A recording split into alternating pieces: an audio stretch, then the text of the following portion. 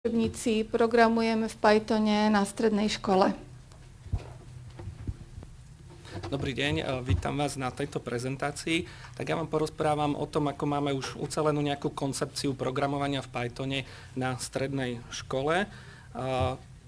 V minulosti sme sa už tu stretli niektorí a teda začíname nejakým základným kurzom pre všetkých študentov. Ten je v rozsahu zhruba 33 vyučovacích hodín. U nás je to prvý ročník a druhý ročník, vždy druhý polorok, kde sa naučia nejaké základy. Cieľom je vytvoriť jednoduchú hru. O tomto sme si už v minulosti hovorili, takže to len tak stručne prebehnem, aby sme si neminuli e, čas. Takže uh, tam sú, robíme takéto nejaké základné témy ako podprogramy, cyklus, vetvenie, časovač, e, reakcia na udalosti a cieľom je pomocou grafického kontextu v knižnici TK Inter vytvárať jednoduché, jednoduché hry, niečo, čo študentov baví. Pokračovaním toho je uh, maturitná úroveň, ktorú som tu predstavil v Lani a k tomu máme teda vytvorený uh, materiál alebo elektronickú knihu programujeme v Pythone 2. Tá nadvezuje na ten základný kurz a je to pre tých študentov, ktorí sa pripravujú na maturitu. Konkrétne u nás na škole je to seminár z programovania, tretí ročník, uh, dve hodiny týždenne. Tu je to už také obsiahlejšie, trošku rozšírenejšie, aj, aj si dovolíme, uh, dovolíme viac uh, veci, ako to bolo v tom základnom kurze. Samozrejme, uh, obsahom toho sú mnohé riešené príklady, úlohy na predsvičovanie, ale cieľom je aby žiaci aj premýšľali, objavovali súvislosti, hľadali chyby, čiže sa tam nachádzajú aj rôzne takéto otázky, ktoré podporujú tieto aktivity. Zhruba čo sa týka tém, tak sú to tie témy, ktoré sú potrebné k maturite podľa cieľových požiadaviek e, na maturitu z informatiky. A teda robíme tam textové reťazce, textové súbory, funkcie s návratovou hodnotou, jednorozmerné polia alebo teda zoznamy. Občas sú tam aj navyše nejaké témy, ktoré to trošku e, zase spravia takým zaujímavejším, a napríklad obrázky, ale venujeme sa aj asociatívnym poliam, slovníkom, ktoré sú už nad rámec cieľových požiadaviek. Pracujeme s nejakými vlastnosťami útvarov nakreslených v Canvase, pretože v TK Inter sú nakreslené veci nejako rastrová grafika, ale sú to ako samostatné objekty, ktoré sú niekde tam poukladané a vieme dodatočne meniť ich vlastnosti. No a v závere, keďže e, študenti potom tvoria aj nejaké väčšie programy, tak je tam taká kapitolka, ktorá im e, pomôže upravovať vzhľad aplikácií a používať nejaké ďalšie rôzne widgety, ktoré sú k dispozícii tej knižnici TK Inter. Takže toto tiež len tak stručne, to sme predstavili podrobnejšie v Lani ako maturitnú úroveň. Tiež už v Lani sme predstavili, že k tomu e, máme aj zbierku maturitných zadaní, to, je tam pekne 64 úloh, zhruba polovica je v grafickom režime, polovica v konzolovom režime. Tie úlohy sú aj riešené, či si tam nájde študent riešenia. V úlohách je definovaný cieľ, nie sú prezradené prostriedky, čiže čo všetko má študent použiť a no, tie úlohy sú gradované, to znamená, že sú tam jednotlivé body, z ktorých sa môže odraziť aj možno taký slabší študent, ktorom to až tak celkom nejde a postupne sa tam nabalujú ťažšie veci, aby teda tá úloha dobre rozríšila v celom spektre toho hodnotenia. Samozrejmosťou je, že e, tá zbierka úloh obsahuje aj vstupné súbory, e, riešené programy, aj v samostatnej e, forme, aj potrebné nejaké obrázky. No a čo by som chcel dnes predstaviť, to je niečo nové, čo máme ďalej za ten rok a to je tretí diel učebnice programujeme v Pythone a ten konkrétne tomuto ďalšiemu ďalšej časti sa my venujeme v štvrtom ročníku, maturanskom, pretože máme tých hodín informatiky za posledné 4 roky trošku viacej, ako je tá minimálna požiadavka, ktoré potrebuje študent k maturite. A teda toto je nejaký taký kurz, ktorý nazývame, že naučte sa ešte viac, alebo pokročilejšia úroveň, ktorá ide nad rámec tej maturitnej úrovne, ale prirodzene na ňu nadvezuje. Keďže je to v štvrtom ročníku, tak ten rozsah, ten e, štvrtý ročník pri dvoch hodinách týždenne seminár z programovania končí trochu skôr ako celý školský rok, keďže sú tam maturity, takže môžeme s týmto pracovať 50 a 70 hodín, čo zase ovplyvňuje to, do akej hĺbky chcem ísť, koľko úloh chcem e, riešiť. možno ešte, ak si pamätáte, v minulosti, keď bola maturita z informatiky, bola dvojúrovňová úroveň A, vyššia úroveň a úroveň B nižšia. A práve cieľom tohto, tejto pokročilejšej úrovne je tak trochu kopírovať tú vyššiu úroveň, čiže to, čo už dnes na maturite, maturite nie je. V tomto materiáli teda opäť sú aj riešené príklady, úlohy na precvičovanie a otázky, ktoré po, ktoré podporujú premyšľanie, experimentovanie, hľadanie chyb a objavovanie súvislostí. Ja vám teraz hruba predstavím, čo teda robíme v tom štvrtom ročníku, v tom, tej pokročilejšej úrovni a predstavím jednotlivé kapitoly a úlohy, ktorým sa tam napríklad venuje, venujeme. Takže toto je približne taký obsah, robíme dvojrozmerné polia, venujeme sa rastrovým obrázkom, čiže nejakým efektom, filtrom, a vraciame sa akoby k korytnačej grafike, ktoré, ktorú sme my v Pythone nerobili, pretože korytnačej grafike sa venujeme v 8-ročnom gymnáziu ešte na druhom stupni, čiže akoby na základnej škole napríklad v Scratchi. Ale tu sa vraciame v Pythone k korytnačej grafike, pretože ju využívame a, ako prípravu na rekurziu a fraktály. Následne robíme objektové programovanie a potom grafy a grafové algoritmy ten materiál a obsah končí nejakými ďalšími možnosťami jazyka, čiže nejakými špecialitkami, ktoré sú opäť len na také doplnenie. Takže na začiatku začíname dvojrozmerným polom. Mnohé veci sú teda v tom grafickom kontexte, takže toto je ukážka nejakých takých jednoduchých piškvoriek, kde môžem si kde si môže hráč vlastne poukladať tie prvky, ktoré tam sú a samozrejme ja si ich nejako potrebujem pamätať v pamäti, takže v pamäti sa pamätajú vo forme zoznamu, zoznamov alebo teda dvojrozmerného pola. Je to trošku náročnejšia téma, pretože musíme tam byť opatrní pri používaní referencií, pretože môžeme to vytvoriť napríklad aj takto nešťastne a potom keď zmeníme jeden prvok toho zoznamu, tak sa zmení vo všetkých podzoznamoch. Takže na to by som rád upozornil a aj týmto veciam sa teda venujeme v tej učebnici. V rámci dvorozmerných polí alebo zoznamu zoznamov robíme rôzne takéto nejaké hry, napríklad toto je ukážka, že diamantové bludisko, kde v textovom súbore máme popísaný, popísané rozloženie v tej hre, následne má, sú pripravené nejaké obrázky, cieľom je podľa tohto rozloženia vykresliť tú hru a, hráč vlastne tú postavičku ovláda buď klávesnicou alebo teda nejakou myšou Cieľom je vyzbierať nejaké diamanty, dostať sa k tým dverám na odchod z miestnosti a keď teda je všetko splnené, tak sa otvoria dvere a môžem prejsť do ďalšieho levelu. Tak napríklad takéto veci robíme v tom dvojrozmernom poli, ale aj klasicky môžeme robiť sudoku, kde zase predloha môže byť načítaná z textového súboru, alebo môžeme tvoriť uh, malované krížovky, jednak, že máme už predlohu v textovom súbore a, cieľom je uh, vlastne zafarbiť podľa tej predlohy správne malovanú, malované kryžovky, ale aj opačne, že si vytváram, že si niečo nakreslím a počítač mi spočíta tú danú predlohu. Ďalšou kapitolou, ktorá je podľa mňa veľmi zaujímavá, sú e, rastrové obrázky a ich nejaké zmeny, čiže pomocou zmeny farieb pixelov a rôznych nápadov robíme také drobné efekty a hráme sa trochu s tými obrázkami.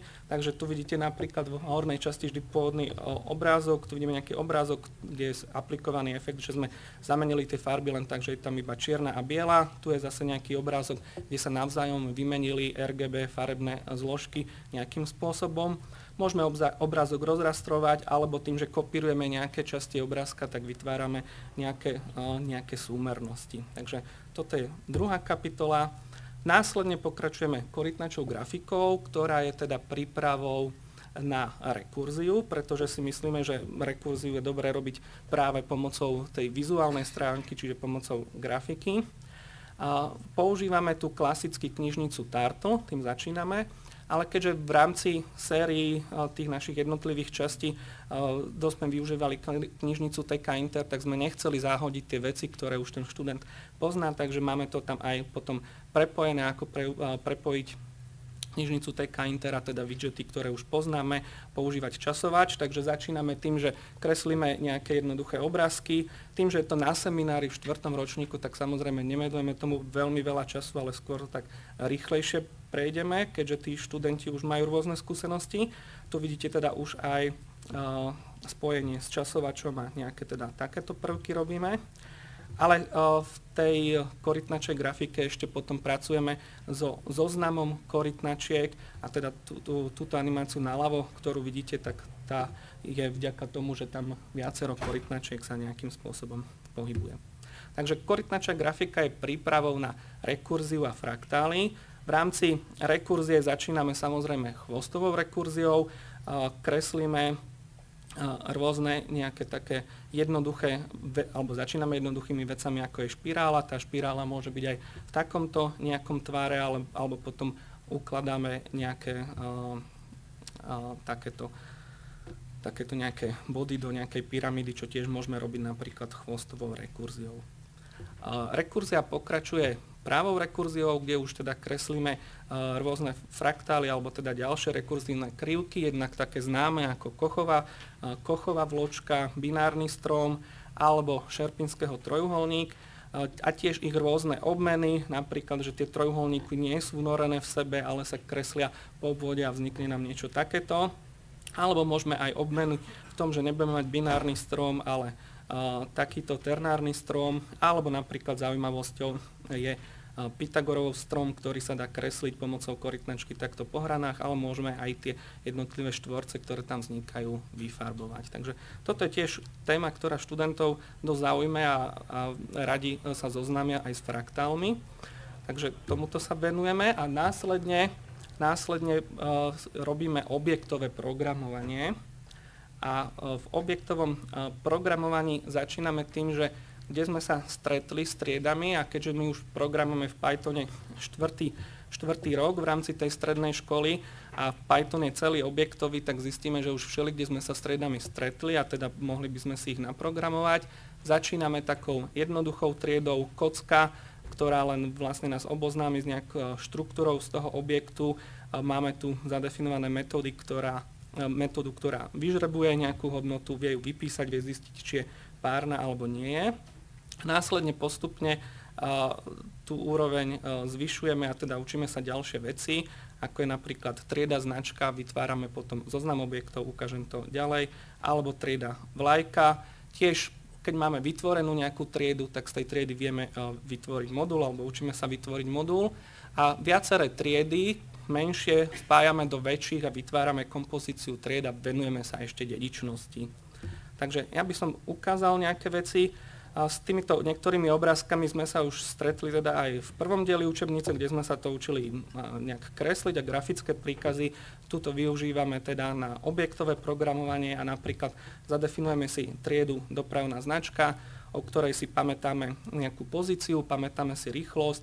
Tá trieda má metódy na vykreslenie, skrytie ale vieme, vieme spraviť aj takú vec, že tým, že reagujeme na myš, ľavé a práve tlačidlo, vieme tú rýchlosť na tej značke zvyšovať a znižovať.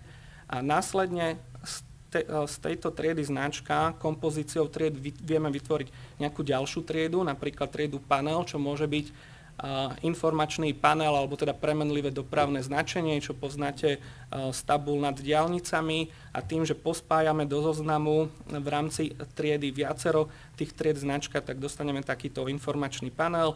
Tých informačných panelov ako inštancií tried vieme mať viacej a tak zrazu si vieme naprogramovať možno nejaké také dohľadové centrum, ktoré správuje nejaké úseky diálnice. Ale tiež môžeme si vytvoriť triedu vlajka, ktorá e, generuje nejaké náhodné vlajky so zvislými alebo s vodorovnými pruhmi. E, môžeme nastavené, koľko má tých pruhov, z akého farebného rozloženia. Môže mať metódy, kde vieme e, tú vlajku zoomovať a teda vieme potom kresliť nejaké také vlajky rôznych vymyslených krajín. No samozrejme z tých tried uh, alebo v tom objektovom programovaní pokračujeme aj ďalej, keď sa zoznámime s takými nejakými základmi, tak robíme ďalšie programy, kde využívame kompozíciu tried a na tomto by som ukázal na takej klasickej húsenici alebo teda snakeovi, ktorý je uh, zložený z viacerých článok, ako sa tá uh, kompozícia dá využiť. Tak napríklad máme triedu článok, ktorá vlastne popisuje, alebo je tam naprogramovaný jeden článok tej húsenice z viacerých článkov v triede húsenica vytvoríme celú húsenicu a potom môžeme naprogramovať takú väčšiu triedu, že veľa húseníc a tie Husenice samozrejme pomocou kompozície tej tried využívajú tie predchádzajúce triedy a môžeme spustiť takýto nejaký program, kde sa potom náhodne pohybujú nejaké husenice. Tu už je trošku aj taká verzia, kde je nejaká spravená dedičnosť na tie články a tie články a husenica obsahuje aj napísaný nejaký, nejaký text, takže to potom môže vyzerať nejak takto. A tým, že používame objektové programovanie, tak zrazu z jednoduchých akoby vecí, z jednoduchej nejakého zadefinovania pre, pre jeden objekt, vieme to vytvoriť pre viacero vecí, čo by sa možno dosť ťažko robilo v takomto procedurálnom programovaní. Spravili sme aj pri objektovom programovaní takéto Python karty. Sú to Python binárne karty, ktoré sú ladené k našim dielom učebnice, čiže modrá je k prvému dielu učebnice, zelená k druhému, červená k tretiemu. Sú tam na tých kartách sú vlastne nejaké príkazy z príkazovníka alebo teda z nejakej takej pomôcky k tomu, čo sa prebe, preberalo, keďže v tých kartách potrebujeme aj štvrtú farbu, tak sme vymysleli, že, že na tej štvrtej farbe sú rôzne chybové hlášky, s ktorými sme sa mohli stretnúť. Takže aj takýmto spôsobom, keď si tie karty vytlačíme, tak môžeme aj vo voľných chvíľach si trochu opakovať Python a, a možno dvojkovú sústavu. No a my tieto karty využívame priamo v nejakom programe, v objektovom. A síce programujeme triedu karta, a potom kompozíciou tejto triedy vytvárame triedu balíček kariet, kde je vlastne zoznam viacerých kariet. A tie karty alebo ten uh, samotný balíček obsahuje niektoré z tých metód, napríklad, že otoč vrchnú kartu, čiže ju vieme otočiť. Vieme zobrať vrchnú kartu z toho balíčka, vieme zase do balíčka pridať na vrch kartu, tento balíček, my síce tu vidíme jednu kartu, ale keby sme zavolali metódu rozostup, tak sa rozostupia tie karty do nejakého takého radu pod sebou, ale vieme ten balíček aj zbaliť. A keď si naprogramujeme takéto metódy, tak potom, keď mám vytvorený niekde tú inštanciu triedy balíček 1, tak vieme otočiť vrchnú kartu, vieme keďže uh, môžeme mať vytvorené viacero inštancií, tu vedľa je balíček 2, vedľa je balíček 3, ktorý ešte teda nemá žiadne karty. A môžeme balíčku 2 pridať návrh kartu, ktorú odoberieme z balíčku 1. Vďaka tomu, že sú tam v Pythone referencie a máme to spravené objektovo, tak veľmi ľahko to potom funguje. Následne môžeme zase na balíčku 1 otočiť vrchnutá kartu, lebo keď teda z vrchu jednu zoberieme, tak ten balíček ostane zakrytý. Vieme ju, tiež ju tu pridávame napríklad do prvého balíčka, ale môžeme po otočení z balíčka prvého pridať kartu aj na tretí balíček, ktorý bol zatiaľ prázdny, alebo môžeme aj odobrať kartu z druhého balíčka a pridať ju na tretí balíček. Čiže keď si dobre navrhneme nejaké triedy, dobre navrhneme nejaké metódy a máme zaujímavé obrázky, tak máme už teraz podklad pre rôzne kartové hry a vedeli by sme si asi pomocou týchto metód naprogramovať ďalšie, ďalšie nejaké kartové hry a dať tomu nejaké pravidlá. Po tejto veľkej kapitole objektového programovania sa venujeme aj grafom a grafovým algoritmom, čo je opäť zase nad rámec maturitných požiadaviek, ale tým, že máme viacero viacej tých hodín, tak v štvrtom ročníku sa môžeme aj takýmto zaujímavým veciam, ale dôležitým pre informatiku venovať. Najprv si samozrejme definujeme, čo je graf, ale nie takouto matematickou definíciou, aby sme neboli príliš akademickí, ale ešte, ešte takými spôsobmi, ktoré uh, akoby robia propedeutiku na tej strednej škole a zároveň, zároveň je to zaujímavé. Takže má, sú tam napríklad pripravené rôzne ukážky nejakých textových súborov, ktoré popisujú nejaké údaje a študenti majú medzi nimi, medzi nimi hľadať, čo vlastne popisujú tie informácie tam zapísané a majú to nejako objavovať. Tiež si kladieme otázky, kde sme sa s tými grafmi stretli. A následne, čiže nie, nie sú to len nie sú to len mapy nejakých miest a spojení medzi, ne, medzi nimi, môžu to byť aj vzťahy na sociálnej sieti, uh, môže to byť uh, čokoľvek iné. Uh, potom sa venujeme vytváraniu grafu, to znamená, že keďže my preferujeme tú uh, vizuálnu grafickú stránku, tak najprv si nejaký graf klikaním myši vytvárame a uh, nejako ukladáme do nejakej štruktúry a následne sa učíme, aké, aké reprezentácie grafu môžeme použiť. Končí to v podstate grafovými algoritmami, kde prehľadávame graf do hĺbky, do šírky, vieme v nejakom grafe nájsť potom cestu, či už najkračšiu cestu, či už v ohodnotenom alebo v neohodnotenom grafe, ale opäť zase toto je ako ponúka aj na učiteľovi, koľko má času a čo s tými študentmi zvládne. Posledná kapitola, ďalšie možnosti jazyka Python. Tu sa venujeme takým veciam ako ternárny operátor, zjednodušené vytváranie zoznamov, inicializované parametre funkcie a minimky. Myslíme si, že nie sú to veci, ktoré by sme nutne museli dať niekde skôr, lebo nechceli sme akoby prekomplikovať ten obsah, čo všetko študent musí vedieť ale zároveň tieto veci nejak zjednodušia prácu. Takže aj v druhom dieli sme na konci mali takú kapitolku, ktorá sa dá podľa potreby zaradiť kdekoľvek, alebo sa môže študent s tým e, zoznámiť, ak, ak už to potrebuje vedieť, tak takisto je to aj v tejto tretej kapitole a tretej učebnici. No dôležitým prvkom, okrem e, samozrejme týchto materiálov a toho, čo robíme, a na čo by som rád upozornil, sú seminárne práce. A teda je dôležité, aby študenti vytvárali aj nejaký väčší projekt sami.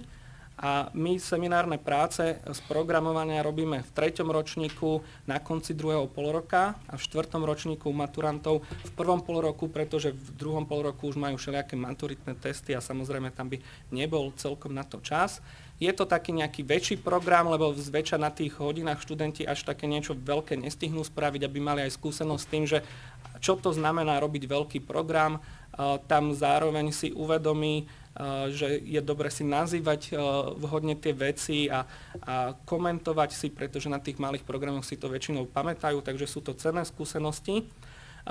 Tá seminárna práca sa už zhruba dva mesiace pred odovzdaním začína robiť, pretože je dôležité si dohodnúť tému s učiteľom, teda študenti majú akoby voľné ruky na výber tej témy, ale potrebujeme sa dohodnúť preto, že či to, čo spravia, požaduje nejakú tú, tak, splňa nejakú tú základnú úroveň, ktorá je požadovaná.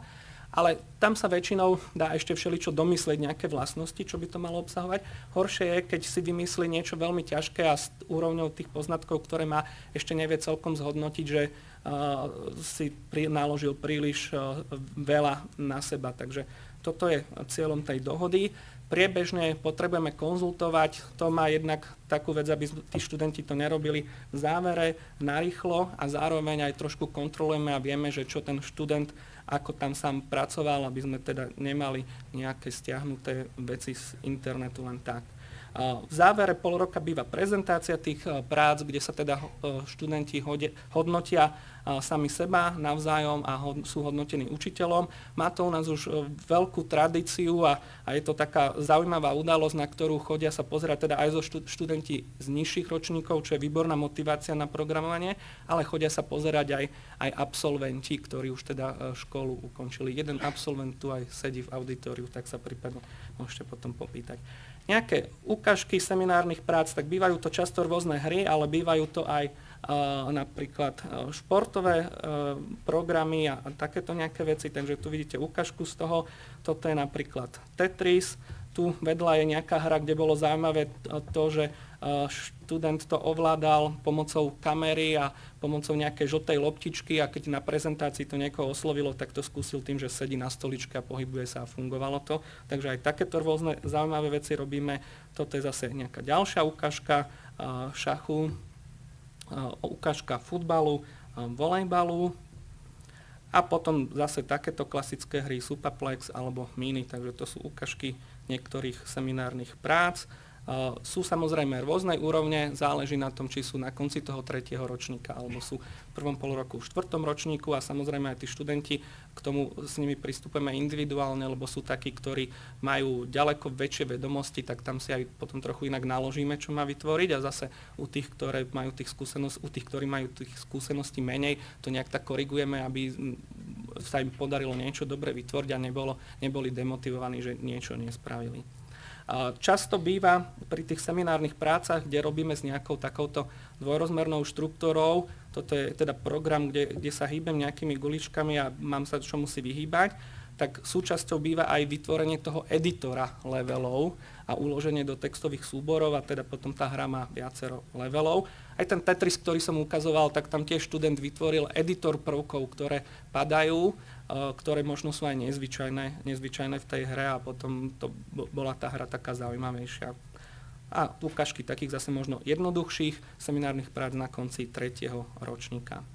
No takže toto je taká nejaká ponuka, alebo čo my robíme za celé 4 roky na strednej škole, aj ponuka tých materiálov, základná úroveň, to sme predstavili na prvom ročníku PyConu, maturitnú úroveň, to sme predstavovali v Lani a dnes teda som sa venoval tej pokročilejšej úrovni. Pokiaľ máte e, viac hodín informatiky a môžete, môžete sa tomuto všetkému venovať, tak sú k tomu materiály, je to premyslená ponuka a zároveň aj podporujeme učiteľov, čiže k týmto materiálom sú vytvorené príručky, teda k tretiemu dielu ešte pracujeme na príručky, zbierka testov, zbierka testov alebo teda tie zbierka maturitných úloh.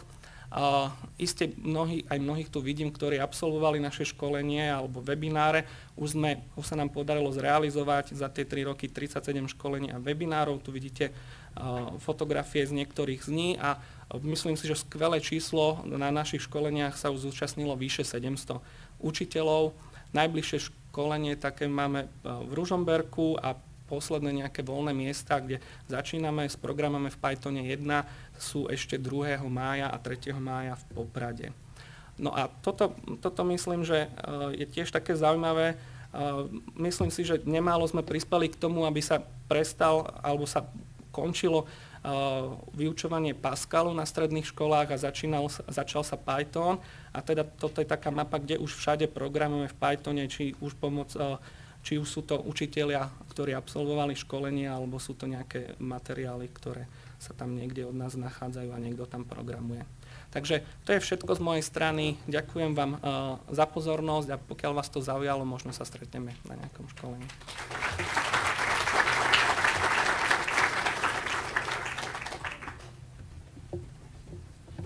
pekne. Takže čakáme na vaše otázky do diskusie. Jedna sa tu už objavila. Teda ty už učíš pomerne dlho v Pythone, takže ako by si s odstupom času subjektívne zhodnotil Python v porovnaní s inými uh, programovacími prostrediami z hľadiska výučby? Tak ono sa to trochu vyvíjalo, ako som sa ja dostal k Pythonu a ja občas aj hovorím, že moje prvé stretnutie s Pythonom, kým som nebol veľmi trpezlivý a, a kým som mu nevenoval väčšiu pozornosť, bolo také, že sa mi nepáči, lebo to na mňa strašne chaoticky pôsobilo proti tomu Pascalu, ale potom, keď som sa po nejakom čase s ním zoznamoval dlhšie tak, a dostal som sa k nejakej úrovni, tak som zistil, že je to tam veľmi dobre premyslené a, a má to kopec myšlienok a, a, a ma to veľmi oslovilo. A my sme teda prechádzali z Delphi z Lazarusu na Python a e, bo, bolo to také akčné, že sme vlastne prešli aj v prvom, aj v druhom ročníku, čiže niektorí už mali za sebou Pascal, teda Lazarus Delphi a takým switchom sme proste prešli. A e, ne, nelutujem to, že sme sa do toho vrhli, lebo, e, lebo už by som sa nevrátil naspäť k Delphi a k Lazarusu. A vidím, že je to oveľa, oveľa jednoduchšie tie začiatky pre začiatočníkov uh, v tom Pythone. Nepotrebujú spraviť také veľké kroky, aby, aby niečo vedeli spraviť, takže ja mám s tým len dobré skúsenosti a myslím si, že je to veľmi dobrý jazyk pre začiatočníkov, ktorí sa zoznamujú s vyšším programovacím jazykom a myslím si, že na strednej škole by sa študent mal zoznámiť s nejakým vyšším programovacím jazykom. Je tu otázka, že ako môžu získať uh, tvoju učebnicu asi na tej adrese? Uh, na tej adrese www.programujeme v Pythone.sk, tam nájdete aj podrobne o jednotlivých príručkách uh, a ďalších materiáloch, uh, tam nájdete všetky informácie. A tam nájdete aj ponuku školení, aj, aj možno sa prihlásiť na nejaké školenie, pokiaľ by ste mali záujem, teda v tom poprade ešte pár miest posledných voľných. No ešte si dovolím ja otázku. Je to naozaj dosť pokročilá úroveň. Aké máš skúsenosti, že čo robí také najväčšie problémy? Ja, ja mám pocit, že už pomaly nebudeme mať čo učiť v prvom ročníku, keď prídu vaši absolventi. Takže či nám ja. niečo ostalo? Ja, ja, ja by som sa neobával toho, že či nemám čo učiť, pretože podľa mňa je dôležité, aby som sa pošpíral vracal k niektorým veciam A tiež si, e, tiež si myslím, že úlohou tej strednej školy je spraviť akoby takú prípravu a propedeutiku k mnohým oblastiam, aby si to mohli ochutnať a vedeli, čomu sa budú ďalej venovať. Hej, čiže našim cieľom aj pri týchto pokročilejších témach, ako sú grafy, nie je teraz, aby, e, aby ten každý študent, ktorý skončí, vedel excelentne pracovať s grafovými algoritmami, ale aby sa s nimi napríklad zoznámil, aby vedel, že je to dôležitá časť tej informatiky. Samozrejme, niektorí to strávia do nejakej hĺbky, niektorí do väčšej a, a možno aj skôr, ako sa k tomu dostaneme. Ale myslím si, a filozofiou aj našej školy je, že, že študentom poskytujeme príležitosť, aby sa vzdelával. Hej, že my nie, sme, my nie sme tí policajti, ktorí nad nimi stoja, že toto všetko musí vedieť. Takže ja to beriem skôr, že pomáhame tej vysokej škole takou nejakou predprípravou, ako v zmysle, že im vykrádame nejaké témy. Nemyslela. Ja, dobre. Ešte posledná otázka, že či si myslíš, že je to vhodný jazyk aj pre takých, čo nebudú v IT odboroch pracovať, teda čo nebudú maturovať z informatiky? No ja si myslím, že tá základ, to, čo máme na tej základnej úrovni, v tom prvom dieli programovania v Pythone, že to je taký ten základ, ktorý by mal byť pre absolventa strednej škole, školy so všeobecnou vzdelávacím predmetom informatika. A keď sme to porovnávali a pýtali sa aj našich absolventov, aj študentov, ktorí si prešli jedným, teda Delphi Lazarus aj samotným Pythonom, tak eh, v podstate a tým, že sa s tým Pythonom stretli, tak je to taký skriptovací jazyk, ktorý sa všelikde používa, či už bude robiť z nejakej fyzike, chémie alebo, alebo niečom si nejaký ekonomický software programovať, tak možno často sa stretne s nejakými e, Python skriptami a bude ich vedieť minimálne čítať a porozumieť. A tým, že sa stretol s takýmto jazykom, tak bude vedieť možno aj nejakému programátorovi lepšie zadefinovať že, e, a vykomunikovať, že čo chcú vlastne vytvoriť. Tá, tá, dnes tá integrácia rôznych oblastí je veľmi dôležitá, hej, že nechceme vytvárať len študenta, ktorý je presne so zameraním na niečo, ale má presah aj do iných oblastí, lebo žijeme teda v, v dobe, kde, kde je všetko komplexné a všetko so všetkým súvisí. Dobre, ďakujem. Sú tu ešte ďalšie otázky, ale bohužiaľ musíme pokračovať. Takže ešte cez prestávky bude možnosť uh, diskutovať tuto uh, s pánom Kučerom. Eh, ešte by som chcela upozorniť, Chcela by som upozorniť, že ešte môžete aj hodnotiť túto prezentáciu eh, v tom prostredí slajdu pomocou hviezdičiek. Aj vlastne každú prezentáciu vždy po diskusii eh, môžete ohodnotiť. Je to taká cena spätná väzba pre organizátorov konferencie. A ešte jeden oznám Tuto povie Evka Klimeková. Dobrý deň, takže ja by som poprosila žiakov, ktorí si doniesli projekty na Hardware Showcase, aby išli do Babidžovej učebne pripraviť si projekty. A vy ako verejnosť môžete za tieto projekty hlasovať cez obed. A, nasledujúca prednáška začína 11.40.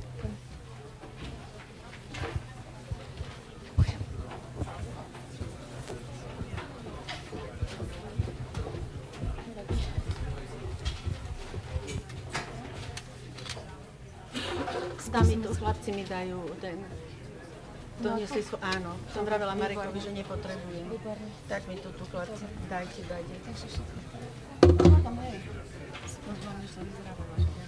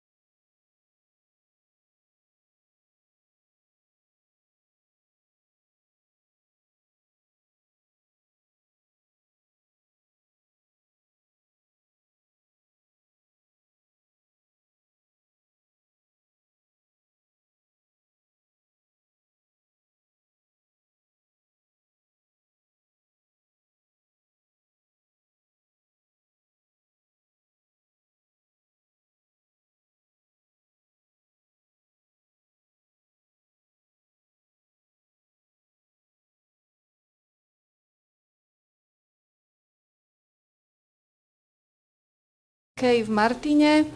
Je tu pani profesorka Miroslava Šturmová so svojimi študentami a majú prezentáciu s názvom Objavovanie V Pythonu v Dudley College.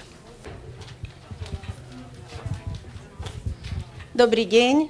Dovolte, aby som sa predstavila ja, Miroslava Šturmová, mojich alebo našich dvoch štvrtákov, Mareka Višňovca a Roberta Junasa, ktorí vám to objavovanie Pythonu ukážu. A ja by som skôr nadviazala na pána Kučeru, ktorý mal prednášku pred nami a on tak pekne povedal, ako sa vlastne z toho Lazarusu a z Delphi prepracovali k Pythonu.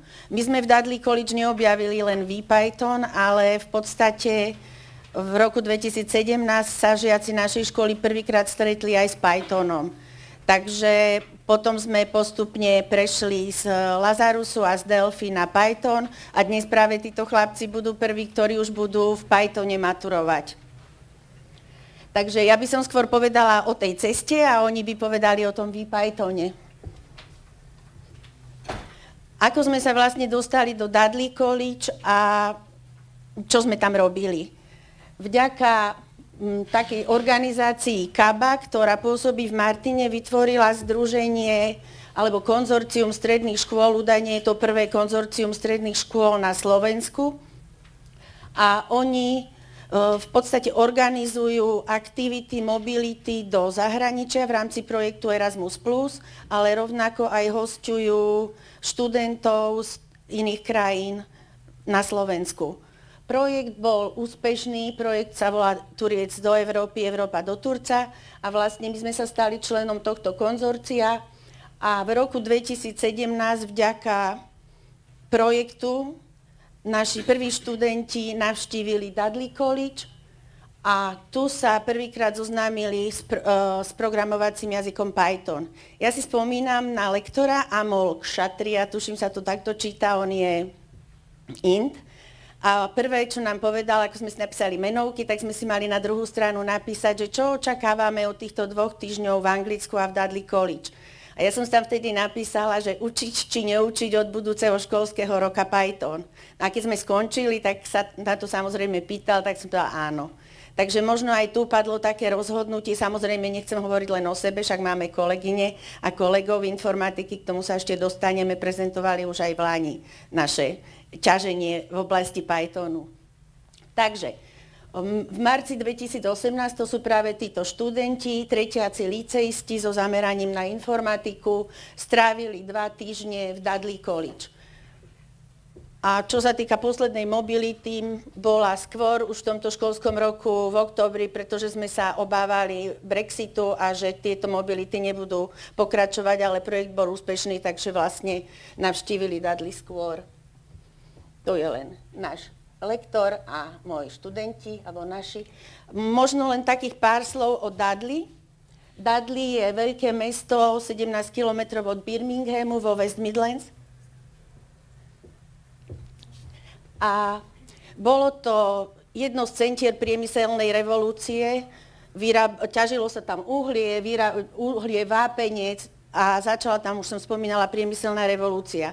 Keď to ale všetko skončilo, tak sa oni zamýšľali, ako to dadli postaviť znovu na nohy, lebo to všetko upadlo. A tak tam vznikla obrovská, obrovský college, alebo teda ani to nechcem povedať, že stredná škola, lebo na ďalšom slajde uvidíte, že čo za rozmery tá škola má, aký má a čo vlastne robí. Takže Dudley je veľké mesto, hrad, zoo, skanzen, Black Country Living Museum a veľké historické trhovisko. Zraduje krásny pohľad na Dudley. Naš, pardon, našla som si na ich stránke, čo mňa teda ohúrilo tiež, keď som sa prvýkrát opýtala, že koľko máte študentov a oni povedali, že 18 tisíc. Takže tá škola ponúka odborné vzdelávanie, ale v rôznych odboroch. To sa nedá porovnať podľa mňa so žiadnou strednou školou u nás aj ako to funguje, aj ako oni sú financovaní. Ona, tá Dudley College stala akýmsi centrom toho Dudley, pretože patrí medzi najväčších zamestnávateľov v regióne. Keď si pozriete ročný obrad viac ako 41 miliónov libier, ďalej vlastne zamestnáva veľmi veľa ľudí a má veľmi dobré vzťahy, čo sa týka mobilít v rámci Európskej únie. Je tam veľa zahraničných študentov a keďže my sme boli tam už tretíkrát, tak po tom prvom úspešnom pobyte sme boli radi, že sa môžeme vrátiť aj s ďalšími žiakmi. Obrázky som vybrala skôr tak, aby som to demonstrovala, čo tam deje. Napríklad ja som tam bola v roku 2017 a za ten čas vyrastla tá budova Evolve. V roku 2018 tam pribudla ďalšia budova, ktorá vôbec nevyzerá ako škola, ale je to v podstate ako taká, ja neviem, firma, ktorá má veľa peňazí a poskytuje priestory na vzdelávanie v rôznych oblastiach. A čo je napríklad také zaujímavé, tak oni majú aj kuchárov, aj čašníkov, aj všetko. Na čo si spomeniete, aj hercov, aj spevákov, aj telocvik, všetko sa tam učia, vzdeláva. A napríklad štvrtáci pôsobia v školskej jedálni, jednak varia, jednak obsluhujú a jednak to majú ako prax. V týchto, takže tá prvá budova, tá Advance, je tam veľ, no, mm, majú z tých 41 miliónového obratu, asi majú financie na to, aby stále rástli. To sú len, my sme e, boli v tejto Broadway najväčšej budove. Čo tam vlastne žiaci robili? Hovorím už teraz o týchto v tom školskom roku 17-18 a keď som sa pozrela na fotky, tak presne pred rokom 22. marca obhajovali svoje projekty, ktoré tu dneska predstavia. V roku 2018 sme tam boli. Takže uh, zaberali, zamerali sa na, uh, s lektorom Amolom Kšatriom, ktorého si všetci študenti veľmi pochvalovali, jeho metódy aj prístup na rozvoj logického myslenia, tvorbu efektívnych algoritmov, programovali v jazyku Python, to už boli druhí, takže oni už niečo mali v Pythone aj doma. A práve preto im ponúkol lektor, že by sa mohli zoznámiť s VPythonom. Nikto z nás, hovorím aj za seba, o tom ani nepočul, ani nevedel. Takže naozaj to bolo objavovanie, pretože na jednom, jeden deň na tých vari 6 hodín mali teóriu a ukážky a potom záverečný projekt si každý mal vymyslieť, čo ide robiť a každý pracoval sám. Takže tu sú skôr obrázky toho, čo urobili a to už je tá záverečná pre, prezentácia projektov vo VPythone. Výstupy z mobility, jednak teda z Erasmus+, Plus a jednak z toho nášho pobytu, okrem toho, čo prináša podľa mňa pobyt v inom kraji, obohacuje každého človeka, raz vidieť je určite oveľa lepšie a užitočnejšie ako stokrát počuť, zažiť si to prostredie, jednak bývali v anglických rodinách, čiže komunikačné schopnosti, učiť sa odborné veci v anglickom jazyku, ale samozrejme spoznali aj históriu, kultúru, lebo okrem toho ich odborného programu je aj program taký spoločenský.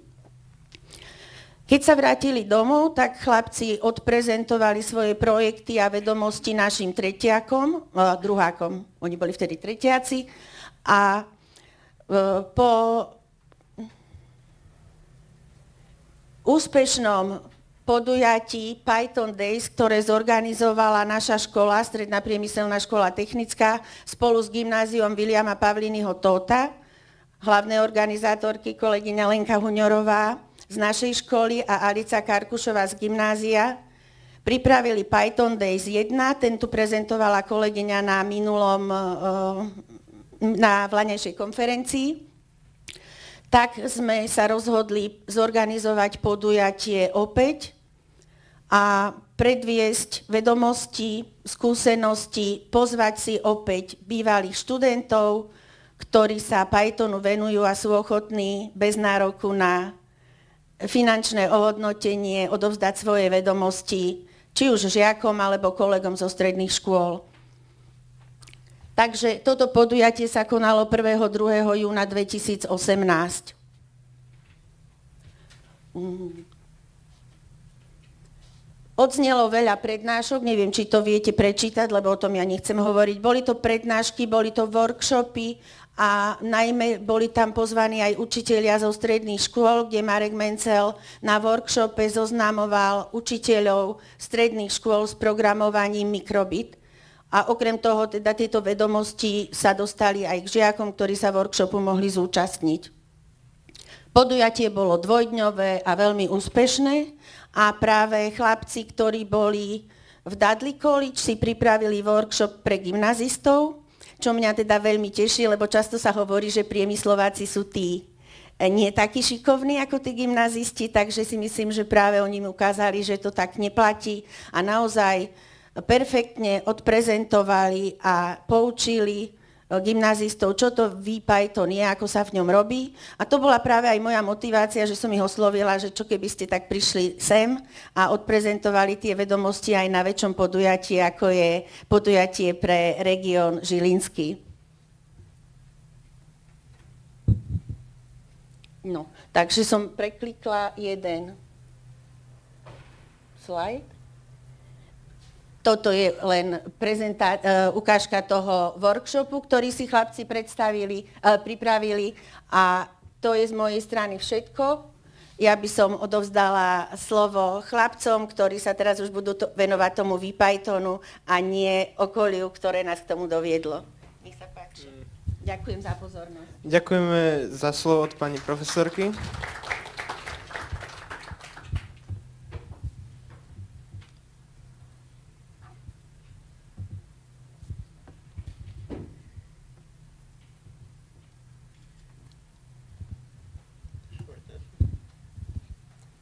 Takže o čom bude naša prezentácia? Dozviete sa, čo je Python, e, dozviete sa možnosti programovania v tomto, v tomto module, ako aj vývojové prostredie GlowScript a základy práce. A taktiež vám ukážeme nejaké ukážky, ktoré sme buď vytvorili v Dudley College, alebo ďalšie ukážky, ktoré sú dostupné na stránke GlowScriptu.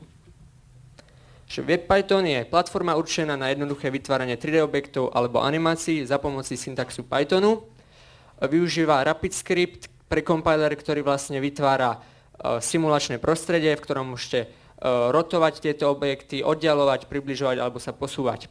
Vlastne to nemusíte programovať, to je priamo už vytvorené za vás. E, keďže využíva WebGL 3D grafické knižnice, je dostupné na všetkých novších, respektíve na všetkých prehľadačoch. A taktiež je to multiplatformový, funguje na Windowsoch, na Linuxoch a na Androidoch. Niečo z histórie. Uh, Python vznikol už v roku 2000, um, dá sa povedať, že vyrastal spolu s Pythonom samotným. V roku 2011 uh, už tento vývoj prešiel skôr na vývoj tohto prostredia, o ktorom vám povieme, GlowScript. Ale v roku 2016 samotný Python sa už prestal vyvíjať a tým, ktorý stal za zrodom Pythonu, sa začal skôr zameriavať na implementáciu do Jupiteru ako modulu a taktiež e, ďalších možností do GlowScriptu. Spôsoby, aký môžete GlowScript použiť. E, začneme asi bezinštalačným riešením, ktoré vám aj predstavíme. Jedná sa o GlowScript Python. Vlastne je to internetové prostredie, e, ktoré je prístupné samozrejme z internetu, takže nemusíte nič pracne nastavovať, e, stačí vám prístup do internetu. E, jediná nevýhoda je, že pristupuje len ku knižniciam napísaným v JavaScripte. To znamená, že ak by ste chceli dodatočne importovať ešte nejakú inú knižnicu, tak e, to nepôjde. Na to sú potom inštalovateľné verzie, ktoré môžete napríklad použiť inštaláciou modulu VPython do Continuum Anacondy alebo do Canopy. Taktiež sa nachádza aj v Python notebooku, kde sa stále vyvíja, ako som skôr povedal. Eh, niekedy v minulosti bola aj možnosť stiahnuť VPython 6, ktorý ale už nie je podporovaný. Čo je ten GlowScript? Je to browserové prostredie, ktoré taktiež má len možnosť práce offline, keď si stiahnete 12 MB súbor. Uh, nie je tam potrebná inštalácia, stačí vám na prístup do tohto prostredia váš Google účet, po vytvorení e, účtu na GlowScripte za pomoci vášho Google účtu budete mať vlastne prístup do takých dvoch folderov. Jeden sa nazýva Private, druhý sa nazýva Public. Vlastne e, obsahuje to Free Cloud, kde môžete vaše vytvory jednoducho zdierať, zdieľať. Um, a taktiež disponuje veľkým množstvom dokumentácie, ktorú si ukážeme. Um, teraz by som predal um, slovo mojemu spoluúčastníkovi, ktorý vám vysvetlí nejaké tie základy.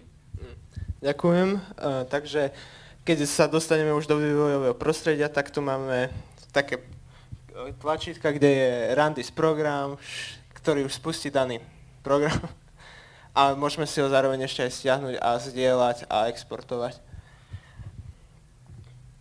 Niektoré objekty máme sféru, ktorá je kruh alebo elipsovitý tvar, šipku, št- kocku, VLC player.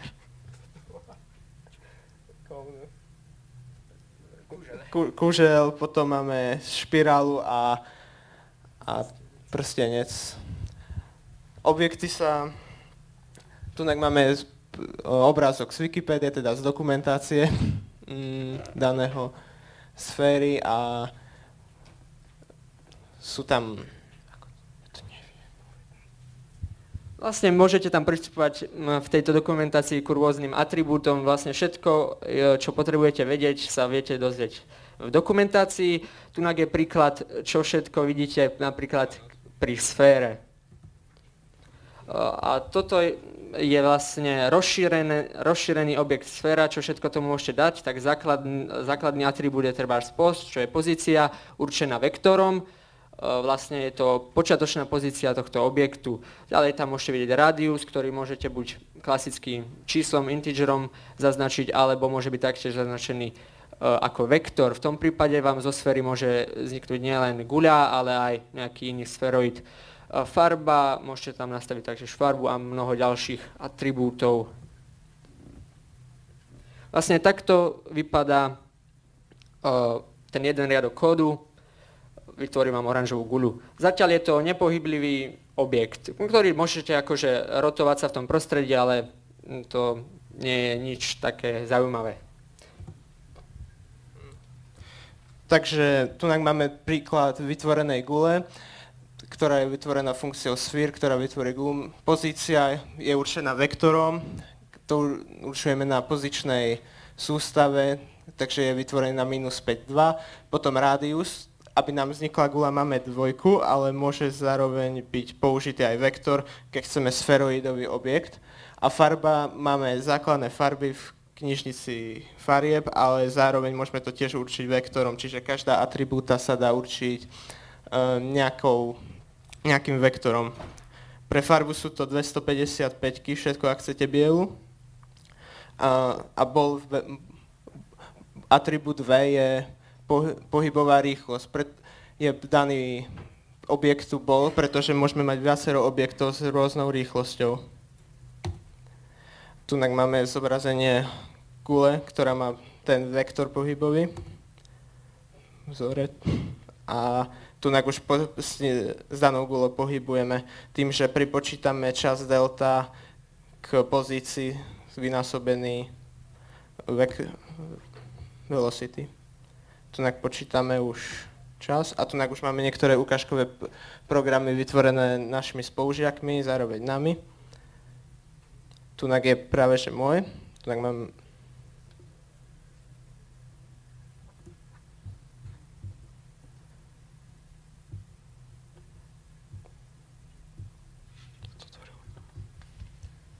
Vlastne toto je prostredie GlowScript. Uh, v ňom sme vám zobrazili jednu z ukážok, ešte vám ukážeme nejaké aj s kódom.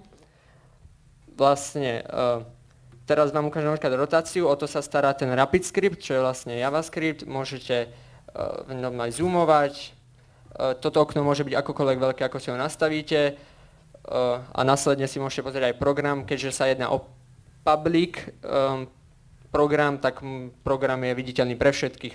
V podstate vidíte, nie je to nejak náročný program, v podstate e, táto pruži, bolo to vytvorené z dvoch pružín, ktoré boli zadefinované ako helix, jeden bol väčší, druhý menší a následne do neho bola vložená objekt gule. A v tomto prípade nebol použitý žiadny fyzikálny vzorec, aby treba gravitačne sa zrýchlovala, ale to všetko sa dá dopísať, dá sa povedať. Ako vidíte, je to v celku krátke na 28 riadkov. Aha. Hm.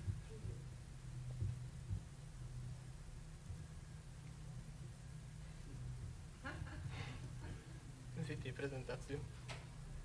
Teraz tam dal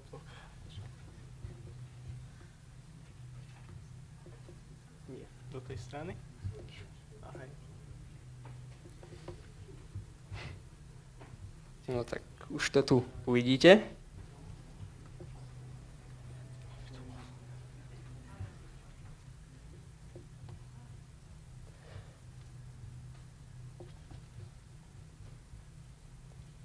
Na, na, na ľavej strane máme kód, kde sú vytvorené uh, objekty, ktoré máme na pravej strane, tam už beží animácia. A beží to v lúpe jednom, s frame rateom 60. O, toto bolo vytvorené tiež našim spolužiakom, ale... Vlastne tu si môžeme ukázať aj uh, uh, ďalšiu možnosť tohto GlowScriptu. Um, tu môžete vidieť stiahnutú verziu, v podstate si stiahnete taký 12 MB súbor, v ktorom vám ale e, nezvýrazní syntax, to je jediná nevýhoda, ale môžete v ňom, dá sa povedať, spúšťať VPython bez toho, aby ste mali nainštalovanú nejakú ďalšiu vec. E, ale to, toto nebolo to, čo sme vám chceli ukázať.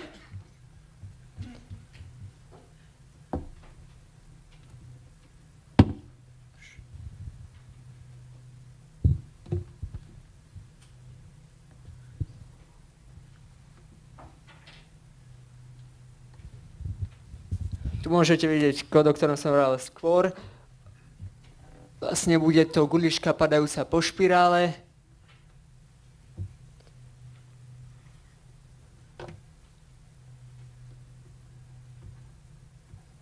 Je vytvorená za pomoci dvoch pružín e, s väčším a menším priemerom. Toto je vlastne v tom GlowScripte.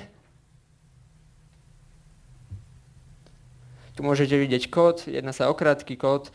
Ehm, ku, ku objektu sfér môžete vidieť napríklad dodané, vlastne tam nie, ale ku uh, Helixu môžete vidieť uh, nejaké dodatkové atribúty. Ka- každý, každý ten objekt obsahuje iné atribúty, to vám ukážem následne v dokumentácii GlowScriptu.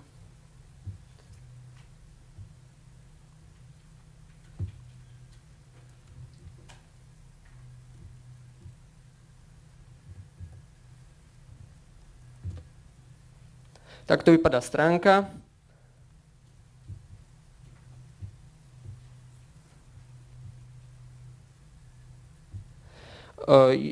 Jedna vec, čo si tu môžete pozrieť, sú example programy, v ktorých môžete vidieť, že je to naozaj, naozaj veľmi použiteľný modul. Mm, nejedná sa, že v ňom môžete iba jednoduché animácie, môžete v ňom robiť aj zložitejšie. Napríklad si ukážeme treba pendulum,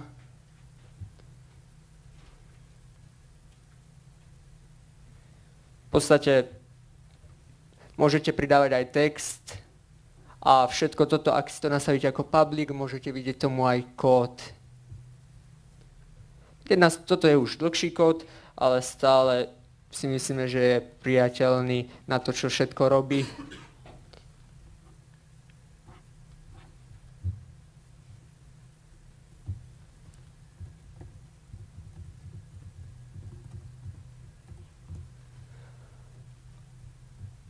Vlastne tunak je dokumentácia. Dokumentácia je takáto jednoduchá stránka na spôsob Wikipédie, kde si vyberete 3D objekt, s akým chcete pracovať a všetko o ňom si vlastne nájdete, všetky parametre si k nemu môžete nájsť v tejto dokumentácii. Vlastne my sme v Pythone pracovali v priebehu jedného dňa, za 6 hodín sme sa uh, o ňom aj naučili a taktiež urobili aj takéto, povedzme, že ešte jednoduchšie programy, e, ale všetko sa to dá iba na základe toho, že máte e, veľa example programov a taktiež e, dobre spracovanú dokumentáciu. Výhoda toho GlowScriptu, ako som povedal, je to, že nepotrebujete nič, takže vám to v podstate bude fungovať iba na základe, že máte internet. Ďakujeme za pozornosť. Hádame, že sa vám páčilo a treba vyskúšať. Ďakujeme.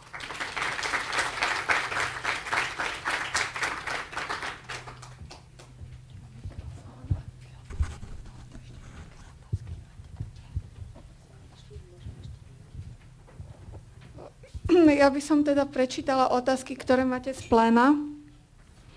Uh, je tu otázka, že či sa dá vymodelovať niečo, čo sa potom dá uh, vytlačiť na 3D tlačiarni.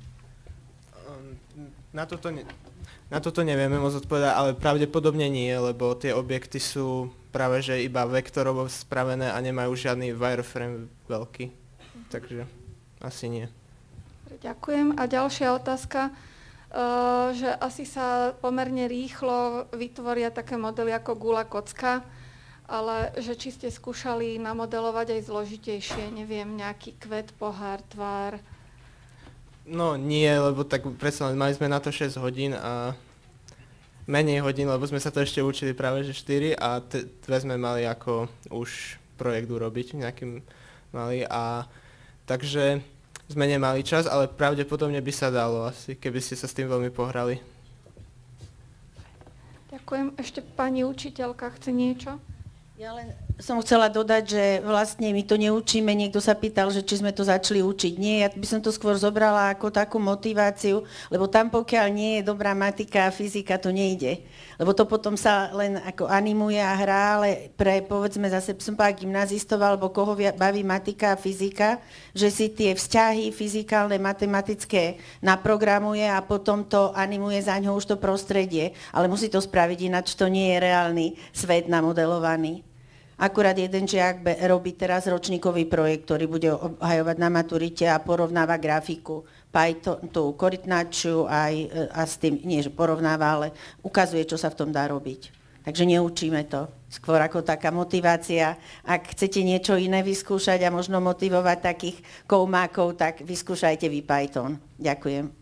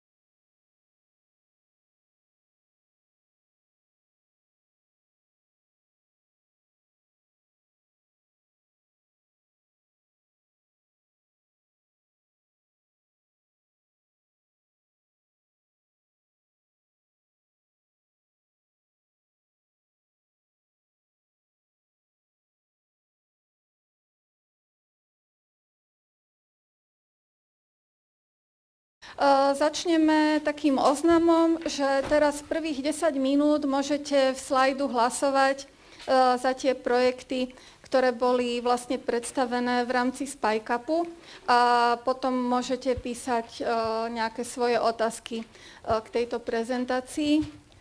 Takže vítam tu pána učiteľa Petra Valachoviča so svojimi študentami z Piaristického gymnázia v Nitre, ktorí nám vlastne porozprávajú, ako sa u nich učí Python a predstavia nejaké projekty. Takže zdravím, ja sa volám Petr Valachovič a som teraz z Nitry. A minulý rok som sa vám prišiel tak trošku podeliť o tom, ako sme prechádzali na Python a ako sme to tak experimentovali trošku. Tento rok by som sa s vami podelil o tom, ako sa ten proces posunul, ako sa veci vyvinuli a keďže vyučovanie nemá byť len o učiteľoch, tak uh, som si zavolal aj dvoch študentov, ktorí robili nejaké naše práce v, v rámci tretieho ročníka. Takže ako sme na tom? Uh, aktuálne na našej škole už beží základný kurz na celej škole, čiže žiaci už vedia vstup, výstup, riadenie programu premerné polia, rezaste súbory v priebehu prvých dvoch rokov, čiže uh, dve hodiny týždenne nejaký ten pol rok, ktorý uh, sa vyučuje. Um, čo je výzva je, že sme piati informatici a synchronizovať sa medzi sebou v tom, že ako učíme to učivo a je to nový programovací jazyk, tak to na tom celkom dosť času uh, spotrebujem. Takže pre mňa toto je celkom výzva, ale snažíme sa učiť tak nejakým spôsobom podobne, lebo každý učiteľ je trošku iná osobnosť, ale predsa. No a aktuálne teda prebieha aj prvý rok maturitného kurzu, čo sú tretiaci. Je to dvaja mladenci tu vedľa mňa. A tam sme sa zatiaľ zaoberali tým, že sme prešli uh, tak trošku na pozadie medzi tie premenné, ako to funguje v pamäti a nejakým spôsobom tak, aby tomu rozumeli viac. Uh, prešli sme si funkcie, generátory, knižnice a aj tie štandardné, aj tie vlastné, čiže nejakým spôsobom sa učia robiť moduly a tiež aj nejaké algoritmické úlohy, ktoré sú také trochu komplikovanejšie. O, s tým, že nebudem vám presne vysvetľovať, čo všetko sme spravili, lebo skôr chcem dať priestor tým chlapcom. A bude aj možnosť o, potom vlastne, že by som vám odoslal veci, ktoré som si pripravil tento rok. O, väčšina tretiakov, ktorí teraz sú v tom maturitnom kurze, vlastne o, Python v prvých dvoch rokoch nemali, a tak sme v priebehu asi mesiaca a pol prešli s nimi z Lazarusu alebo z Delphi na, na Python a myslím si, že bez väčších problémov, že tá algoritmizácia išla, naučili sa jazy, jazyk a, a tak pokročili v tomto smere veľmi rýchlo. No a tak, aby som ja nezdržoval, lebo chcem iba naozaj uviesť týchto žiakov, tak aby oni mali priestor, tak uh, teraz bude priestor pre ich práce, projekty, ktoré pre, pre školu a na škole robia.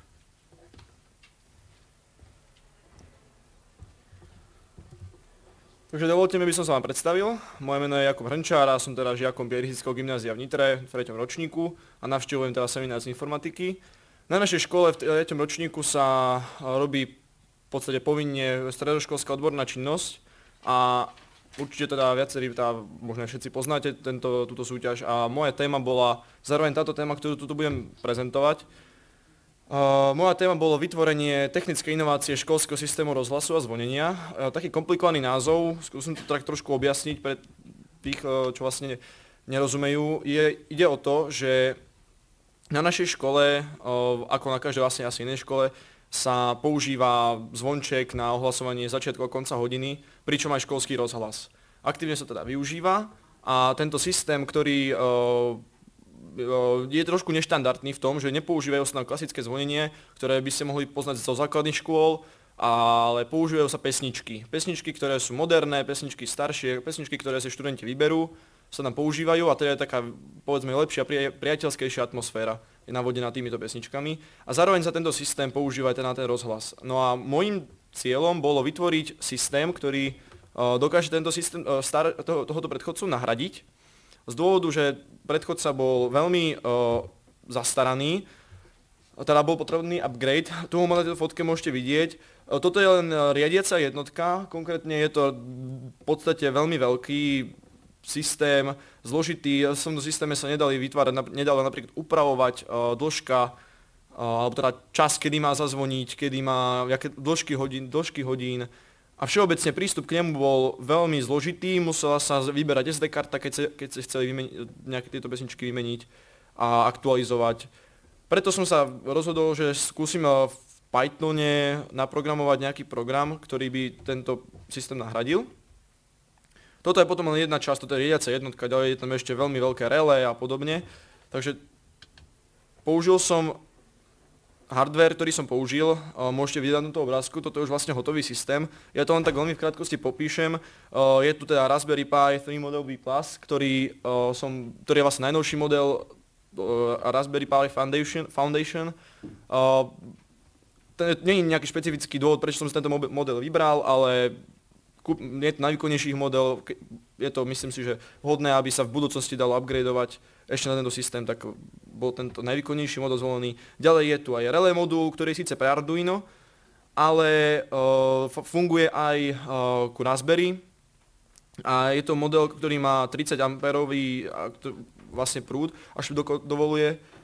Uh, je to z toho dôvodu takýto v podstate väčší uh, relé modul, lebo zosilňovač, ktorý je ďalší časť systému, ktorý tu na tejto fotke už nie je zobrazený, tak tento zosilňovač má veľmi veľký odber a obyčajné 10 A relečko by to, nez, to nezvládalo. Testoval som to a nefungovalo to, preto je tam tento. A ďalej je tu iba jednoduché tlačidlo a obal, teda krabica, ktorú môžete vidieť. Uh, aby som tak veľmi v krátkosti popísal, čo, o, čo, o čo tu ide, uh, Raspberry uh, vyhodnotí, teda má vlastne program, tento, v tomto programe sa uh, vys, ako na výstupe GPIO pinu dá jednotka, relé sa zopne a spustí, to, teda dovolí to teda prechodu elektrického prúdu v tej zástrčke, ktorú môžete vidieť na tom obrázku a v nej je zapojený ten následný zosilňovač. Ďalej software som tu využil, teda Raspbian OS, ktorý je operačný systém, VNC Viewer, ktorý je program na vzdialený prístup ku Raspberry a potom teda je tu Python Free Script, ktorý som teda sám vytvoril, není nejak veľmi zložitý. Tu je zobrazená iba jeho časť, nie Není to celý, lebo sa nám nemestil do prezentácie, tak je to iba jeho časť. Má približne 65 riadkov, takže je to veľmi v podstate jednoduchý program. Na úrovni, uh, myslím, že úrovňo, úroveň toho programu je uh, taká, ktorú by zvládla aj naprogramovať aj tretia na našej škole, teda seminarista. Není to nejaký program, ktorý, som, ktorý by naprogramoval iba nejaký profesionál, je to taký jednoduchý. Ďalej je tu aj uh, manuál, ktorý bol nutný, aby som, aby som vlastne spísal. Je to len jeho prvá verzia, preto je tu iba pár bodov, ktoré, ktoré tam v tom manuáli sú. A tento manuál sa bude počas ešte doplňať a rozvíjať podľa toho, aké problémy budeme uh, nachádzať, že, ktoré tam ešte budeme musieť vysvetliť. No a ako výsledok by som ešte povedal, že uh, nezainteresované osoby, tým myslím žiakov a učiteľov v podstate, ktorí nemajú ktorí sa o to nejak veľmi nezaujímajú, si nič nevšimli, čo je výhoda, možno si nemyslíte, ale je to výhoda, pretože tí ľudia nemusia si zvykať na nič nové a v podstate nezistili, že sa niečo zmenilo. Ale zároveň zainteresované osoby, tým myslím učiteľa, ktorý má na starosti školský rozhlas, teda učiteľ, čo aj hlasí, a zároveň aj učiteľ, ktorý má na starosti e, zvonenia, čo mení tam tie pesničky a stará sa o to. Tomu sa, tým sa veľmi zjednodušila práca, pretože napríklad učiteľ, ktorý teda má na starosti tie zvonenia, nemusí fyzicky prísť za tým systémom, zobrať SD kartu, nahrať, dať ísť do kancelárie, vymeniť tie pesničky, nahrať to tam, stačí mu, aby sedel v kancelárii, otvoril si tento VNC Viewer, napojil sa cez IP adresu na, na, na to Raspberry, tam sa, tam zvení pesničky, nahrají do, do počítača, uloží sa to samé a program beží. Je to veľmi je, oveľa jednoduchšie a pochvalujú si to zainteresované osoby. Ja by som teraz predal slovo môjmu spolužiakovi Tomášovi Kišovi. Takže dobrý deň, ja vás vítam na mojej prezentácii. Moje meno je Tomáš Kiš a som spolužiakom Jakuba a taktiež žiakom nášho pána profesora. Pripravil som si pre, pre vás teda uh, môj projekt, ktorým ktorého názov je Žiak žiakový hadom. Možno sa zamyslíte, čo to vlastne znamená, ale tak to uvidíte na mojej prezentácii. Vytváral som teda knihu z Pythonu, je to vlastne základný kurz a teda prvou otázkou by mohlo byť, že prečo kniha. Ja som si vybral teda knihu kvôli tomu, že by som chcel všetkým tým žiakom, ktorí sú v prvom a druhom ročníku na stredných školách, ukázať možno aj to, ako to vidím z mojej strany. Táto kniha je licencovaná pod licenciou Creative Commons poznáme rôzne licencie, ktoré môžete vidieť, majú rôzne atribúty. Tým napríklad prvým by je vlastne to, že čitateľ môže zdieľať tú prezentáciu, alebo teda ten dokument, ktorý ja vytvorím. A môže ho vlastne zdieľať, ale musí tam zadať moje meno, teda mňa ako autora. Ďalej tam máme to NC, NC, je to vlastne non-commercial, o čo vlastne ide teda aj v mojej prezentácii, je to, že ja som túto moju knihu nechcel komerčne a teda chcel som ju vlastne odovzdať tým študentom bez toho, aby mohli, uh, hoci kto z nich, možno aj tí, ktorí nemajú financie, uh, ju mohli čítať a učiť sa z nej. Potom ďalej je to SA, to je Share Like.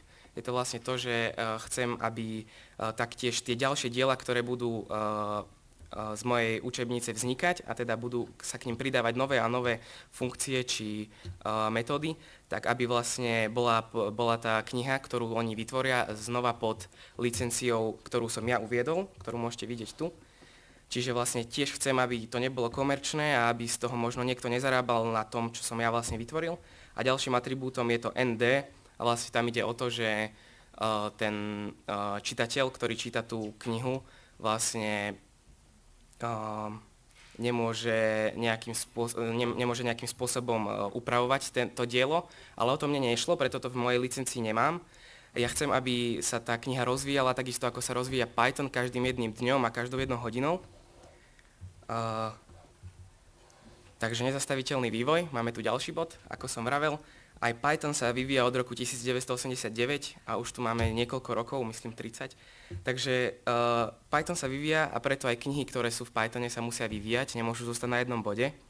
Takže tu vidíme nejaké porovnanie medzi Pythonom 2 a Pythonom 3. Hej, čiže je tam zmena nejakého syntaxu a uh, zmena vlastne aj nejakých matematických príkladov. Uh, rečou žiakov. No tak presne toto je tá vec, ktorá je pre mňa tá najhlavnejšia a dúfam, že aj pre tých čitateľov, že keď to budú tí žiaci čítať, tak ja si to predstavujem ako uh, jednoduchý návod od žiaka, ktorý dáva žiak žiakovi hadom a preto vlastne e, možno sa vám stalo niekedy, ak sú tu nejakí študenti, že možno ste nepochopili uh, myšlienkové pochody učiteľov, že proste išli buď rýchlo, alebo ste to proste iba nezachytili, ale uh, v tejto knihe sa snažím vysvetľovať čo najjednoduchším spôsobom a presne takým, akým by som to ja pochopil ako žiak. A uh, teda chcel by som aj podporiť vás, čiže stále je na čom pra- pracovať. A teda Nechcem, aby tá kniha zostala iba tak. Máte tu aj uh, teda link a QR kód, uh, ktorý si môžete odfotiť a pozrieť si tú moju knihu. Uh, je tu aj z nej časť, ako vysvetľujem funkciu print napríklad, úplne jednoduchá vec, asi každý poznáte. A o čo mi teda ide, že aby, ste sa nezapájali, aby som sa nezapájal do toho napríklad iba ja, ale kľudne vy môžete pridať ruku k dielu, nezostať iba tak, keď možno nemáte čo robiť, tak tu máme uh, jasný návod pre nových Pythonistov, ktorí môžu sa zlepšovať kvôli tomu, že vy k ním prispiejete tým, čo vy viete a ponúknete im to len tak. Chcel by som vám poďakovať za pozornosť. Priestor na otázky, nech sa páči.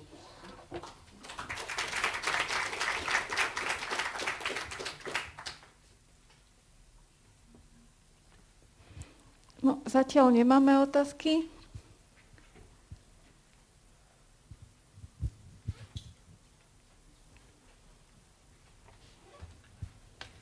Možno keďže vystal čas, tak ešte uh, ja by som tak možno povedal, že s, tom, s týmito tretiakmi um, sme tak prešli do takého režimu aj trochu, že uh, vlastne oni sa snažia vysvetľovať tie témy, tak ako ich oni sami pochopili, preto aj vlastne Tomáš sa pustil do tej knihy, že neísť len tým, že ukazujem nejaké metódy, funkcie, spôsoby, ale častokrát je to už taká dynamická diskusia, že Eh, chalani s niečím prídu a spýtajú sa na nejakú konkrétnu tému a nevždy som pripravený na tú hodinu, takže častokrát je to o tom, že spoločne hľadáme tie riešenie naozaj takým uh, systémom, že na mieste a v konkrétnom čase.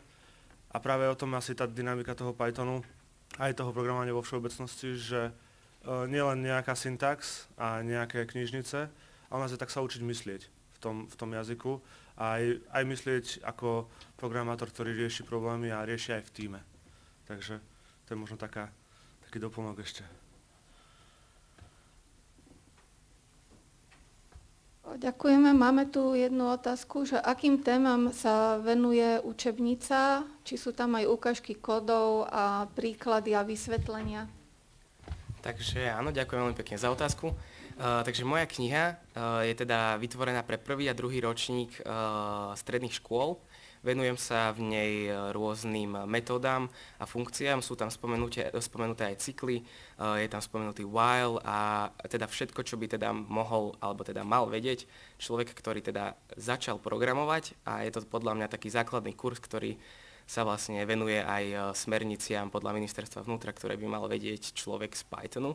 Takže bol som vlastne ruka v ruke, išlo aj s internými smernicami a taktiež teda verím, že som nič nezabudol a že by tam malo byť všetko a všetko hlavne pochopiteľné pre žiakov.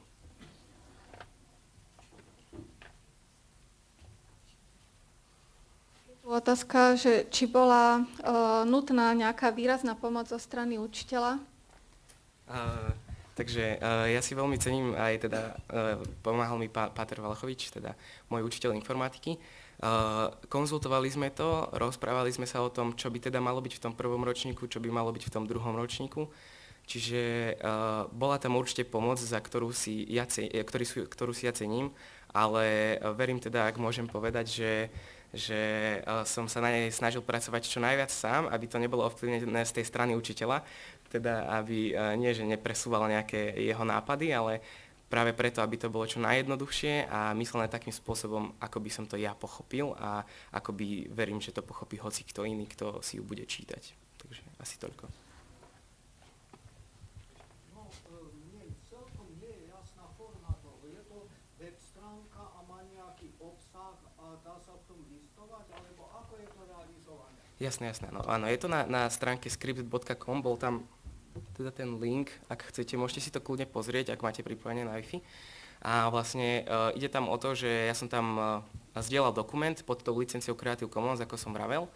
A vlastne sú tam uh, obrázky, uh, kde je obsah a vy sa v tom vo obsahu viete prekliknúť na konkrétnu vec, ktorú vy potrebujete vedieť. Čiže ja viem, nie je mi jasná funkcia, um, neviem čo, hoci čo nejaký aj print kľudne, tak nie je mi to jasné, takže kliknem si to, že funkcia print tam máte, tam máte vlastne akurát ukážku, čiže funkcia print, kliknite si to v tom obsahu a tam by to malo byť celé vysvetlené, ako sa to vlastne používa, takže asi toľko.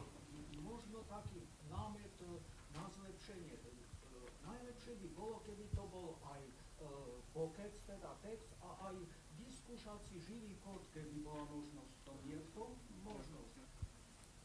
Normálne tuto v tom texte nejaké enter alebo niečo čuch, ťah, Mhm.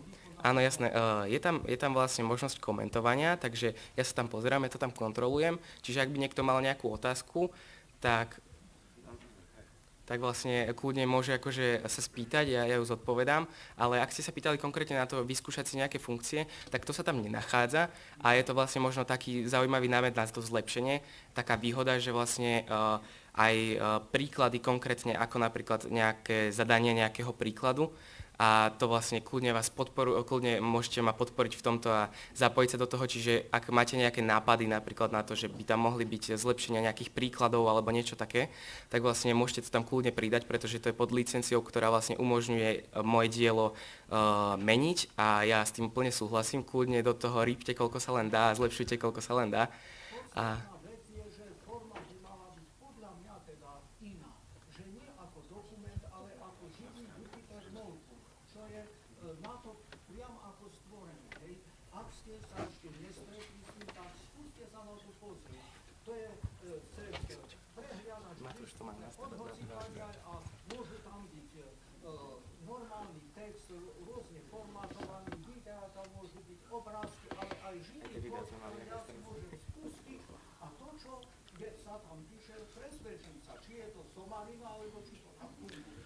Ja by som... No, poprosím, aby sme toto nechali na diskusiu možno na neskôr, ale máme ešte nejaké otázky v tom systéme slajdu a prosím, aby ste tam písali svoje príspevky. Ja by som len dokončil, ak môžem. Uh, aktuálne uh, po vlastne prečítaní tejto knižky jeden druhák sa mi už prihlásil, že vlastne presne takýto interaktívny projekt by chcel začať robiť. Takže už sa prihlásila jedna dievčina, ktorá pracuje s kamerou a už riešime aj to, že urobiť videá, študentské videá, ktoré to budú prezentovať a tá interakcia práve, to bude asi možno, ak sa to podarí, tak možno už, možno už budúci rok by sme to mohli prezentovať. Pokúsime sa. Dobre, ďalej je tu ešte otázka, že teraz ste začali s tým jazykom Python. V čom je podľa vás lepší ako ten, v ktorom ste programovali predtým? Mm, no v prvom rade je to odľahčenie tej syntaxe. Tam uh, to memorovanie žiakov, predtým sa to učili žiaci ako básničky a tí, ktorí boli slabší, tak vlastne sa učili programy doslova na spameť. Um, a v tom Pythone, ktoré my teraz používame, teda najmä uh, všeli, hej, vy, vy, nejak sa trošku vyhýbame grafickým prostrediam zatiaľ, možno v štvrtáku pre uh, maturantov budeme riešiť niečo viac, ale uh, je to najmä to odľahčenie, tak, tá tzv. Učiaca sa krivka je oveľa jednoduchšia, hej, je príjemnejšia pre tých začiatočníkov ako, uh, pre tých, uh, ako, ako v tých iných jazykoch, napríklad teda uh, v Pascale. A posledná otázka, že čo vás viedlo k tomu napísať učebnicu ako žiak? Neboli ste spokojní s tým, čo bolo dostupné? Tak samozrejme bol to námet e, teda pána profesora, že vlastne či by som sa do toho nechcel pustiť a aj som nad tým rozmýšľal. Ale takou hlavnou tou vecou, ako som aj zdôrazňoval, bolo to, že vlastne uh, vždy to máme takým spôsobom riešené aj na internete, keď si všimnete, že vždy to bude nejaký veľmi, veľmi vzdelaný človek alebo nejaký učiteľ vysvetľuje žiakom a práve mojou formou je to, že teda ako aj názov prezentácie hovorí, žiak žiakovi hadom. Teda, teda ten žiak sa proste snaží to vysvetľovať druhému žiakovi, čo môže byť možno nie úplne korektné, ale stále to možno lepšie príjme ten, ten žiak ako od toho učiteľa. Možno, že ste sa s tým niekedy stretli, že, že majú k učiteľom trošku takú rezervu, že, že neberú, neberú to úplne, úplne priamo, ale od toho žiaka to môže byť teda lepšie. Takže asi toľko k otázke. Ďakujeme pekne. Asi aj vy ste sa pri tom viac naučili.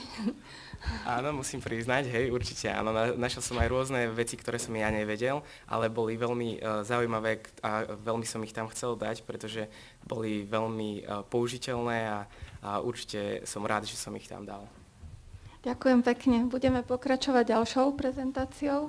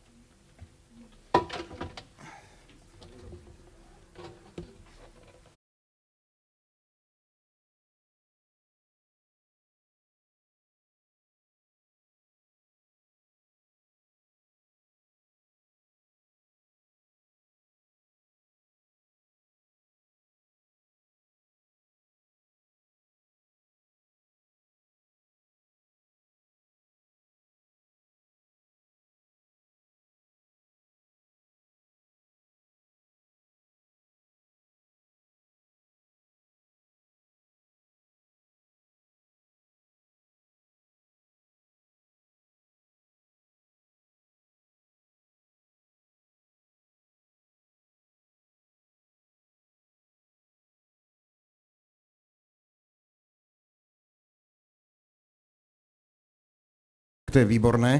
Tak ja by som sa vám predstavil, volám sa Tomáš Dudík a som z gymnázia Viliama Pavlínyho Tota v Martine.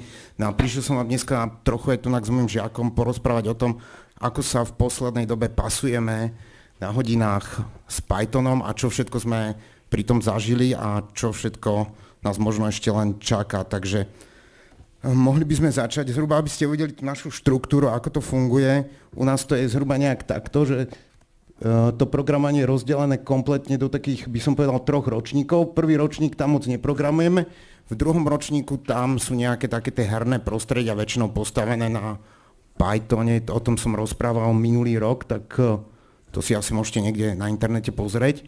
No a potom v treťom až štvrtom ročníku, tam nám asi vypadlo jedno číselko, sa venujeme, e, sa venujeme Pythonu. No a čo sa tam deje, keďže my to už robíme asi nejaký štvrtý alebo piatý rok, ja si to už ani nepamätám, tak sme dospeli k nejakým takým veciam, ktoré by som možno s vami potom v rámci aj tej diskusie chcel prediskutovať a počuť aj váš názor, čo si o tom vlastne myslíte.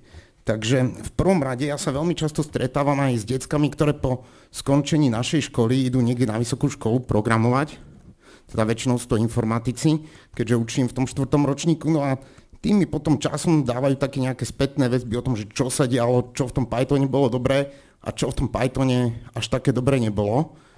No a tam sme sa vlastne pri týchto rozhovoroch, väčšinou niekde už potom mimo školy, dostali k tomu, že tie deti veľmi často narazia, ako od nás odídu zo tej strednej školy, na také programovacie jazyky, ako je C++ a Java. No a tam sa potom dejú také tie veci, že predstavte si situáciu, že by ste chceli stavať dom. A máte dve možnosti, hej. Buď tie základy vykopete tou lopatou alebo tým bágrom. Všetko má svoje výhody a nevýhody. No a asi taká najväčšia výhoda, že čo sa potom môže s vás stať, je to, že keď to kopete tou lopatou, tak budete vyzerať takto, niečo na vás zostane. No a keď budete sedieť v tom bágri, tak jeden z tých aspektov môže byť taký, že bude taký trošku zlenivelý. A to je podľa mňa hlavne v tomto prípade problém toho jazyka Python, že on tým, že ako sa snaží byť na začiatku jednoduchý, tak mnohokrát tie deti častokrát nenaučí také tie vety, veci, ako je povedzme deklarácia premených, na ktoré potom neskôr narazia na vysokej škole. No a keďže sa hovorí, že teda, že ohýbaj ma mamko, pokiaľ som ja Janko, tak som razil takú teóriu, že toto by sme už tým deťom mohli nejakým spôsobom ukázať aj na tej strednej škole. Samozrejme, ono potom sa deje také veci, že keď už človek má takýto život, tak druhý taký aspekt je, že keď ten dom stáva tou lopatou, tak potom je strašne unavený, hej, sa tým nechce. A zase keď ho stáva tým bágrom, tak si vie doprať aj nejaký odpočinok. Ale dneska na obede som sa dozvedel, že si tým ľuďom sa hodne zle rozmýšľa, či ako to tam bolo povedané. tak predsa len ja tvrdím, že mali by sme sa Uh, mali by sme sa takýmto veciam, aj keď nie okrajovým, určite venovať v neskoršom štádiu pri výučbe toho programovania. Teda pokiaľ máme na to dostatočný počet hodín, čo na našej škole máme. Tak, no a keďže ešte tomu, aby som mohol robiť takéto sociálne experimenty, potrebujeme mať ešte aj dobrú skupinu ľudí, tak uh, zhodou náhod v poslednej, posledné dva roky sa mi podarilo, že som tam nemal len takých tie deti, čo sa tvária, že chcú programovať, ale Eh, také deti, čo naozaj programujú, tak som robil také nejaké experimenty, s ktorými by som tu eh, rád asi trošku vystúpil, ukázal vám a potom, potom o nich možno aj podiskutoval. No a prvý taký uh, experiment sociálny, ktorý som vykonal, bol spolu s Vysokou školou v Žiline, uh, s Fričkou a pokiaľ tu pán Kučera robil veľa prednášok, že kde tých ľudí ťahal k Pythonu, tak mne sa tento prvý sociálny experiment hodne nevydaril, lebo ja som spravil asi prvú prednášku, kedy som tie deti vlastne od toho Pythonu odstrašil, lebo to vám bolo tak, že uh, ja tam mám teda bývalého žiaka, ktorý tam učí a sme si povedali teda, že akože ten Python ide do popredia, že správame niečo, že to bude cool, tak ja som hovoril, že a deti v druháku, no naučím ich nejaké základy, nejaký cyklus if, prídu na vysokej škole, ty na nich vychrliš tú enigmu, teda ako to tam chodilo, že to bude všetko v pohode a deti nadšené odídu a vy budete mať študentov, mne sa prihlási veľa detí na seminár a bude pohodička.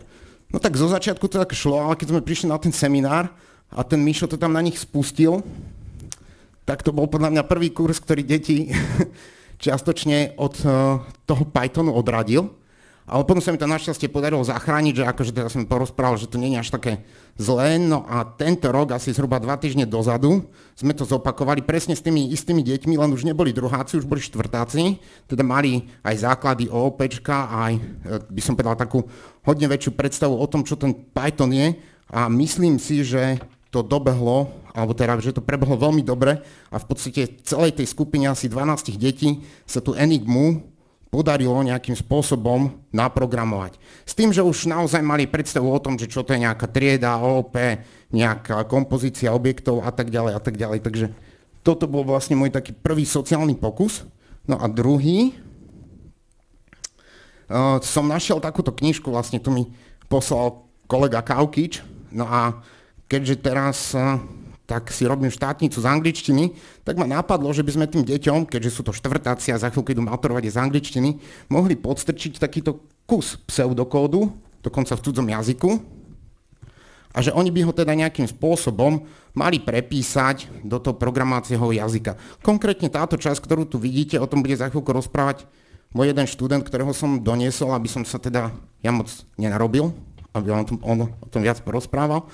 Takže ako to dopadlo, tak to uvidíte asi ďalej. No a tam sme teda nejakým spôsobom prišli k tomu, že sme začali, keďže ja nie som moc tiež cez tie grafické prostredie, alebo to mi až tak moc nejak ma to tak nebaví, tak ja skôr hľadám takéto algoritmy, ktoré by nejakým spôsobom potom tie deti aj neskôršie stretli na vysokej škole a vlastne dokázali tieto poznatky nejakým spôsobom uh, využiť, tak sme robili taký takú vec, že sme zobrali taký reťazec, kde bol nejaký číselný výraz so zatvorkami, vlastne napísaný v klasickom infixe a my sme ho potom cez, uh, cez zásobník uh, prepisovali do postfixu, ktorý sme nejakým spôsobom potom vyhodnocovali. No ale nechcem už o tom moc rozprávať, aby som teda dal si slovo to k môjmu žiakovi, nech vám tej skúsenosti porozpráva on. Takže Kubo, nech sa páči. Dobre, ahojte, ja som teda Jakub, som študent tu na pána profesora a teda dostali sme nejaký takýto kód a myslím, že takou prvou mentálnou prekážkou bola asi tá angličtina. Ale ako prekúsali sme sa cez to, algoritmus sme teda mali, tak uh, ideme sa pozrieť, čo sme s tým spravili. A prvé, čo sme museli spraviť, uh, bolo to, že sme si spravili objekt stack, teda nejaký zásobník, nejaké FIF, uh, LIFO. To znamená v podstate prvok, ktorý sa do neho dostane a ako posledný, tak potom ide z neho ako prvý von. A tu nám môžete vidieť aj kúsok nejakého kódu. Vidíte, že tam nie je nič strašné, takže akože objektové programovanie v tom Pythone je veľmi jednoduché. A potom sme sa dostali teda k ďalšej časti, kde teda vidíte na, napravo, naľavo vidíte, ako teda vyzerá a, a, nejaký, nejaký ten zoznam v Infixe a my sme ho prepisovali do postfixu. Je tam taký akože naznačený aj postup, ako to funguje. Napravo vidíte kód a vidíte, že ten kód vôbec není ťažký. Je tam nejakých a, necelých 30 riadkov. A ďalší taký zaujímavý a, sociálny experiment od pána profesora bola steganografia, čo je v podstate určitým spôsobom metóda šifrovania, kedy sa snažíte ten text schovať a my konkrétne sme ho schovávali do obrázku. Robili sme to veľmi jednoducho, zobrali sme si náhodný obrázok a na tento obrázok sme sa pozreli pod lupou a teda pristupovali sme k, jedno, k jednotlivým pixelom. K jednotlivým uh, pixelom toho obrázka sme pristupovali cez knižnicu PIL, čo bolo veľmi pohodlné v Pythone. No a teraz ako, ako sme na to išli. A písmenko A v ASCII tabulke má hodnotu 65. Tuto hodnotu sme previedli do binárneho kódu, ktorý má 8 miest, to znamená, že jedno písmenko je zakodované vo 8 pixeloch. A teraz kam sme my ten, v podstate, kam sme my to číslo schovali do toho, do toho pixelu. Keď si zoberiete pixel, tak každý pixel má nejakú farbu No a keď si zoberete túto farbu, tak uh, ju reprezentujú tri hodnoty. Tri hodnoty RGBčka. A my sme sa zamerali práve na tú, na, ten, na tú poslednú hodnotu, na tú modrú farbu, ktorú sme si zase prevedli do, do binárneho kódu. A na posledné miesto tohto binárneho kódu sme dali práve uh, písmenko z toho, uh, teda sme dali číslo z toho písmenka. Takže Takto nejako vyzerá uh, časť toho kódu. Nezmestil sa mi sem celý, tak som ho takto akože trošku cvakol. No a v podstate, keď si zoberete, tak uh, naľavo je obrázok bez šifry, napravo je so šifrou a myslím si, že uh, voľným okom je uh, nerozoznateľný rozdiel. Takže myslím si, že kodovanie bolo úspešné. A toto je asi z mojej strany všetko. Takže ak by ste mali nejaké otázky na mňa, prípadne na pána profesora, Tak, nech sa páči.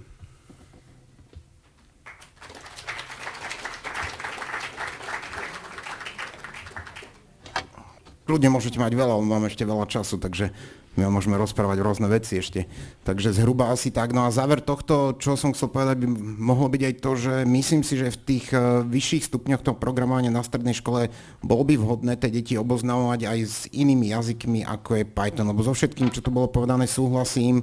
Súhlasím s tým, že na začiatok je to naozaj výborný jazyk, je ľahký, tá syntax je parádna, ale častokrát práve za túto jeho ľahkosťou sa skrývajú veci, ktoré už tí študenti, ktorí tú informatiku nejakým spôsobom idú ďalej študovať, lebo keď si vybrali ten seminár a keby už nešli na, to, na tú vysokú školu, tak by už mohli len vypražať tie hamburgery v McDonalde, ale väčšinou idú na tú informatiku, takže tam oni potrebujú mať okrem toho algoritmického myslenia podľa mňa aj prehľad, aspoň taký drobný z tých ostatných oblastí, veď to už bolo povedané, oni sa potom v tej špirále by mohli k tomu vrátiť alebo aspoň sa budú mať k čomu. No jasné. Tuto je aj otázka v slajdu, že či na vašej škole robia veľa takýchto pokusov zo alebo na žiakoch a je tam smajlík?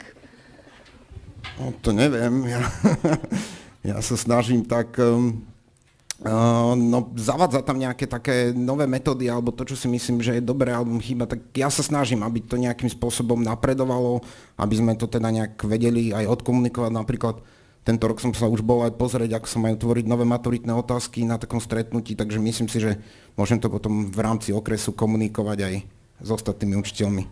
Ale zatiaľ, čo mám tých študentov, tak tých sú na vysokej škole, niektorí sú tu väčšinou v Čechách a zatiaľ sa im darí aj keď boli súčasťou experimentu. Máte niekde zverejnené projekty, ktoré ste zrealizovali so študentmi? Hm, asi nie, to vždycky chodím len sám sem niečo také porozprávať, ale minulý rok sme ukazovali zase také, to sa tiež, keďže tí študenti sa im to darilo, sme si spravili taký HTML formulár a potom sme ho cez Python nejakým brute forceom dobíjali a sme si merali časy, teda koľko to bude trvať a tak to sa im celkom páčilo, lebo to malo taký nádych toho hackerstva, alebo ako by som to nazval, ale o tom som rozprával pred rokom, tak to som už nechcel opakovať.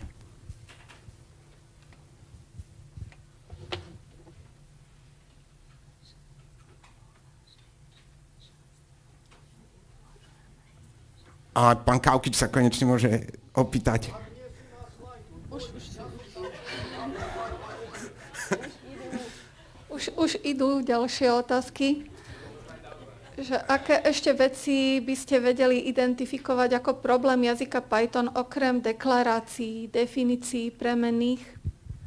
Uh, no, podľa mňa tam je potom problém aj s alokáciou dynamickej pamäte, že keď tí študenti prídu, myslím, že to bolo Brno, čo mi ten študent rozprával, dostal sa C, mali tam robiť málo kalok, smerníky, tak zrazu sa im to zdalo, že fú, že nová oblasť informatiky, hej, alokovať pamäť, do toho niečo dynamicky nahádzať.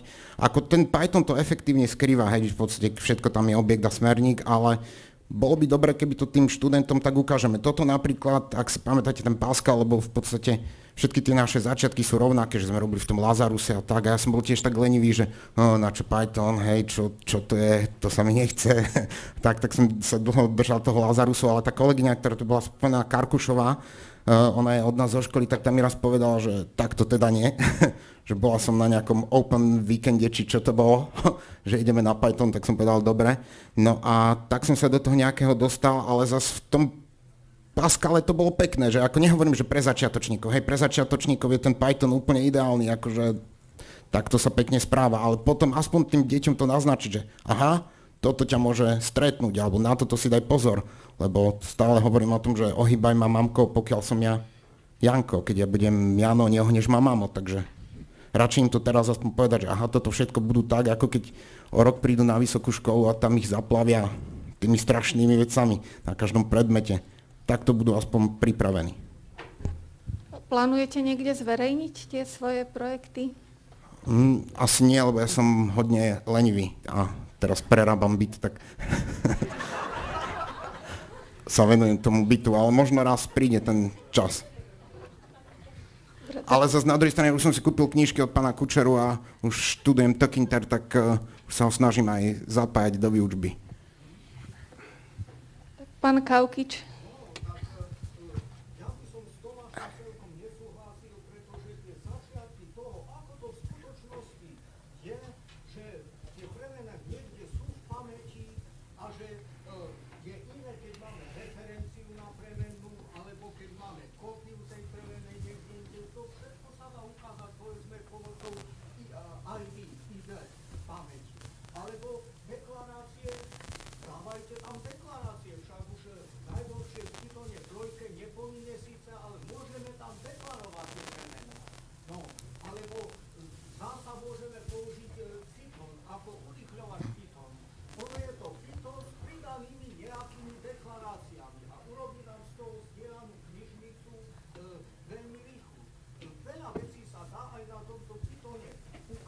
No, súhlasím, ale takto, že čím spoznajú viac tých prostredí, tým sa skorej dokážu adaptovať potom na tej vysokej škole a prežijú tí, čo sa adaptujú, nie tí, čo sa neadaptujú.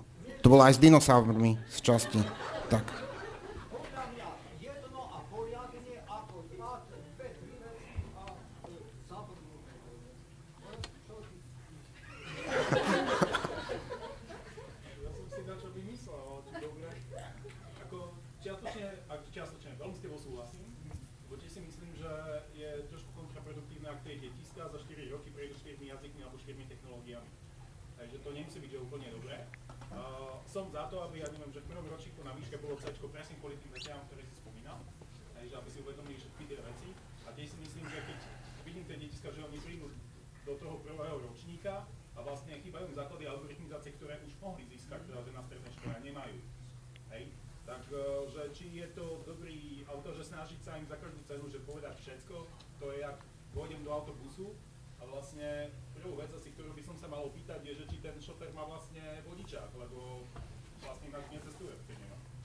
No podľa mňa nie všetko len tak akože oliznúť tie technológie, aby nejakým spôsobom videli, čo všetko sa môže diať. Ako ja vyslovene som za to, aby tie prvé ročníky a aj oni, robíme pevnou súčasťou toho Pythonu je vyučovania, že je to dobré, ale aby to proste aspoň nejakým spôsobom takto uh, uvideli, že aj toto existuje.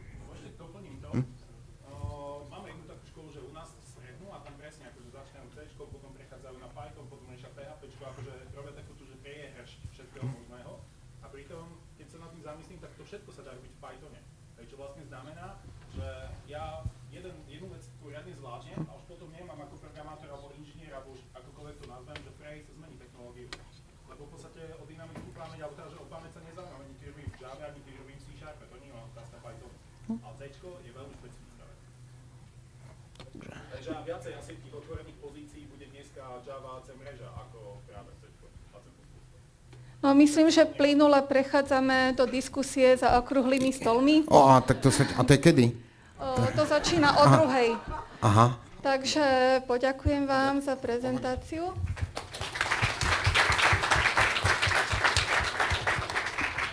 A teraz teda krátka 5-minútová prestávka a pokračujeme diskusiou za okrúhlymi stolmi.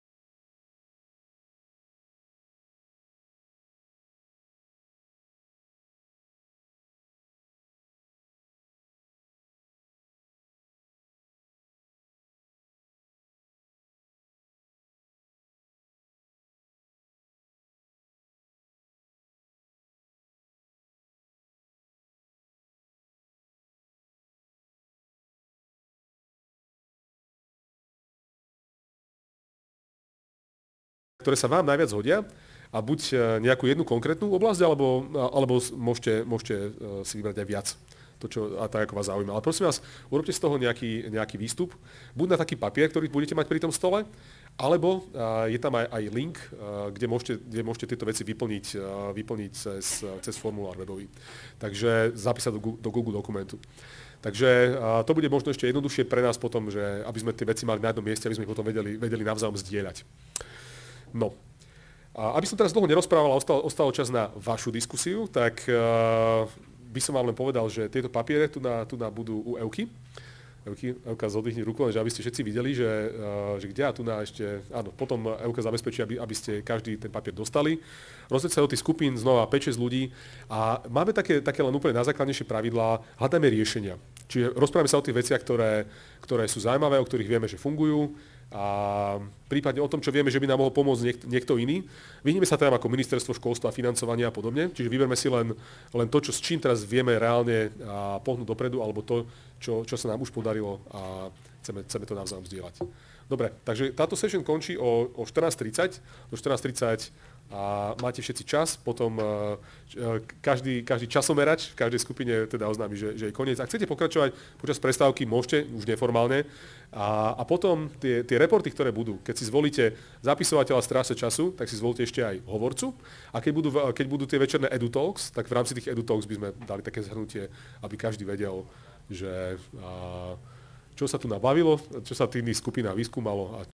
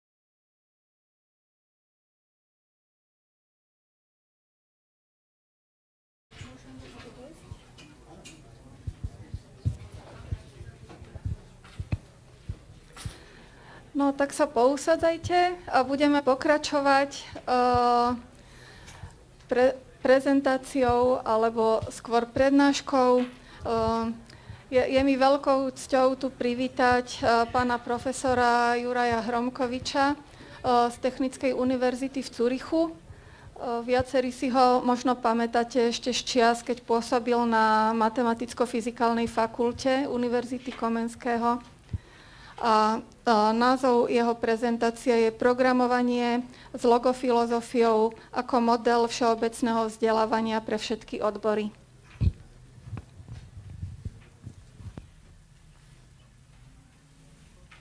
Dobre, ďakujem pekne. Milé kolegyne a kolegovia, pekne zdravím. Um, Možno tak trocha zaspomínam, než začnem s prednáškou. Ja som sa prvýkrát stretol s informatikou v rokoch 1973 až 77 na gymnáziu Jura Hronca na Zomanohradskej. A bola to solidná informatika na tie časy, 4 hodiny týždenne v informatickej triede. A to mi nejako zostalo a počase som sa vrátil aj k tej téme vyučovania informatiky a nielen k výskumu. podstate je to teraz tak, že ja som našťastie stihol prísť trocha skôr a vypočuť si nejaké prednášky a vy ste ma vyprovokovali, aby som rozprával trocha ináč, ako som mal naplánované. A ten dôvod je taký, že tu padlo viackrát argumentov, no učíme informatiku na škole, tak pripravme tých žiakov tak, aby keď dojdú na vysokú školu študovať informatiku, tak aby vedeli to a to, aby zvládli ten prvý ročník a tak ďalej. A ja sa pýtam, o čom to je. Buď vyučujem informatiku ako všeobecný predmet, aj pre tých, ktorí nejdú študovať informatiku, a potom musím sledovať aj akési globálnejšie cieľa ako ten jediný, že chcem vychovať špecialistov v informatike. A musím tú informatiku spraviť aj tak, aby bola zaujímavá v podstate pre všetkých. A preto budem dneska rozprávať na začiatku, než sa vrátim k tej téme, ktorú som slúbil, ja akože spravím. Budem sa venovať otázke, prečo informatika ako čas všeobecného vzdelávania. No pokiaľ informatiku učíme len kvôli tomu, aby dosť informatikov prišlo na vysokú školu, tak správme voliteľný predmet informatiku a učme tých a pripravujme ich na to. Ale pokiaľ ideme učiť informatiku ako všeobecný predmet, tak sa máme nad tým zamyslieť, o čom to vôbec je a ako na tomu všeobecnému vzdelávaniu v kontexte ostatných predmetov prispieva. Okay?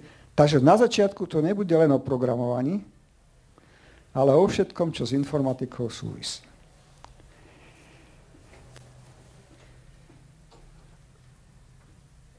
Ja som strávil posledných 15 rokov takým špeciálnym hobby, presvedčiť politikov vo Švačiasku, aby zaviedli informatiku ako povinný predmet do škôl, čo sa momentálne zrealizuje.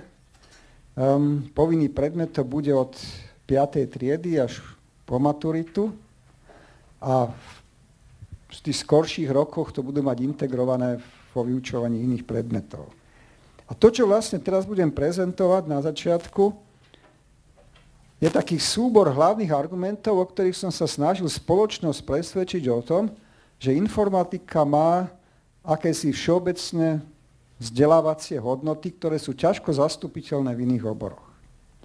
A ja predstavujem informatiku nie ako disciplínu, ktorá existuje na vysokých školách možno 60 rokov, ale ako takú istú starú disciplínu, ako sú jazyky a matematika, ako niečo, čo bolo vždycky od začiatku súčasťou našej kultúry.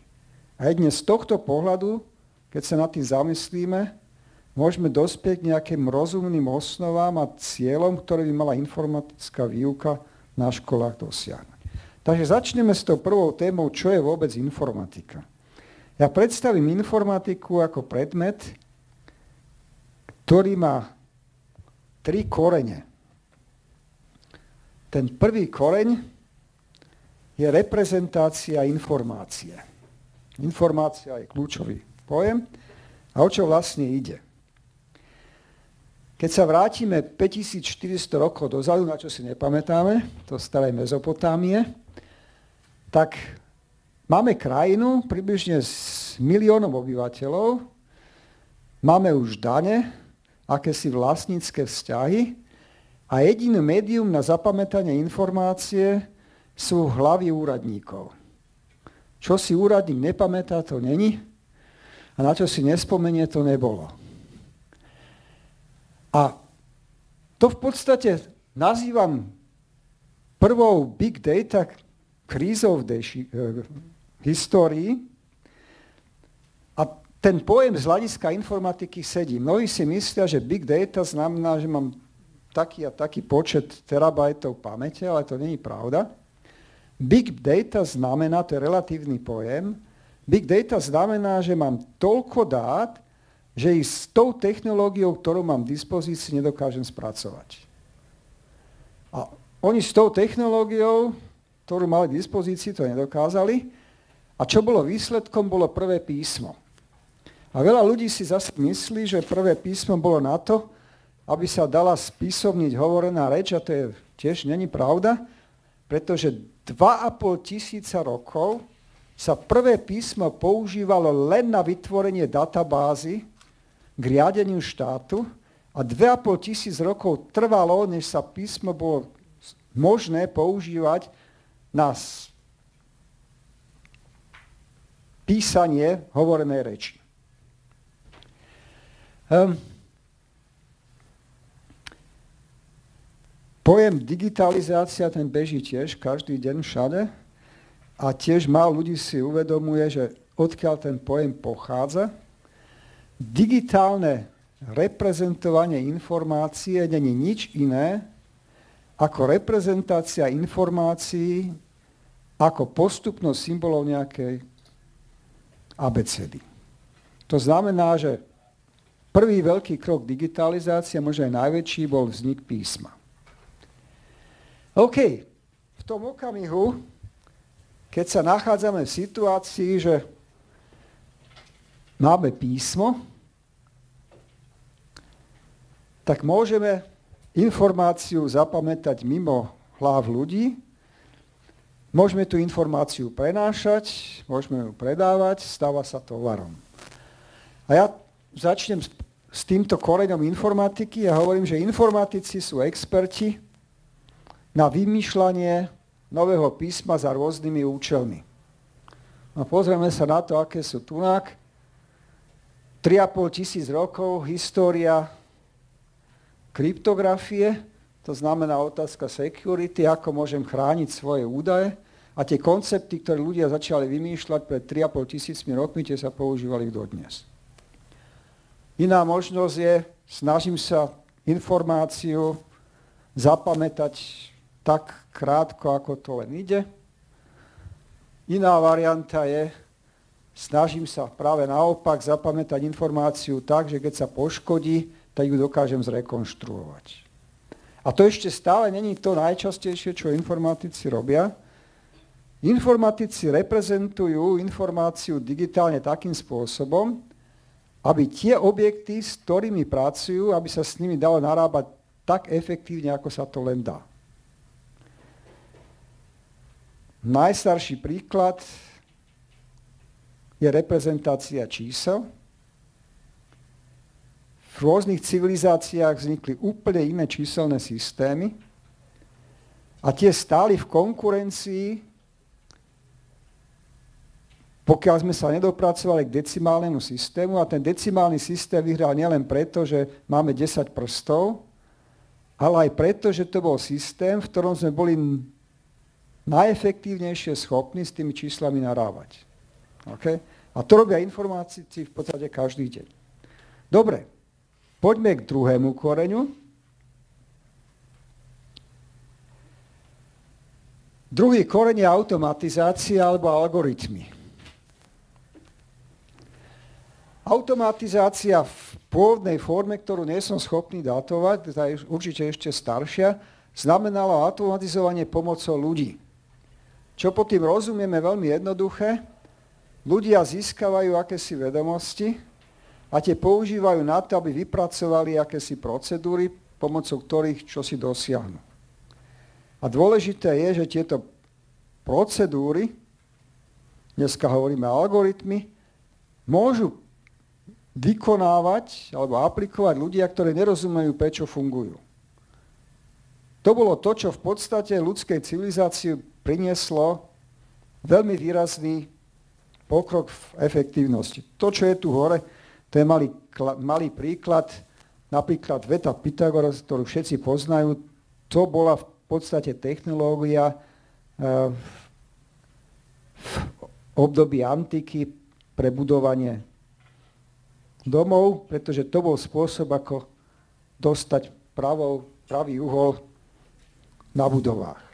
Ale keby sme išli k normálnym algoritmom, to znamená algoritmus ako ekvivalent slova matematická metóda alebo exakte matematický po, popis nejakého procesu, tak musíme ísť tiež veľmi ďaleko. Donald Knuth tvrdí, že najstaršie algoritmy sa dajú nájsť na um, kameňoch v Babylóne a sú 3800 rokov staré. Tie tu nemám, žiaľ, na obrázku, ale mám tu iné príklady. Uh, kniha Element, uh, Elementy, neviem, jak sa to po slovensky dá preložiť, uh, od Euklida s euklidovským algoritmom a inými algoritmami je 2300 rokov stará a pokiaľ chceme ísť na koreň toho, odkiaľ máme pojem algoritmus, to bola Alkvarizmy, ktorý napísal skoro pred 1200 rokmi 500 stránovú knižku, ktorá neobsahuje nič iné, len algoritmy. Takže tento koreň je tiež starý. No a potom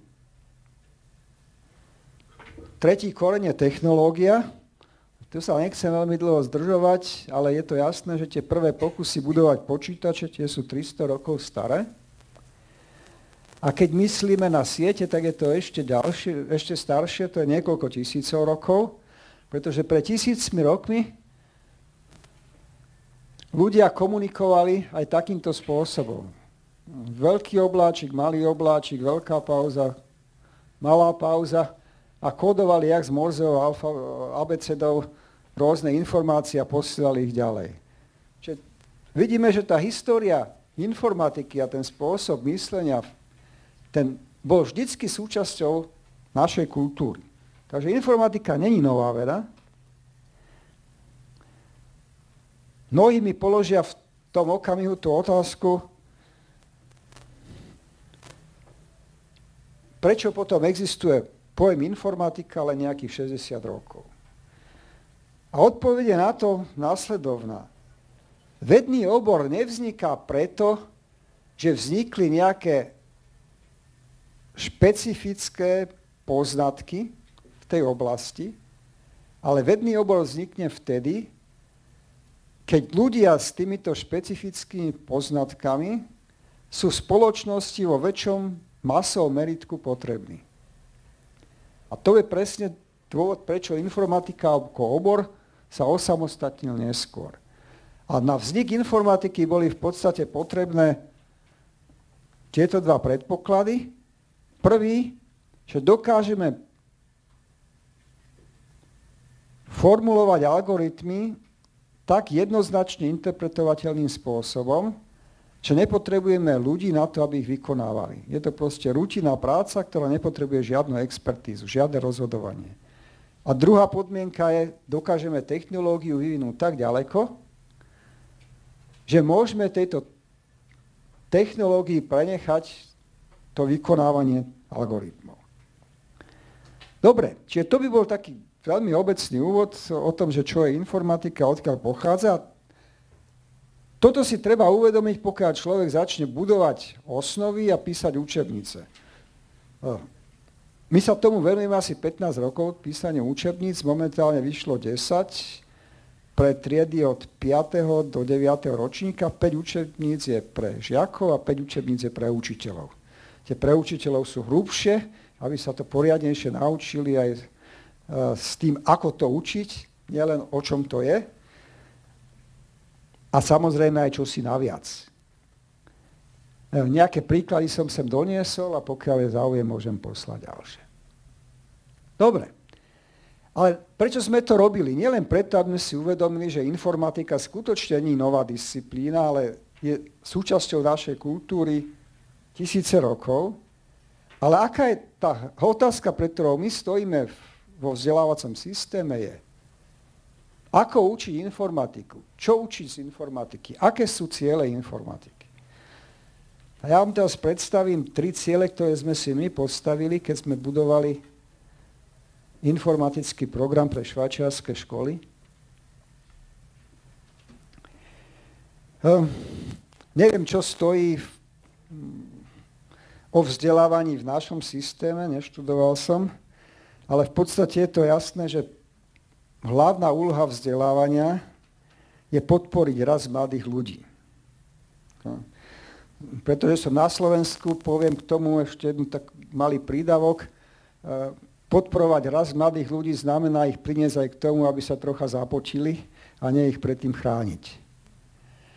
Um, a po ciele tejto formulácie minimálne v šváčiarských predpisoch a, a zákonoch je, že mladí ľudia sa majú naučiť poznávať svet a druhé, že ich máme pripraviť na povolania budúcnosti. Okay? Od informatiky očakávame vo všeobecnom vzdelávaní, že mladí ľudia nielen pochopia technický svet, ktorý vytvorili ľudia, ale dokážu ho aj riadiť a ďalej vyvíjať. Druhý cieľ, ktorý sme postavili, je, že v podstate zlepšíme alebo podporíme dosiahnutie hlavných cieľov vo vyučovaní matematiky a jazykov. Tomu sa vrátim za chvíľu podrobnejšie. A tretí cieľ je, že prinesieme do školy viacej konstruktívnej práce a k tomu sa tiež vrátim podrobnejšie, takže nebudem o tom teraz dlho rozprávať. Poďme k tomu prvému bodu. Už som hovoril, že jedným z cieľom vzdelávania je snažiť sa pochopiť svet bez informatiky. To nejde, o tom není pochyb. Ten svet, ktorý sme my vytvorili, ovplyvňuje na život stále viac a viac. Ale protiargument, ktorý som najčastejšie dostával k zavedeniu informatiky, bolo, Informatici to sú takí špecialisti. Však nechajme ich vzdelávať na vysokých školách, keď ich to baví, oni toto budú všetko budovať, tam tie technické systémy, ale normálny človek to nemusí vedieť, nebude predsa každý programovať software. A odpoveď je na to asi následovná. A to je podľa mňa jeden z najvyšších dôvodov, prečo dneska zavádzame informatiku ako povinný predmet pre všetkých. My nevieme, aké bude vyzerať povolania za 20 rokov. Malý príklad, internet zmenil výrazne náš život, ale nikto ho nepredpovedal. Ja si neviem predstaviť, ako predpovedať, ako to tu bude za 20 rokov. Sú ľudia, ktorí si myslia, že to vedia, ale, ale není dôvod im veriť. Isté je ale jedno že všetko, čo dostatočne dobre pochopíme, budeme automatizovať. My nebudeme potrebovať ľudí na to, aby vykonávali akési algoritmy, ktoré dokážeme presne popísať a tým pádom odozdať počítaču. To znamená, že na to, aby človek sa dokázal presadiť a bol úspešný vo svojom vlastnom obore, bude potrebovať chápať proces automatizácie vo svojom vlastnom obore. A na to potrebuje oblasti automatizácie všeobecné vzdelanie. To znamená, že informatika sa z tohto pohľadu dostáva do podobnej úlohy, ako sa dostávala matematika v časoch technickej revolúcie. Nemôžeme pred ňou utiecť. Keď sa pozrieme na štúdium na vysokých školách, minimálne na tých, ktoré ja poznám, už neexistuje obor, dokonca ani medicína, alebo filozofia, alebo empirické vedy, ktorá by nemala informatiku v študijnom pláne.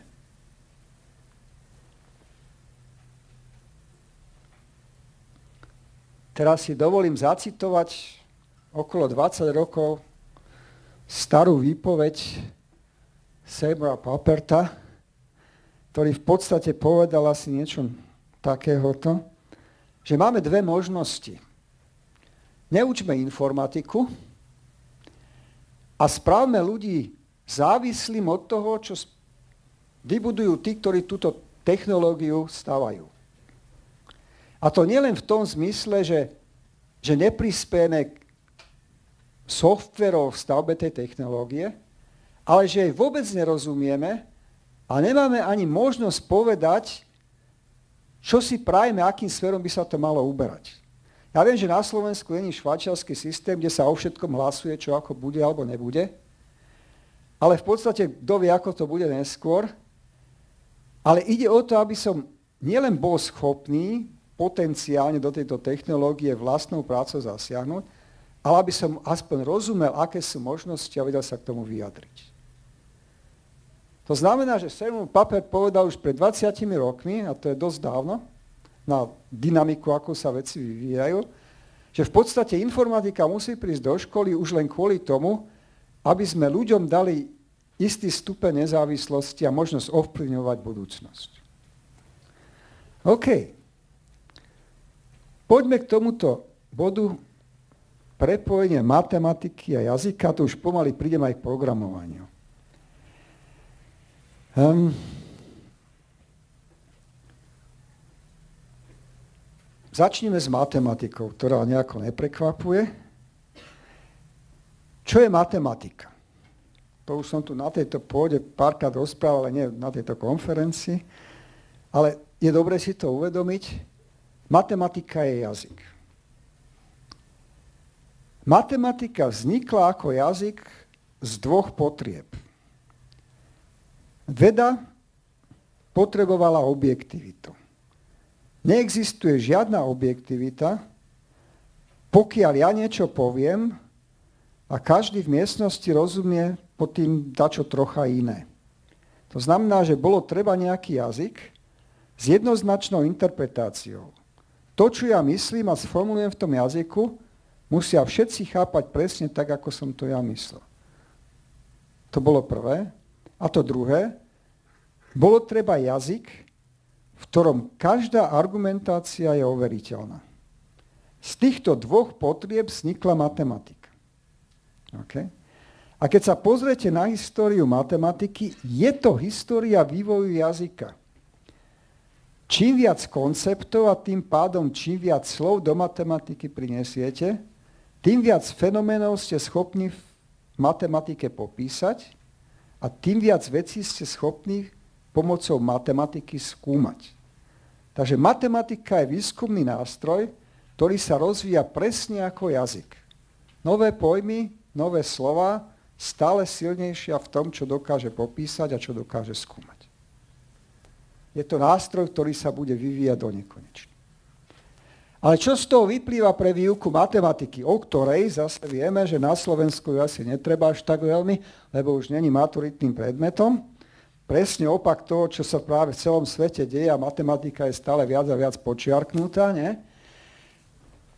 Matematika má dva ciele. Nie nás pamäť naučiť nejaké metódy na riešenie kvadratických rovníc alebo lineárnych e, systémov rovníc, pretože to je učenie nás pamäť, ktoré nemá veľkú hodnotu dve veci. Musím sa naučiť abstrakciu. Abstrakciu v tom zmysle, že dokážem preniesť problémy reálneho sveta do sveta matematiky. To je abstrakcia. A bod druhý, keď som ich do toho sveta matematiky preniesol, snažím sa o svete matematiky riešiť. To znamená schopnosť riešiť problémy, to je druhý cieľ. Toto sú dva hlavné ciele matematiky. Nejde o to, ktoré konkrétne metódy vyučujete. Keby sa osnovy zmenili o 80%, nikomu by sa nič nestalo. Ale podstatné je, aby ste dokázali sledovať tieto dva ciele. Ale keď sa pozrieme na informatiku, čo robí informatika? Presne tieto isté dva ciele. Pretože počítaču niečo dať robiť nemôžete dať, pokiaľ mu to nedáte v podstate v abstraktnej forme postupnosti symbolov a to súvisí silne s touto abstrakciou. To znamená, že trénujete abstrakciu presne tak, ako v matematike. A bod druhý, máte dokonca istú výhodu oproti matematike, pretože matematika má zatiaľ fixed end ciele. To znamená, chcem sa naučiť riešiť úlohy tohto typu a cieľom je naučiť žiakov túto konkrétnu metódu. V informatike máte open-end ciele. Vy chcete riešiť problémy istého typu, ale nepostavíte si, ak učíte informatiku dobre, ako cieľ naučiť nejakú už známu metódu na riešenie, ale necháte v podstate tú triedu skúšať, hľadať tú metódu na riešenie a oni nachádzajú rôzne metódy, možno len čiastočne funkčné, ale aj to, že nájdu čiastočne funkčné metódy, má ďaleko väčšiu hodnotu ako to, keď im vy nejakú metódu dáte a oni sa ju naučia používať. OK? Takže to by bolo k matematike. A teraz sa poďme pozrieť na jazyky, lebo to zvykne ľudí viacej prekvapiť. Jazyky určite súvisia s písmom a ja už som o tom rozprával a to už nechcem ďalej prehlbovať, že v podstate informatici sú špecialisti na generovanie nových písiem za rôznymi účelmi a to je určite súčasť jazyka. A teraz poďme pomaly k programovaniu. Čo znamená programovať? Programovať znamená komunikovať s počítačom. A síce v jazyku, ktorému ten počítač rozumie. A keď sa pozrete na definíciu toho, čo je program, a to myslím teraz nie žartovnú definíciu z e, nevedeckého charakteru, ale skutočne exaktnú definíciu, informatickú alebo matematickú, program není nič iné ako gramatický korektný text v programovacom jazyku. Okay? Bez nezávisle na tom, čo robí alebo nerobí, to nehovorí nič o funkcionalite, ale tak je to aj správne. Ide len o to, aby to bolo správne v programovacom jazyku napísané. Okay? A teraz vy tým programom v podstate popisujete akúsi aktivitu, ktorý ten počítač má vykonávať. To je to obecné. A teraz máte možnosť sa rozhodnúť, ako budete učiť programovanie. Jedna možnosť je taká, že jednoducho prídete, zoberete nejaký programovací jazyk, ten má nejaké množstvo slov, tie slova to sú príkazy, 100, 200, 300, 50, podľa toho, nakoľko oklieštené to vezmete a začnete vyučovať význam týchto slov a tieto koncepty a tento jazyk používať. To pokladám za zlú výuku jazyk. Dobrá výuka jazyka sleduje genézu vzniku programovacích jazykov a súčasne aj genézu vzniku prirodzeného jazyka. Čo to znamená? Prichádzam s malým množstvom konceptov, s veľmi chudobným jazykom, ktorý má len pár slov. A samozrejme počase sa začnem s tým trápiť, s týmito pár slovami, ktoré mám v dispozícii, vyjadriť to, čo chcem vyjadriť. A výsledok je samozrejme pocit potreby bohatšieho jazyka a potom necháme tým žiakom ten jazyk samotným vytvárať. Na to máme aj v Pythone veľmi dobré podmienky, tým, že vieme, pomenujeme program, zadefinujeme nový príkaz, ktorý môžeme používať. A tým pádom v podstate vytvárame akýsi jazyk a tá hodnota toho si je niečo, čo si v podstate nedokážeme dostatočne doceniť. Každý žiak má možnosť do istej miery ovplyvniť vývoj toho jazyka, ktorý používa a ho vyskúšať na tie problémy, ktoré chce riešiť. A to odpoveda presne tomu, ako sa vyvíjal prirodzený jazyk, pretože ja zavediem do prirodzeného jazyka nové slovo vtedy, keď je to niečo, čo často používam a nechcem stále popisovať, o čom to je, tak ho starými slovami popíšem význam toho nového slova a potom ho používam. To není nič iné, to, čo robíme v programovaní. To je identické. Okay? A keď samozrejme prejdete na gymnázium, ja rozprávam o žiakov v 5. 6. triede, kde tak toto vlastne učíme. Hej? A keď prídem na gymnázium, tak som schopný zájsť tak ďaleko, že ich v podstate umožním budovať vlastný jazyk, v ktorom aj definujú gramatiku. Existujú aj jednoduché príklady, spravím s nimi kalkulačku, treba, naprogramujem ju, implementujem ju. A oni definujú gramatiku. V žiadnej výuke jazykov, teraz myslím prirodzených jazykov, neprogramovacích, nedostanú žiaci príležitosť vybudovať vlastný jazyk, skúšať ho v praxi. V informatike áno. Dobre. Takže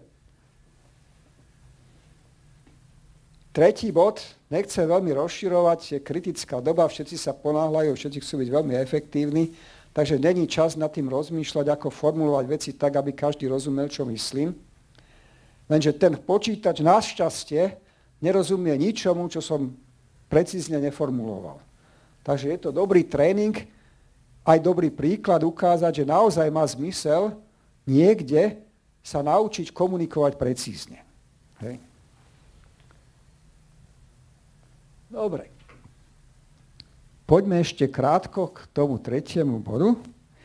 Hovorím tomu nielen priniesť zase viacej konštruktívnej práce um, do všeobecného vzdelávania, ale v podstate je to priniesť inžinierský spôsob myslenia toho vzdelávania.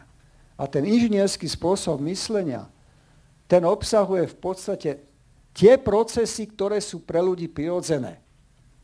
Ľudia získavajú poznatky pozorovaním, experimentovaním, rozmýšľaním, využívajú ich na to, aby niečo vybudovali, testujú vlastnosti a funkčnosť toho, čo vybudovali a tento proces sa ľubovoľne veľakrát iteruje. To je to, čo nám chýba vo väčšine predmetov. A informatika má šancu v podstate celý tento proces vyučovať v jednom predmete. Nehovoriac o tom, že je to extrémne vďačná úloha, pretože naša skúsenosť s programovaním je taká, že každý program ako funkčný produkt vnímajú deti a mladiství ako úspech. A není väčšej motivácie, ako mať úspechy. A tým pádom v podstate, keď sa správne učí informatika a programovanie, sú tie úspechy garantované. A my máme problémy dostať deti z programovacej výuky do, na prestávku von, alebo dokonca dakedy domov, pretože oni nechcú ísť, pokiaľ nedokončili tú robotu, ktorú začali.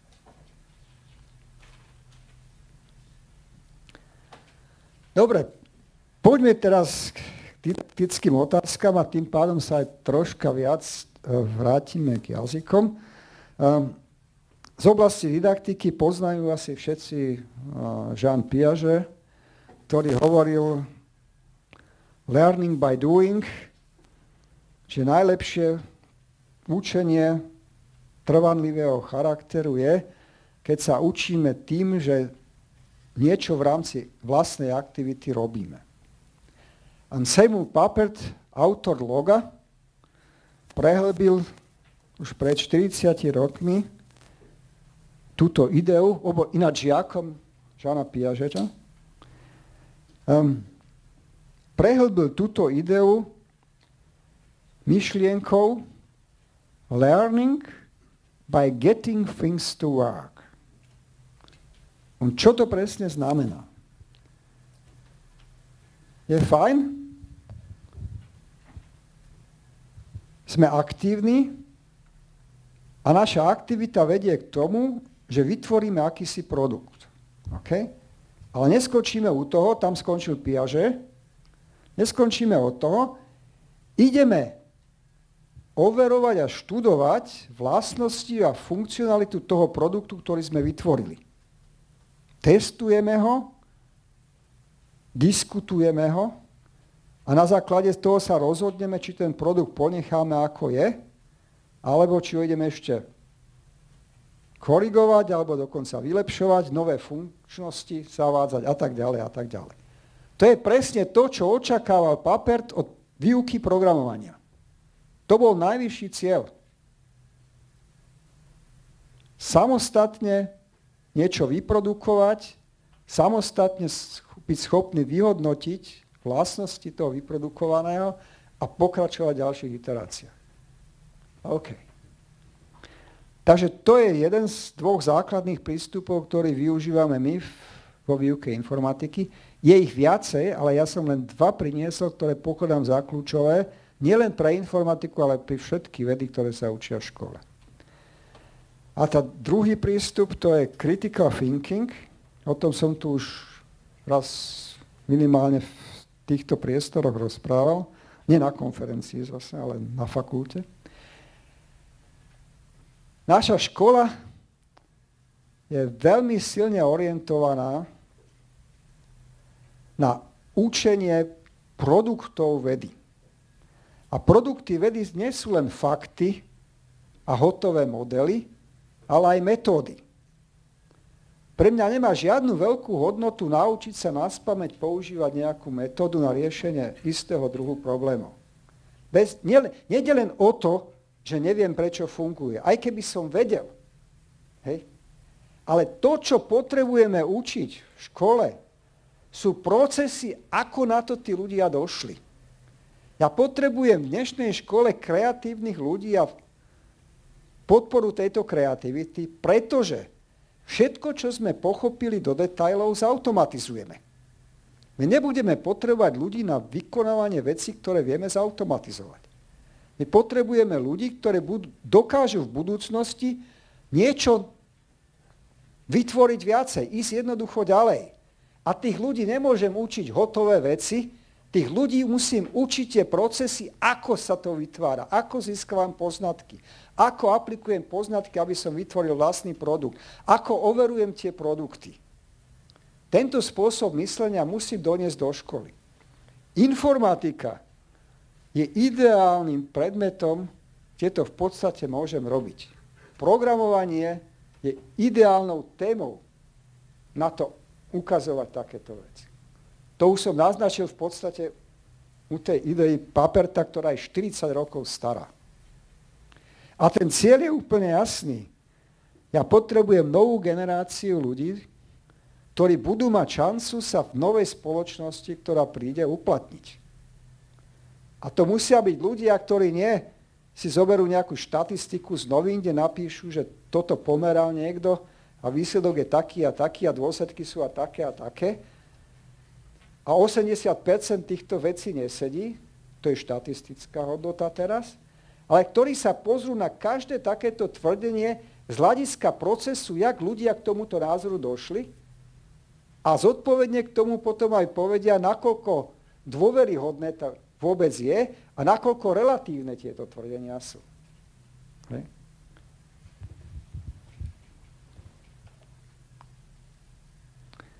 Dobre, toto už len prezentuje pár učebníc z tých, ktoré sme napísali. To nechcem teraz veľmi prehlbovať. Um, možno len pár charakteristík tých učebníc. Vzhľadom na to, že vo Švajčiarsku, na rozdiel od Slovenska, tá informatika ešte nikdy na školách nebola, um, vychádzali sme z predpokladu, že nikto nevie o ničom. To znamená nulové základy z informatiky pre učiteľov, ako i pre žiakov. To znamená, že sme písali učebnice paralelne pre učiteľov a pre žiakov, kde ich v podstate túto genézu, ako som vám teraz vysvetloval, vysvetľujú pre obe cieľové skupiny. Um, chcelo by to asi nejaké príklady, aby ste porozumeli, tomu, o čo sa snažíme, ako sa to dá dosiahnuť. Ja vyberiem dva príklady. Um, jeden môže byť viac... OK, pozrieme sa na to. Ja som rozprával pred chvíľou o reprezentácii čísel ako informatické úlohe. Chcem reprezentovať čísla tak, aby som dokázal s nimi efektívne zaobchádzať. Teraz mnohé učebnice povedia binárne čísla, to je veľmi dôležité, tak učme to. A teraz som videl na školách ľudia, tak učme sa binárne počítať. Jedna, dva, tri, štyri. Ak sa takto učíte binárne počítať, tak ste sa nič nenaučili, samozrejme. A sú zase takí, čo učia na spameň algoritmy, ako sa z decimálnych čísel prejde do binárnych a z binárnych do decimálnych. A tá hodnota vzdelávacia je temer nulová. Ako napríklad učiť reprezentáciu čísel tak, aby to malo akúsi všeobecnú vzdelávaciu hodnotu. No veľmi jednoducho. Pozrite sa, ako ľudia v histórii v podstate tie čísla vytvárali. A ten začiatok bol veľmi jednoduchý. To dokážu deti na základnej škole v prvej, druhej triede. Vy chcete vyjadriť nejaké číslo, tak ho pokladajte za akúsi sumu, ktorú chcete zaplatiť a teraz vám dám akési mince alebo peniaze v akýchsi hodnotách a vy to zaplatíte. V Mezopotámii to boli hodnoty 1, 10, 60, 600, 3600, decimálne systémy sú 10, 1, 10, 100, 1000 a tak ďalej. Rímske čísla majú zase iné hodnoty, tam majú aj 5, 50, 500, hej. Ale vy nerobíte nič iné, len zaplatíte tú sumu. To vám dokáže každé dieťa. Okay? A teraz máte ten problém, že samozrejme môžete zaplatiť tú sumu rôznym spôsobom. To znamená, že nemáte jednoznačnú reprezentáciu. A vy ju spravíte jednoznačne veľmi jednoduchým spôsobom. Vy dovolíte meniť menšie hodnoty za jednu väčšiu hodnotu, rovnakú ako je suma týchto menších hodnot. A robíte to tak dlho, to je to isté, čo počítanie so zvyškami. A robíte to tak dlho, pokiaľ už není čo vymeniť. V ľubovoľnom poradí nehrá rolu. Tak, jak počítame so zvyškami, to není žiadne, že sa to musí tak robiť, to je jednoducho najefektívnejšie. Ale to už ľudia dávno zabudli. V ľubovoľnom poradí. A keď sa to už nedá robiť, tak je koniec. A tak máte tu reprezentáciu. Dobre? A to zvládnete s deťmi. To znamená, že keď učíte binárny systém, no tak zoberete mince hodnoty 1, 2, 4, 8, 16 a hráte presne túto istú hru. Keď máte dve mince rovnakej hodnoty, vždy ich môžete vymeniť za mincu s dvojnásobnou hodnotou a nakoniec každého druhú mince môže ostať jedna alebo žiadna. A už máte binárnu reprezentáciu. Hotovo, všetci tomu rozumia. A trik je veľmi jednoduchý. Vy sledujete len tú genézu toho, ako to vzniklo. Nič iné nerobíte. Nemusíte si nič vymysleť. A samozrejme ten posledný krok, ktorý ľudia spravili, a to bolo v 8. storočí, že prešli z tejto reprezentácie pomocou minci alebo nejakých peňažných hodnôt k reprezentácii, kde jednoducho postavili tie mince, čo mali, sprava doľava od najmenšej po najväčšiu a dole napísali, že koľko majú z ktorého druhu. A bola klasická digitálna reprezentácia čísla. Neviem, ako sa to hovorí po slovensky, ja už mám problémy tu na klúskať slovenčinu. Ako sa nazýva tento reprezentácia čísla, keď závisí to, tá cifra od miesta, na ktorom sa nachádza? Pozičná sústava. No to, na to by som neprišiel už. Dobre, ďakujem veľmi pekne. Takže pozičná sústava. Ale pochopili sme, o čo ide, hej? Keď takýmto spôsobom vyučujem reprezentáciu čísel, tak v tom okamihu aj všetky algoritmy na prácu s číslami pochopia úplne ináč. Každá transformácia z ľubovoľného systému do ľubovoľného ide jednoducho.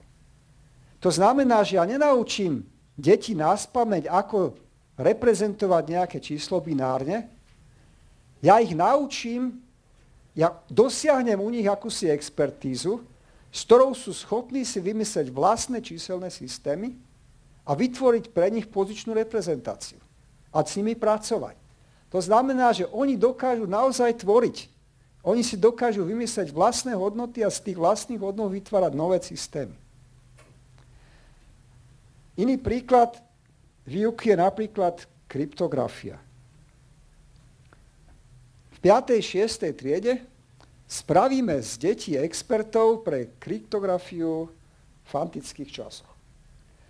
To zase znamená nie, že ich naučím, ako funguje Cezar, oni vedia s Cezarom šifrovať a dešifrovať, ale ja ich naučím zo pár princípov, to sú princípy, najstarší bol výmena poradia symbolov, to je 3,5 tisíc rokov staré, a potom prichádzajú tie systémy okolo 2000 rokov staré, kde sa symboly kódovali symbolmi. A?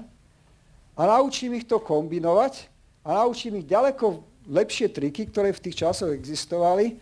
Napríklad najvyšší princíp istoty v antických časoch bol taký, že tieto tajné písma museli byť také, že sa dali naučiť na spameť.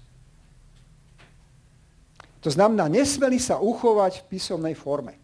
To bol základný princíp. Okay? To dosť obmedzuje, ale vedie k tomu, že ľudia dostávali super nápady. V starej Palestíne sa budovali takéto systémy. Človek si vymyslel nejakú tabulku, ktorá bola dosť veľká na to, aby sa do riadkov dal napísať celá abeceda, ktorú mali. Čiže môžeme si predstaviť, že zoberiem nejakú tabulku 3x9. Dobre?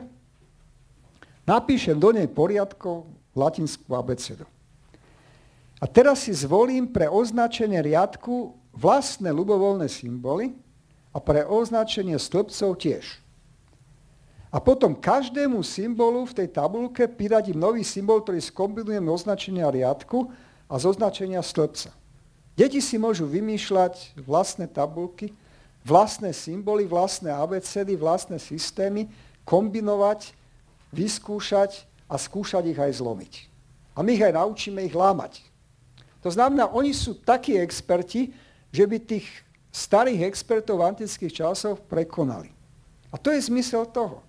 A vo vyšších ročníkoch samozrejme pokračujeme vo vývoji tej jednej disciplíny a spravíme ich expertov pre strodoveké disciplíny a potom nakoniec dojdeme k publiky kryptografii pri maturite.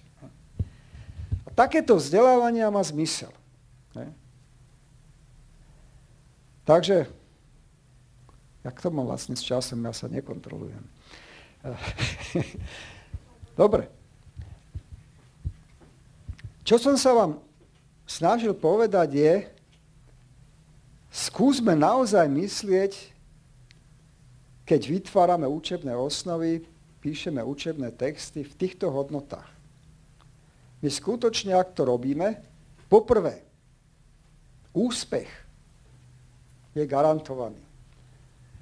Lebo v prípade, keď naozaj sledujeme ten prirodzený vývoj týchto konceptov, tak ho spravíme aj, zase neviem to slovenské slovo, a už viem,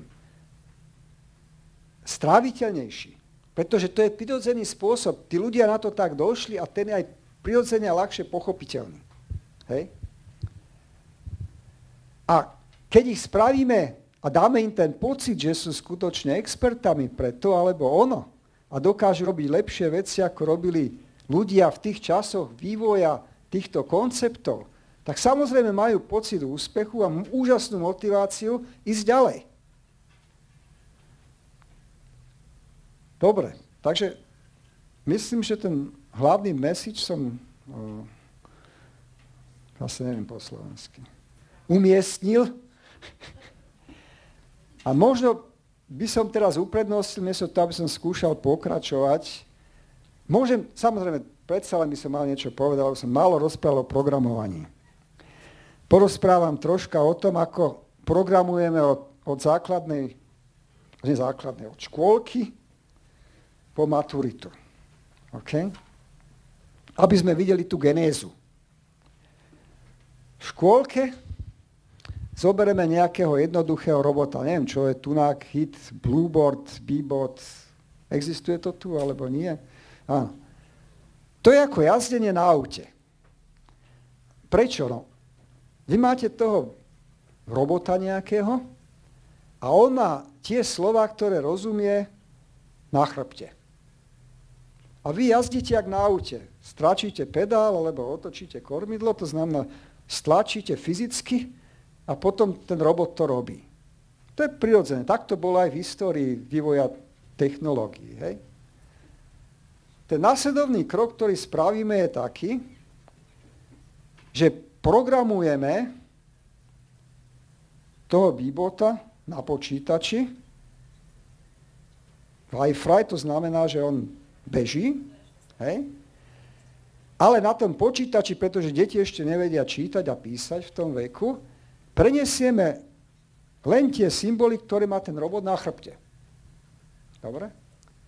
A pridáme k tomu papertovský repeat, v ktorom žiadna premena nevyskakuje. Zopakuj toto toľko a toľkokrát. Hotovo. A s tým programujú toho robota, aby pomaly prešli k programovaniu, tak to beží paralelne tak, že ten robot naozaj beží, jak má bežať a na obrazovke majú korytňačku, ktorá kreslí tú cestu, ktorú ten robot ide. Okay? To robíme ešte v prvom, druhom ročníku. To znamená, čo pochopia deti, je, že program, lebo to je, tým neučíme, že program je gramaticky korektný text v programovacom jazyku samozrejme, to im nerozprávame. Oni chápajú program ako postupnosť príkazov, ktoré ten robot rozumie a vie vykonať. Okay? Ďalší stupeň v 3. 4. ročníku je taký, že jak to bolo s tým robotom. Tomu robotovi poviem len dopredu a je dané fixná dĺžka, koľko ide. Alebo mu poviem otoč sa doprava, to znamená vždycky, že sa otočí o 90 stupňov. Hej? To znamená, že teraz dovolím v 3. 4. ročníku to parametrizovať, že môžu povedať, koľko má ísť dopredu, koľko má ísť dozadu, o koľko stupňov sa má otočiť a tak ďalej. A to není len číslom, oni skutočne tam majú také niečo ako hodiny, a to si môžu natočiť, že okolko sa chcú otočiť a to sa potom okolo toho otočí. V piatej triede prechádzame z tohto vizuálneho alebo blokového programovania e, ku klasickému logu, ktoré je založené na textoch, kde v podstate preberú tieto prvé stupne, že sa naučia jednoduché cykly a programy ako postupnosti príkazov. Čo sa ešte naučia, čo pokladám za dôležité, že si uvedomia už v tomto veku, že to není tak, že pre jednu úlohu existuje len jediné správne riešenie. Pretože pre každú úlohu, ktorú dostanú, existuje, oni sami vyvinú rôzne programy, ktoré sú rôzne, ale funkčne robia to isté. A to je dôležité pozorovanie pre nich, že neexistuje jediný správny program pre čosi, ale v podstate viacej a že tam je istá varianta. Treba si uvedomiť aj jedno, prečo sledujeme toto logovské kreslenie, pretože hlavný problém programovania není programovanie samotné, ale hľadanie chýb v programoch, ktoré sme napísali.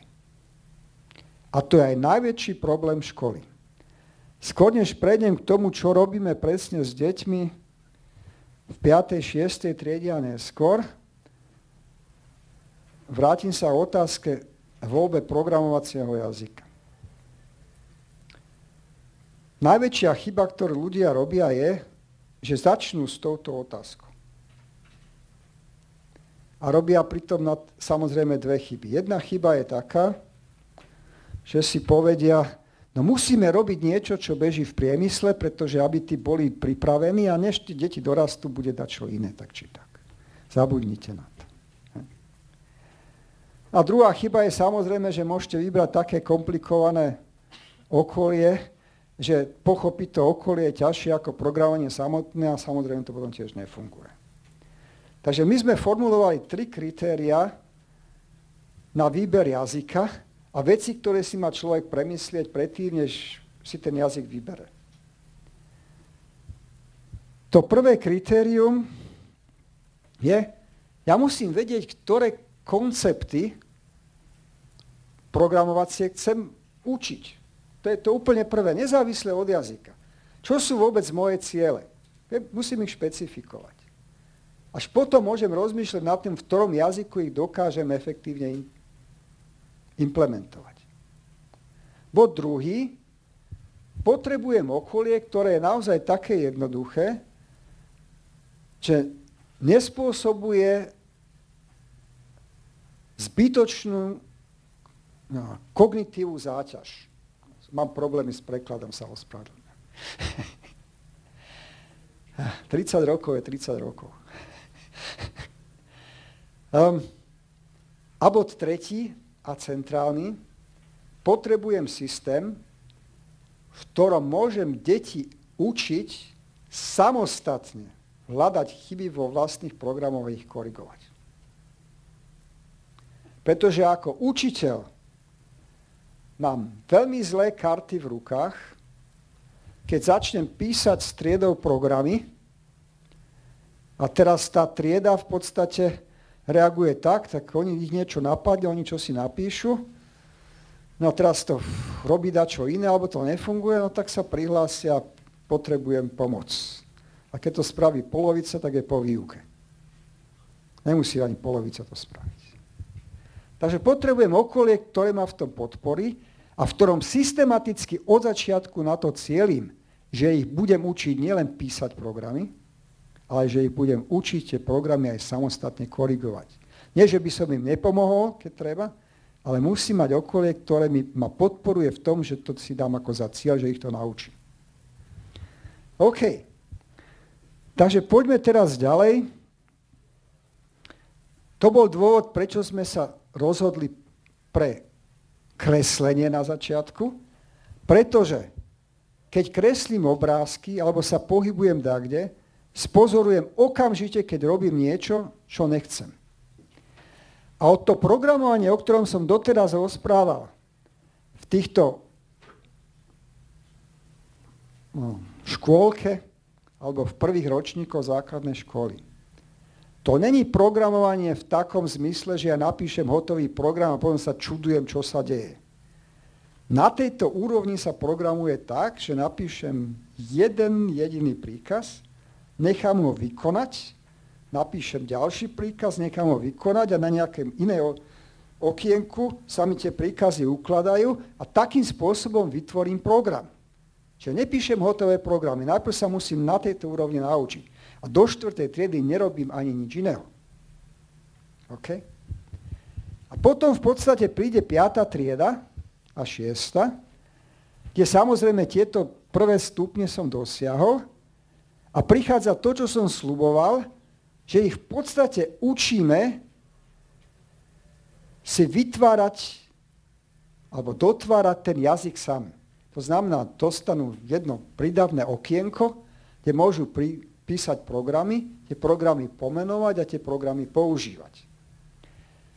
Čo sú výhody tohto prístupu, to si treba uvedomiť. To nie je len jedna vec, čo som vždycky rozprával, že vytváram si vlastný jazyk, ale ja idem aj smerom do tej verifikácie, pretože ak robím toto konzekventne a rozumne, tak nepotrebujem nikdy napísať dlhší program ako 2, 3, 4 riadky. Áno?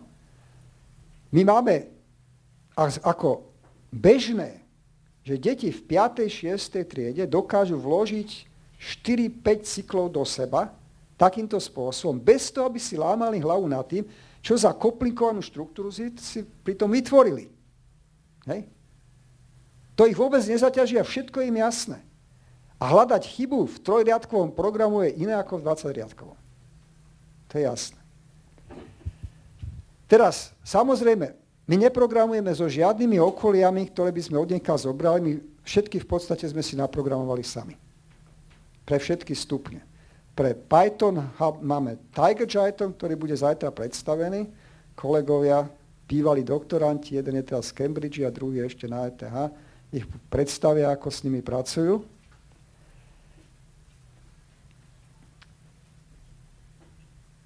Teraz to okolie, ktoré používame v 5. 6. ročníku, má následovné vlastnosti. Má super dobrý debugger. Čo to znamená? Keď deti spravia chybu, tak na mieste, kde vznikla chybu, je okamžite červený krížik a tam stojí aj napísané, v čom tá chyba je, ale jednak jednej. Nie je len nejaké fantasmagórie, ako to majú normálne programovacie jazyky, kde skúsený programátor nevie, čo sa pod tým myslí. Tam je skutočne trefne. To si môžeme dovoliť, lebo vytvárame jednoduchý jazyk, v ktorom sa sústredíme na tie koncepty, ktoré chceme vyučovať. A vďaka tomu dokážeme spraviť samozrejme lepší debaga a povedať úplne presne, o čo ide. To znamená, že vyradíme z hry syntaktické a pravopisné chyby. A teraz otázka logických chýb. Poprvé, máme krátke programy, čo zjednodušuje úlohu. A po druhé, máme špeciálny systém, deti si kliknú, to sa volá step by step, krok po kroku. A môžu vykonávať program tak, že tam majú dve tlačítka, sa pohybovať dopredu aj naspäť v tom vykonávaní. Čiže ja bežím v tom programe a vždy, keď kliknem, sa vykoná následný príkaz. Ale následný príkaz neznamená, že keď mám cyklus, že vykonám celý cyklus. Ja idem donútra do toho cyklu a vykonávam jednotlivé príkazy. To znamená, deti a takýmto spôsobom dokážu presne zistiť, v ktorom okamihu tá korytňačka maluje čosi iné, ako by mala, rozpoznajú to miesto, kde ten program je zlý. A toto v podstate trénujeme od začiatku, aby sa to naučili. Okay. Dobre. Čo sú ďalšie ciele? Po tom, čo sa deti naučili programovať modulárne, a to je idea Paperta, to není idea moja, to je najväčší prínos, pretože si treba uvedomiť, pred Papertom bez jeho prístupu skutočné programovanie v tohto veku bolo prakticky nemožné. Pretože to bolo také jednoduché a povrchné. Ale v tom okamihu, keď človek dokáže skladať cykly do cyklu bez problémov, začína úplne vážne veci robiť. A teraz prichádza prechod, ktorý je kľúčový a v podstate asi najťažší v tom, čo robíme, a to je prechod k premenným. Prechod premenným sa zásadne výrazne podceňuje. Prečo? Nejde len o to, že premena je abstrakcia, ktorú nechápu deti v tom veku, a je to iná abstrakcia ako v matematike, keď sa na to používa to isté slovo, čo to len skomplikováva. Ale ten problém je v podstate v tom, že pokiaľ nepoužívate premené, máte nasledovnú súvislosť. Jeden program, jedna aktivita, jeden obrázok. Jedna ku jednej. Ten program popisuje presne jednu aktivitu a vedie presne k jednému výsledku. V momente, keď pridáte premenu a dávate tomu programu vstupy zvonka, stáva sa program čím si univerzálny a je v podstate reprezentantom nekonečného množstva aktivít v závislosti od hodnoty parametrov, ktoré mu dávate. To je veľký krok, to není malý krok. My sme učili okolo 14 tisíc detí, aby sme vyskúšali, v ktorom veku s tým vôbec môžeme začať a čo to pre triedy znamená. A to znamená, že tento krok musíte robiť veľmi opatrne. A my to robíme tak, že v 5. 6. triede sa hrajú na záver, to je vrchol, len s premennými, ktorých hodnoty sa v priebehu vykonávania programu nemenia. To znamená, my ich využívame len ako dane vstupov. Tie určujú, aký veľký má byť objekt, akú farbu má mať, aké veľké majú byť uhly, ako rýchlo sa pri animáciách má niečo pohybovať a tak ďalej. Ale my nepočítame s tými hodnotami, ktoré dostanú. Žiadne formuly tam nie sú, žiadne zmeny hodnot. To znam, aký to má výhoda aj didakticky. My môžeme im niečo povedať, čo není celkom pravda, ale čo im stačí na chápanie. Ako zavedieme takéto programy? Veľmi jednoducho. Kreslíme napríklad kva, um, kvadrát sa povie po slovensky, štvorec. Kreslíme štvorce. Pre každý štvorec slubovolnej veľkosti musí mať osobitný program, nie? Aj pre farby, keď majú rovnať rôzne. Čiže postavíme tie programy pod seba a porovnávame. A zistíme, tie sú všetky rovnaké, oni sa rozlišujú len v tom jednom čísle. No čo spravíme? Miesto toho čísla vymyslíme nejaké meno ako držiteľ toho miesta a tú hodnotu mu dodáme pri vyvolaní programu. To je koncept. A oni nepotrebujú presne vedieť, ako je implementácia v počítači, ale im stačí vedieť, keď oni teraz vyvolajú štvorec 50, vedia, že to číslo 50 bude dosadené na všetky miesta, kde, kde tento názov tej premenej sa vyskytuje. To není pravda samozrejme, lebo keby som ju medzičasom zmenil, bude to iné, ale pre ich abstrakciu v tomto okamihu stačí len tá predstava, tá číslo sa dosadí všade, kde toto meno je a ten program sa s týmito číslami vykoná. A s touto abstrakciou sú schopní pracovať. A samozrejme, keď prídete do 7. 8. triedy a začnete učiť naozaj premene, tak ich to musíte začať učiť naozaj, jak to je, ale nesmiete bežať od tej fyzikálnej predstavy, musíte naozaj povedať, OK, to funguje tak, že v pamäti sú registre a tam sa rezervuje teraz register s takýmto menom, tam sa tá hodnota uloží a potom začnete tie hodnoty aj meniť. A potom ich musíte ale aj fyzicky nechať tie deti jednoducho vykonať tie programy a meniť obsah pamäte, aby pochopili, čo sa tam deje. A potom máte skutočne šancu, že pochopia, o čom tie premene sú. Tak. Dobre, myslím, že pomaly by bol čas, aby som skončil, že? Takže teraz už naozaj skončím. Ďakujem veľmi za pozornosť a som pripravený na otázky.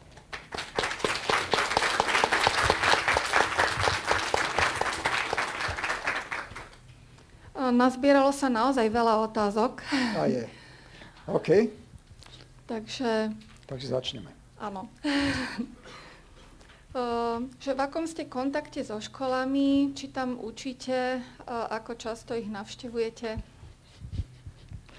častejšie, ak je rozumné. Máme asi okolo 200 projektových škôl a momentálne som na školách možno dvakrát do týždňa, ale mám také obdobie, keď už menej učím triedy, ale vzdelávam učiteľov, lebo mám asi 3500 učiteľov vo vzdelávacích kurzoch. Presne toho sa týka vlastne druhá otázka, mm-hmm. že ten prístup, ktorý ste nám predstavili, predpokladá, že učitelia majú viac ako základy digitálnej gramotnosti. Mm-mm. Nie? Práve, že my vychádzame z toho, že oni informatiku predtým nikdy nevideli. A tie kurzy pripravíme pre nich skutočne tak, ako aj pre tých žiakov, že zažijú genézu tej informatiky. Nie ten dnešný pre mňa je to asi tak, že my máme dve možnosti si povedať. My informatici sme takí jednoduchí ľudia a nerobíme žiadne komplikované veci. A potom poďme učiť deti zrovna to, čo dneska robíme v robote. To je jedna varianta. Alebo si povieme, že sme predsa aspoň trocha taký, aspoň trocha náročný, ako tí fyzici. A fyzici tiež neprídu do školy, nezačnú učiť fyziku s kvantovou mechanikou a teóriou relativity. Hej. To znamená, že tá genéza, to je pre každý obor dôležité. A ja si musím rozmyslieť, ako ďaleko ich v ktorom veku dostanem. Ale musím učiť tú genézu. To znamená, že ja nemám problém zobrať učiteľov, ktorí v živote v škole nemali žiadnu informatiku a o to majú falošné predstavy, pretože ja ich učím tú genézu. Do tej miery, ako ju potrebujú, aby tie základné koncepty, ktoré učia, mohli učiť. Treba si pozrieť moje učebnice pre učiteľov.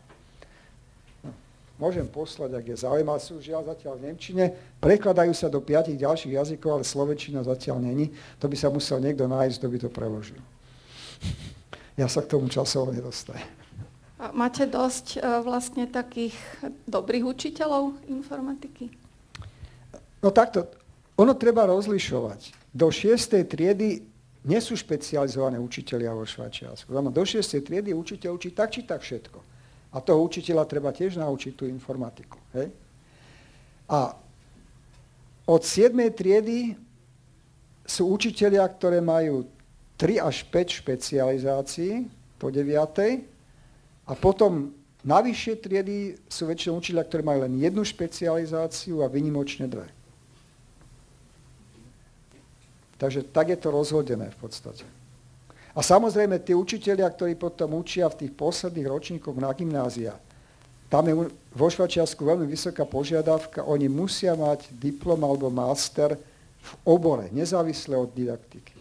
Oni museli vyštudovať informatiku. Tam ich nemusím učiť informatiku. Ale na tých úrovniach pod tým ich musím učiť. chcú to učiť, to programovanie, lebo u nás teda moc, moc niektorí nie. To je všeobecný problém. Všade vo svete, predstavte si chudáka učiteľa, ktorý učí všetky predmety na základnej škole. To není jednoduché. To definitívne není jednoduché. A teraz tí učiteľia majú dosť veľa roboty, tam sú iné problémy, nielen ako učiť. Áno? A teraz pribehne niekto a povie, no učte ešte tento obor naviac. Tá prvá reakcia musí byť negatívna, zákonite musí byť negatívna. Majú, oni nemajú málo roboty, oni sa nenúdia, oni nečakajú, keď konečne príde niečo nové, čo by mohli robiť. To znamená, že človek musí v podstate prísť a ukázať im niečo, čo ich zaujme.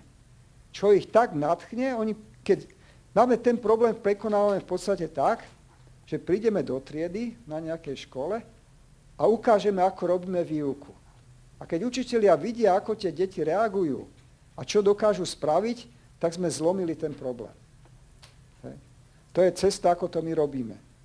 Čiže oni až keď vidia tých žiakov, že oni s tým nemajú problémy a že to značením robia, tak zmenia to stanovisko a máme prípady, e, kde skutočne tí ľudia začali byť extrémne aktívni a učiť ďalších učiteľov a rozširovať to ďalej. E, je tu otázka k tým vašim učebniciam, mm-hmm. že, že vlastne tie, tá papierová forma je také pasívne príjmanie, že či rozmýšľate aj nad nejakými takými online formami typu V3 Schools, Nerozmýšľame, už sú niektoré hotové a na ďalších sa pracuje. Každá učebnica má aj online formu. Um, ale ono to není jednak jednej. V podstate tá učebnica vysvetľuje tú genézu a to online okolie je na to, že obsahuje ďalšie úlohy a príklady a keď žiaci na tom pracujú, tak ich to aj overuje hneď a je tam otvorený priestor pre učiteľa generovať ďalšie úlohy tohto typu. Čiže je to skôr tak akože doplnenie, ale nie plná náhrada tej učebnice. Ale aby, chcem povedať jednu dôležitú vec, aby som troška odporoval v forme tejto otázky. Existuje jeden veľmi pekný citát, ktorý hovorí, že není rozhodujúce, či sa učíte s takýmto okolím v digitálnej forme alebo učebnicou, to, čo je podstatné, je kvalita toho materiálu. Nemáte nič z toho digitálneho okolia, pokiaľ je kvalitne spravené a lepšia učebnica je v tom prípade lepšia ako to okolie. Samozrejme, to okolie vám umožňuje viacej interakcie. Ale keď vám niekto príde s originálnym riešením, na ktorý autor toho okolia nemyslel, tak vám to okolie tiež nepomôže.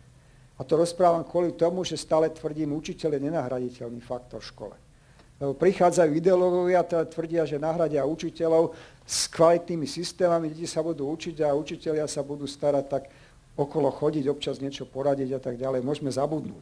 Pretože keby to tak bolo, tak už pri knih tlače v roku 1500 sme poslali učiteľov domov a napísali také dobré knihy, že nikto ich nepotreboval. Hej.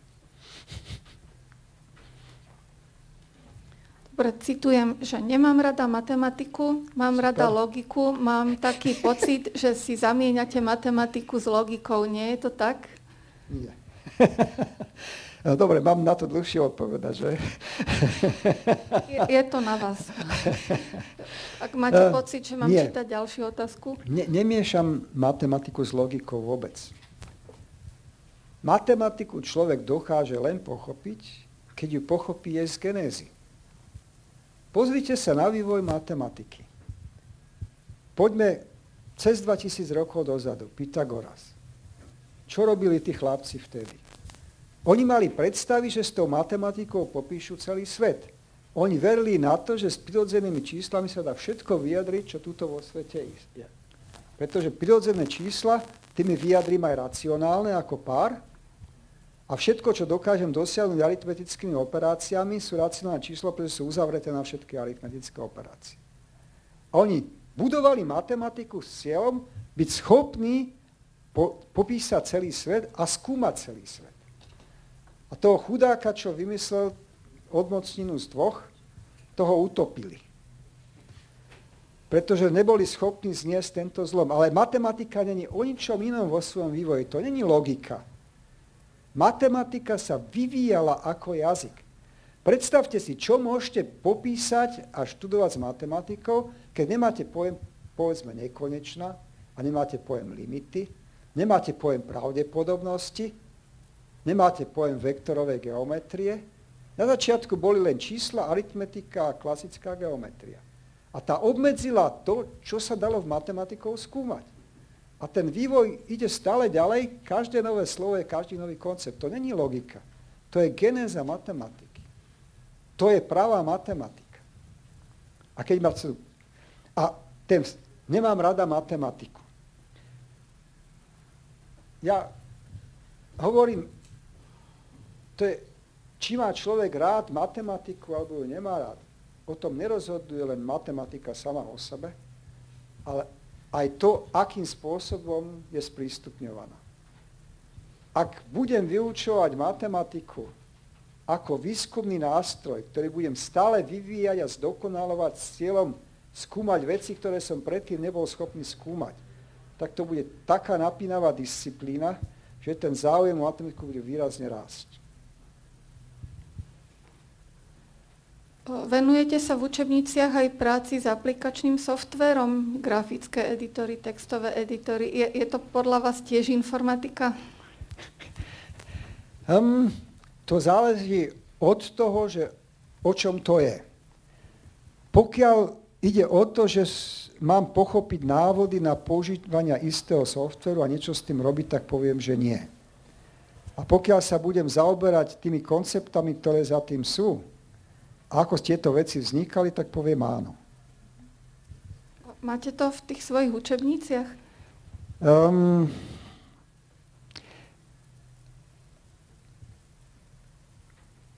na týchto stupňoch, kde tie učebnice sú napísané, tieto témy nemám.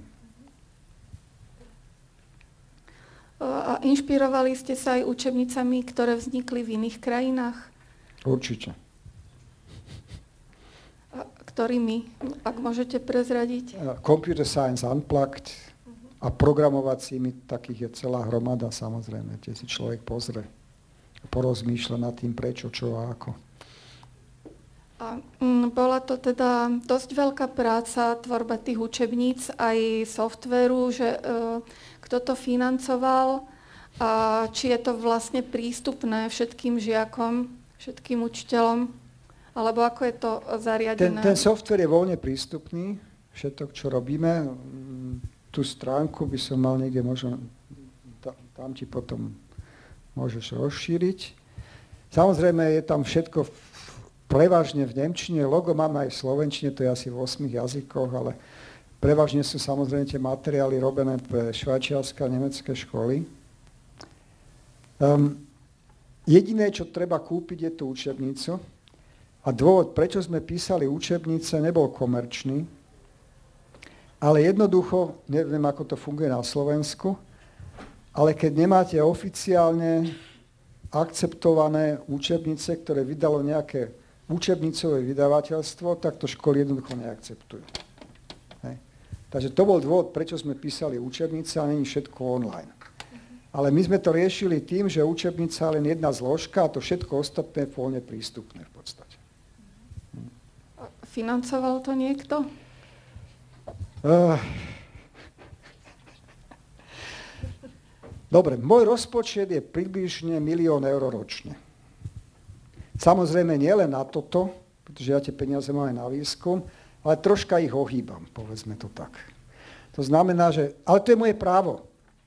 Ja mám peniaze k dispozícii, ja mám zodpovednosť za to, aké sú výsledky a ja ich môžem do istej miery posúvať a v podstate bola časť tých peňazí som posúval silne do týchto vzdelávacích aktivít a potom, keď to začalo dobre fungovať, tak človek dostane aj sponzorov z priemyslu, ktorí začnú pravidelne prispievať a tým pádom človek vybuduje akúsi finančnú bázu, s ktorou môže naozaj niečo podnikať. Akože fungujeme v tomto zmysle viac ako nejaký podnik, ako, ako škola. Ale to je normálne u nás. Čiže nebola to zákazka z vydavateľstva ani z Nebola to, nikdy sme nedostali žiadnu zákazku od mhm. nikoho. Na nič. Dobre, tak to bola posledná otázka. Dobre. E, Ďalšie otázky teda môžete potom v priebehu dňa. Veľmi pekne ďakujeme ešte raz. Ja ďakujem za pozornosť.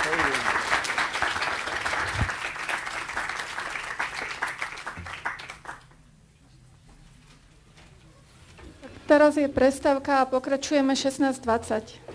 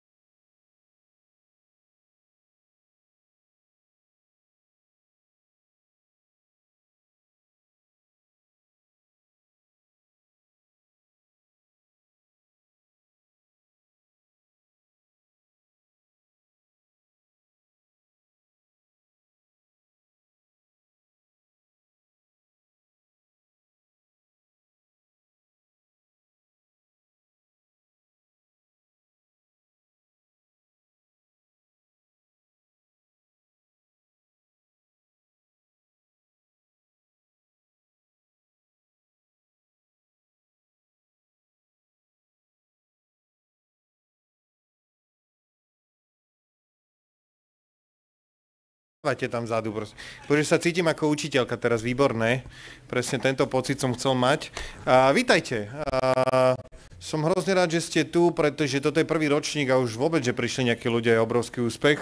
A, takisto organizátori sa tak tvárili, že je aj dobré, že sa toľko veľa neprihlásilo, aby sme to nestihli vyhodnotiť, ale nie naozaj sme radi, že ste prišli z rôznych dialog až z Košíc ľudia. Sú tu nejakí Košičania? Wow, výborne, perfektne vám to ide, akože odpada vám z toho hluku, čo viete urobiť. Uh, oceňujem toto, verím, že podobne budeme tlieskať a rozvibrujeme túto sálu, jak Šuvadová spolu so Siki Spiritom. Uh, Dobre, poďme vyhodnotiť súťaže, ktoré sa udiali za posledné mesiace. Sú to súťaže, ktoré som ja nemal nikdy možnosť sa do nich zapojiť, pretože ja som mal koľko, 8, 9, 12 rokov a mal som Commodore 64 a z nemeckých časopisov som sa snažil vylúštiť niečo, že čo vlastne na tom počítači robím. Dnes máte internet a Wikipédiu a Learn to Code a iné veci vy hyeny a máte to stokrát lepšie, ako sme to mali vy, ale vôbec vám nezavidím, kľudne pracujte a tešte sa zo života. Plus máte nejaké malé magické doštičky, na ktoré viete pripínať nejakými krokodilmi veci a vyrobiť si semafor a vianočné svetielka, ale vôbec vám nezavidím. A držím vám palčeky. Uh, videl som tu vymakané ceny, ktoré dnes dostanete. Je tu uh, dron a kupóniky a, a magnetické záložky a púzdra na notebook. Vy hyeny vôbec vám nezavidím, ale akože veď užite si to. Nie, naozaj sa teším, že mnohí z vás ste začali programovať, uh, niektorí iba tak, že ste vkladali do seba nejaké bloky kódu, uh, tí na základných školách, vy na stredných už ste reálne aj niečo písali a to je úžasné a uh, mnohí z vás ste splnili úlohy, ktoré sme vám zadali, respektíve tu moji kolegovia a my sme ich vyhodnotili, opäť moji kolegovia a my vám odovzdáme ceny, to budem ja. A so mnou tu bude ale aj e, človek, ktorý nám pomohol zorganizovať celú túto súťaž, ktorú dokonca inicioval, pretože túto súťaž organizuje Katedra didaktiky, matematiky, fyziky a informatiky, skrátenie FMFI, e, Univerzity Komenského v Bratislave, čo je úžasné, že im dovolili STUčkári prísť sem a že ich nevykopali z okna. E, je hrozne pekné, že existujú takéto spolupráce medzi jednotlivými školskými inštitúciami a a dovolte mi, aby som sem teraz pozval docentku Moniku Tomčániovú.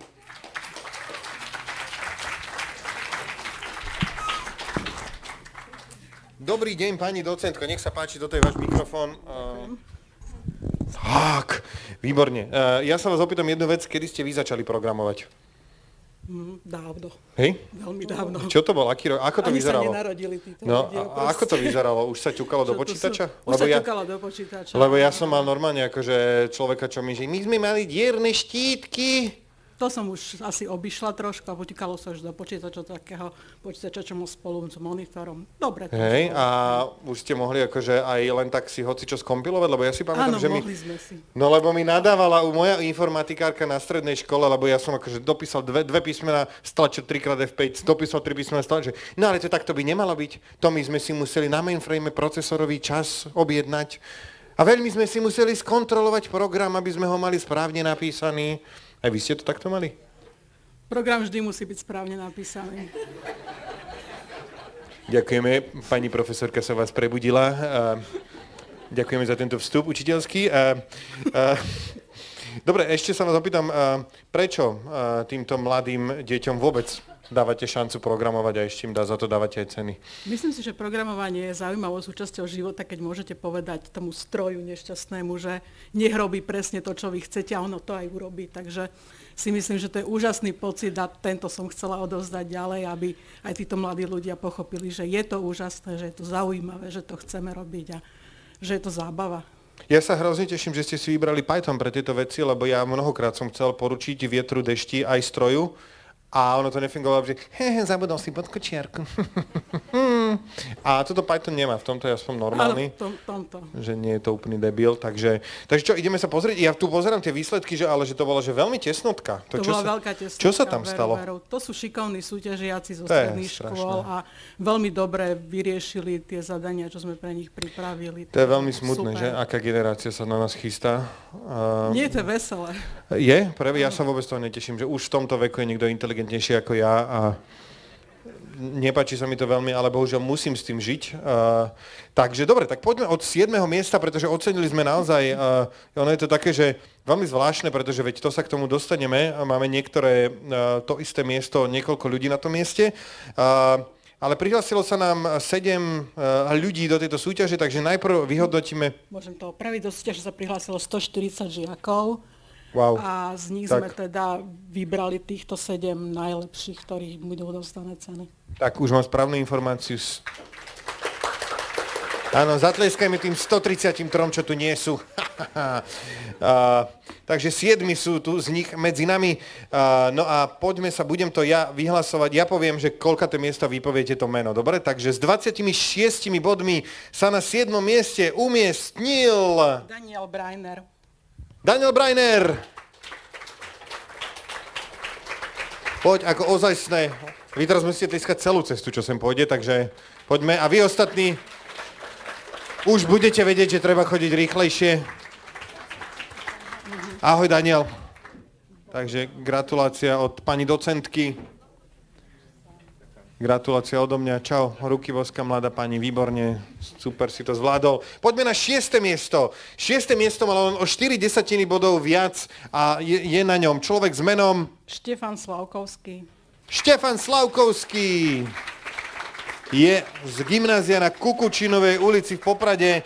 Ináč Daniel je z Poštovej 9 v Košiciach. e, Masívne zastúpenie košických škôl. A? Vy budete pani profesorka? Povedzte nám niečo o Štefanovi. Je taký tichší alebo taký zábavný? No, taký normálny študent, veľmi šikovný, angažuje sa vo všetkých súťažiach, robí aj uh, informatiku, matematiku, biológiu, chémiu, takže všestranne nadaný. Ja ho v tomto nebudem podporovať, lebo naozaj uh, nie roboty, ale títo mladí študenti nás prevalcujú. Ďakujeme veľmi pekne. Poďme na 5. miesto s 26,9 bodmi, čo je len opäť o 5 desatín viac uh, a je to takmer celý maximálny počet 27 bodov sa umiestnil Dominik Čepy. Dominik Čepy. Hej, hej, nazdar. Dominik je z strednej odbornej školy z VJM. Čo je VJM? Vyučovacím jazykom maďarským. Igen, Jovana Kor. Uh, Ďulu Sabo z Dunajskej stredy. Köszönöm szépen, Vyslát. Uh, virtuálne ti podávam ruku. A je to hrozne milé. Poďme na štyri prvé miesta, ktoré sme udelili. Všetci štyria ľudia na prvom mieste uh, získali maximálny počet 27 bodov. Uh, ako prvého vyhlásime človeka z mojej alma mater, prvého súkromného gymnázia Bratislava, Bajkalská číslo 20, Michal Mokráň. Pardon, ja som vás predbehol. Michal Mokráň. Som rada, že ste si našli Nie, nie, nie je to môj favorit. Máme tu ešte ďalších troch Košičanov. Je to nádherne vyrovnané. Ahoj Michal, gratulujem. Koho máš? Garajovu? Čo na informatiku? Na informatiku. Peťa Kušeru. Toho už nepoznám vôbec. A, a Garajova tam ešte, a Garajova tam ešte učí? Nie, Peťa tam sedí inak. A Garajova ešte je tam?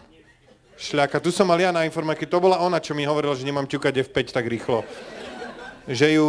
Nie, pozdravujem. Uh, Dobre, poďme na zvyšné tri prvé miesta. Opäť 27 bodov. Gymnázium Poštova 9 Košice a Daniel Sedláček. Daniel Sládeček. Skoro. To je ako keď urobíte preklep, kompiler vám napovie. Takže Daniel prichádza eh, krásnym krokom. Eh, Sme hrozne radi, že si si oblekol košelu na túto vynimočnú príležitosť a Ináč získavajú vymakané ceny a všetci víťazi získavajú poukážku v hodnote 10 eur do Martinusu, tašku, magnetické záložky a od Exponej Puzdrona, notebook, powerbank a diare, čiže si môžu zapísať, e, nabiť bater, no proste všetko si môžete robiť takmer. Váš život sa skvalitní minimálne 10 až 15 krát. E, Tretie, prvé miesto patrí opäť gymnáziu Poštova 9 v Košiciach a konkrétne Juraj Marcin. Juraj Marcin je jeho víťazom. Chlapci prišli spolu a dúfam, že ste neodpisovali jeden od druhého. A ste to pozerali, či nevyzerá rovnako ten kód? Pozerali sme to samozrejme. Dobre, nie, že tam mal tiež na začiatku, že wild true.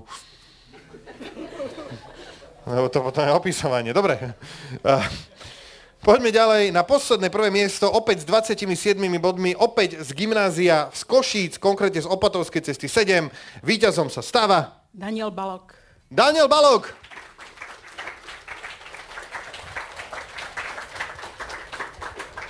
Ahoj Daniel, vítaj, už ťa vidím prichádzať.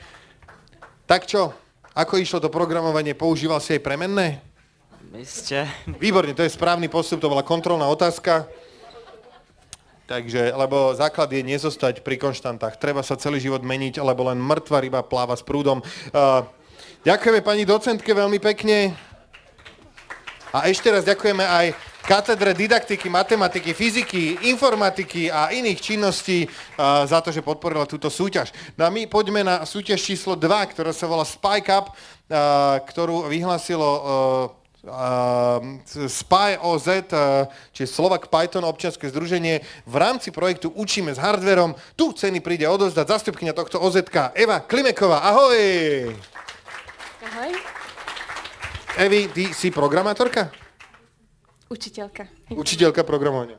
Áno. E, To sa hovorí, že kto umí, umí, kto neumí, učí. Čiže ty vlastne nemusíš vedieť programovať, ty len ako vieš odkontrolovať ľuďom, či to naprogramovali dobre? Wow.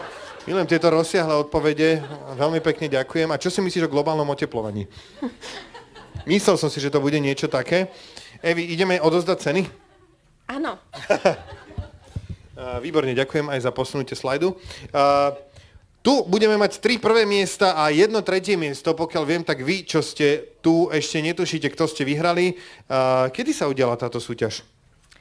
Táto súťaž prebiehala približne dva mesiace, pričom žiaci dostali zadanie, pracovali doma v skupinách približne mesiac, potom odovzdávali dokumentáciu projektov, video, zverejnili na YouTube video o projekte a následne sme ohodnotili a teraz dneska prebiehalo finále. To ste normálne museli toto všetko urobiť? Áno. Že video, no vieš ako je všetko v poriadku, programovať video je v pohode, ale dokumentáciu písať, čak to je nechutné.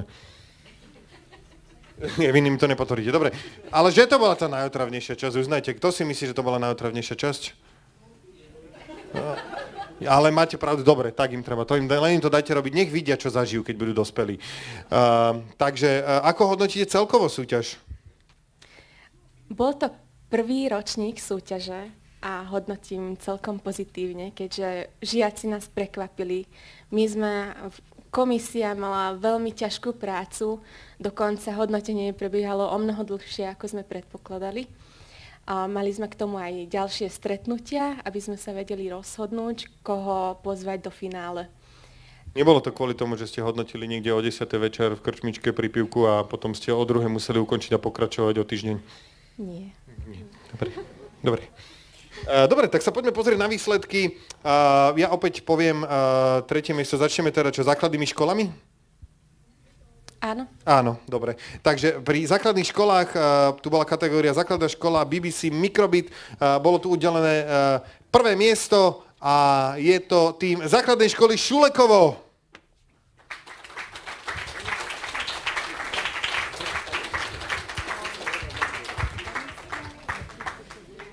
Evička odovzdá ceny. Evi, poď tuto na tieto dva schodíky a budeš už taká vysoká ako tí chalani zo základnej. Gratulujem chalaním, bolo to perfektné, aj keď som to nevidel, ale verím hodnotiacej komisii. by som to nezvládol. Že, počkaj, príhovor, počkaj, tu sa otoč, áno, ešte raz. Ďakujem, ale bez mojich dvoch pomocníkov by som to nezvládol. Čiže ty si šéf toho projektu a oni normálne mali Little Helpery. Nie, Lukáš je šéfom projektu. Lukáš, prosím ťa, vyjadri sa k tomuto, že ty si jeho pomocník. Fakt divné. Ja si myslím, že ešte musí zase, že je tretí človek slovo, takže ako sa ti pracovalo a, a pomáhalo tomuto človeku, ktorý sa tvári ako šéf, ale nie je šéf? Dobre. Výborne, ďakujem veľmi pekne za naozaj obšírne vyjadrenia. Takže ešte raz, chalani zo základnej školy Šulekovo. Teraz sa poďme prejdeme na stredné školy, konkrétne na projekt Arduino. Uh, tu sme opäť udelili jedno prvé miesto, ktoré ide týmu. Náhodná skupina ľudí. Náhodná skupina ľudí, naozaj prekvapivý a kreatívny názov. Z gymnázia Vojtecha Mihálika zo Serede. A tento človek má podľa mňa nejakú poruchu, keď si myslí, že je viac ľudí. Čiže ty si myslíš, že si viac ľudí? Uh, nie, ale tak ono pôvodne sa to meno vymýšľalo, keď možno ešte malo byť viacej ľudí, ale keď sa nikto nedostavil, tak som bol sám. Čiže oni sa nedostavili ani na to programovanie, alebo len na to odozdávanie? Na všetko. Ani na to programovanie, no tak. Ty si ešte aj tú dokumentáciu musel písať sám? Bohužiaľ áno. Aj video si sa musel sám takto točiť? No seba nie, ale ten projekt áno. Ó, zlatunke, ale nie, super. Tým pádom viac darčekov pre teba. Uh, aj obal na notebook, aj powerbank, všetko je iba, iba tvoje. Uh, my ti gratulujeme, toto je náhodná skupina ľudí o počte jeden. No a najviac obsadená kategória bola stredná škola BBC Microbit a tu sme udelili tri miesta. Všetky tri pôjdu, to, to je prekvapenie, do Nitry. My sa z toho tešíme. Na treťom mieste sa umiestnil tým MP2. MP2! Nie je to až toľko ako MP3 a už vôbec nie toľko ako MP4, ale stále je to fascinujúci výsledok. A my sa verím, že dozvieme, čo znamená táto skratka. A ste dvaja, podľa mňa to bude niečo s tým.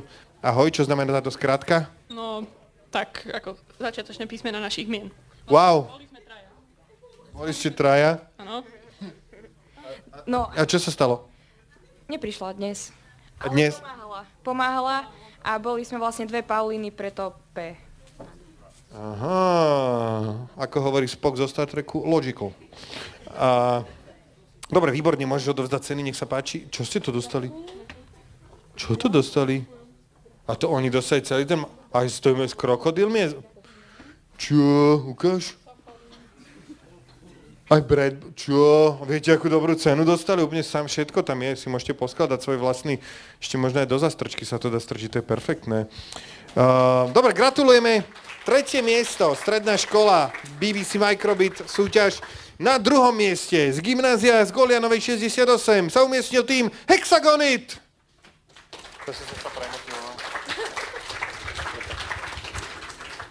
Ja už sa sem blížia chalani z Hexagonitu. Uh, opäť sa budem pýtať na to, ako vznikol takýto kreatívny názov. Čo to znamená Hexagonit? No, jednoducho máme radi 6 uholníky a je to microbit, takže hexagonit. Ja som rozmýšľal nad tým, že ľudia, čo programujú, budú mať bizarné koníčky, ale máme radi šesťuholníky znamená čo? Um, tento názov je vymyslený len tu mojim kolegom, takže ja by som sa rád nevyjadroval. Čiže ty nie si až taký fanúšik šesťuholníkov, takže proste na budúce, keď budeš hovoriť, že máme radi šesťuholníky, hovor za seba hlavne. A čo je tvoj najobľúbenejší geometrický tvar? Um, uh, Môžeš aj 3D, môžeš zadrbať, že ihlan. Kruh. Wow, perfektne, tak chalani, ja si myslím, že si to vydiskutujete. A ono sa, nech sa páči, môžeme odozdať ceny, ono sa dá z toho šesťuholníka k tej kružnici, k tomu kruhu nejako dostať nejakým výpočtom, ktorý by som v živote nevedel urobiť. Ale podľa mňa je tam písmeno Pi. Ešte raz potlesk pre tým Hexagonit, ktorého 50% má rado šesťuholníky. No a my poďme na prvé miesto opäť z gymnázia Golianova 68 v Nitre. Na tomto mieste sa umiestnil tým z pomalej porade chvíľka napätia s bizarným názvom Vadvokry. Vadvokry, Vadva... No, to si musíme... Píše sa to V A 2 K R I. Wow, ináč čo ma napadlo, vlastne Slovenčina častokrát toto robí, že máš napísané Jožo a prečítaš to Jožo. A, takže Vadvakry, a poďme si to preložiť. A, ja zatiaľ rozumiem úplne trc, takže ktorá z vás, nech sa páči. Ty môžeš vysvetliť to po VA2 a ty potom vysvetlíš to kry, dobre? Takže čo znamená VA2? Radšej to nechcete vedieť. Ja chcem. A povedz to pre celú triedu, na čom sa tak dobre bavíte. Povedať. No, takže to sú dva, akože sme dve. A to ďalšie, tak... Dobre, rozmysli si, máme čas, úplne kľudne. Ja sa teším, lebo očividne v tvojej hlave to znie perfektne. Ja som napísala toto mojej kamoške, že, a, že nenapíše náhodné slovo, že my toho spravíme teda akože názov. Ale a, to mi nepovedala, ja no, áno. A, ja som, a ona napísala, že krava, tak, Dobre, to máme KR a ten Y. Tak akože sme dve, tak nemôžu byť dva krava, ale dva kravy.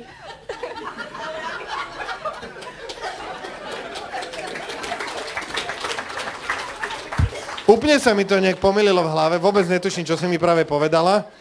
Ale nevadí, ja ti gratulujem k tomuto názvu. Poďte sem bližšie a dostanete ceny aj za tento názov. Keďže ste boli na prvom mieste v programovaní na BBC Microbite, získate všetko to, čo tí ostatní, ale ešte navyše a, od občianskeho združenia SPY neuveriteľnú vec, dron. Živý dron, ktorý normálne s ním po tom, čo si podľa nového zákona urobíte asi 40 skúšok a dostanete štátnu licenciu, môžete s ním lietať. Takže gratulujeme, to si dievčata z týmu uh, Badva Kry a ja si myslím, že by ešte Marek Manson mal zhodnotiť, uh, či, alebo ty zhodnotiť, či na verejnosti ste práve ešte... Máme tu cenu verejnosti, ktorá... A ako sa vyhodnotila cena verejnosti? Prosím vás, trošku mi rozšírte obzory. Máme k tomu slide. Marek, daj mi svoje heslo. Uh, že máme rád Marečka 212. Mareček, Mareček Slniečko, áno, tak to bol. Dobre, takže cena verejnosti. Aha, to sú ľudia, ktorí hlasovali na internete a vyhrala základná škola Šuleková autíčko. Wow. Takže chalani ešte raz, pretože dostanete ďalšie ceny. Čo dostanú teraz? Mikrobit, Čo? powerbank, um, poukážku od Martinusu a poukážku od Raspberry Pi Shop. To si ani nezaslúžite, chalani, ale ja vám to tento raz prižmurím očko a gratulujem ešte raz. Verejnosť ocenila autičko 44% hlasov. Hlasovalo 16 ľudí, keby ste vedeli ostatní, čo aj poviete rodičom, že?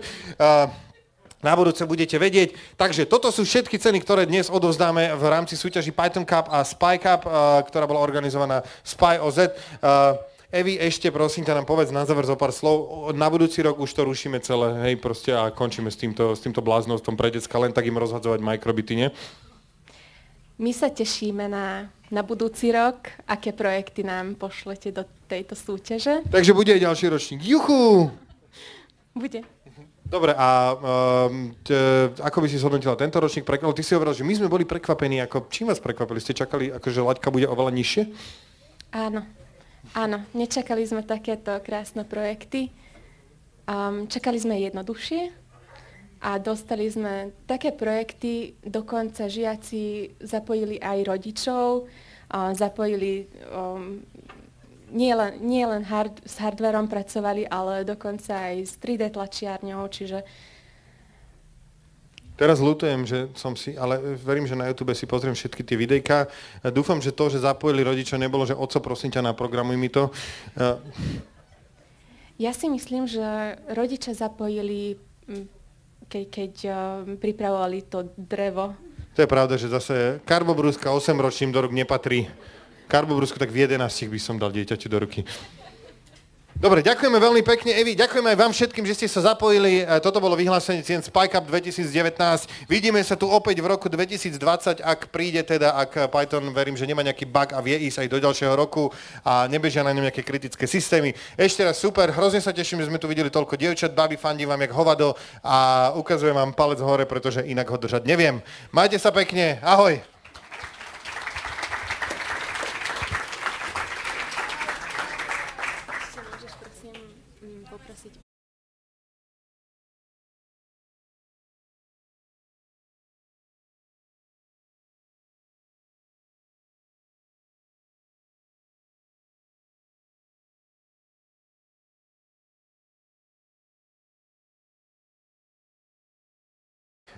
Na týchto projektoch, prosím, príďte sem za organizátormi. Ďakujeme.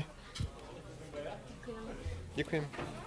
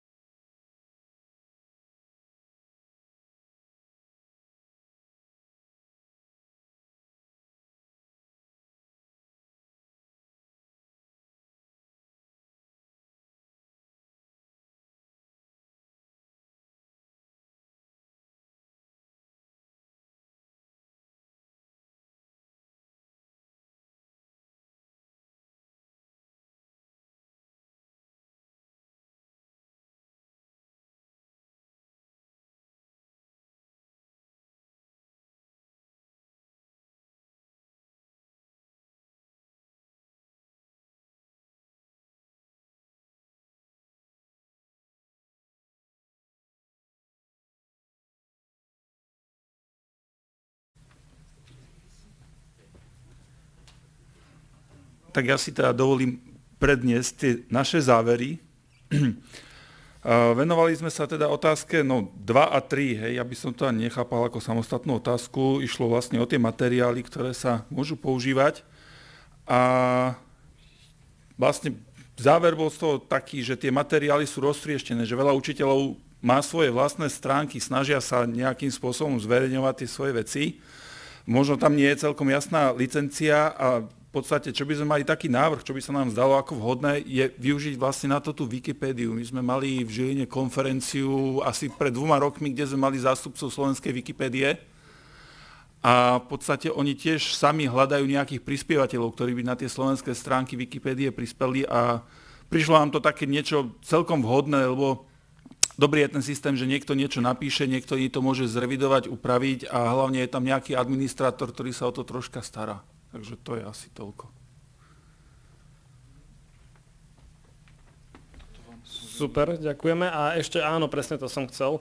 Ja by som vás chcel poprosiť, že ak sa nehambíte za to, čo ste napísali v tých skupinkách, nedali ste tam niečo ultra tajné, tak eh, by som vás poprosil, keby ste nám to potom mohli dať, a aby sme my mali aspoň nejakú takú predstavu, keďže, keďže neboli sme tam pri tých diskusiách všetkých a nevieme, že čo všetko sa tam uh, preriešilo. Takže aby, aby sme niečo mali a vedeli prípadne potom na tom nejak stávať alebo, alebo nejak konať. A je tu ešte niekto, kto by vedel zhrnúť super? Môžeme dať potlesk Jarovi Výboščakovi. Beží dole schodný.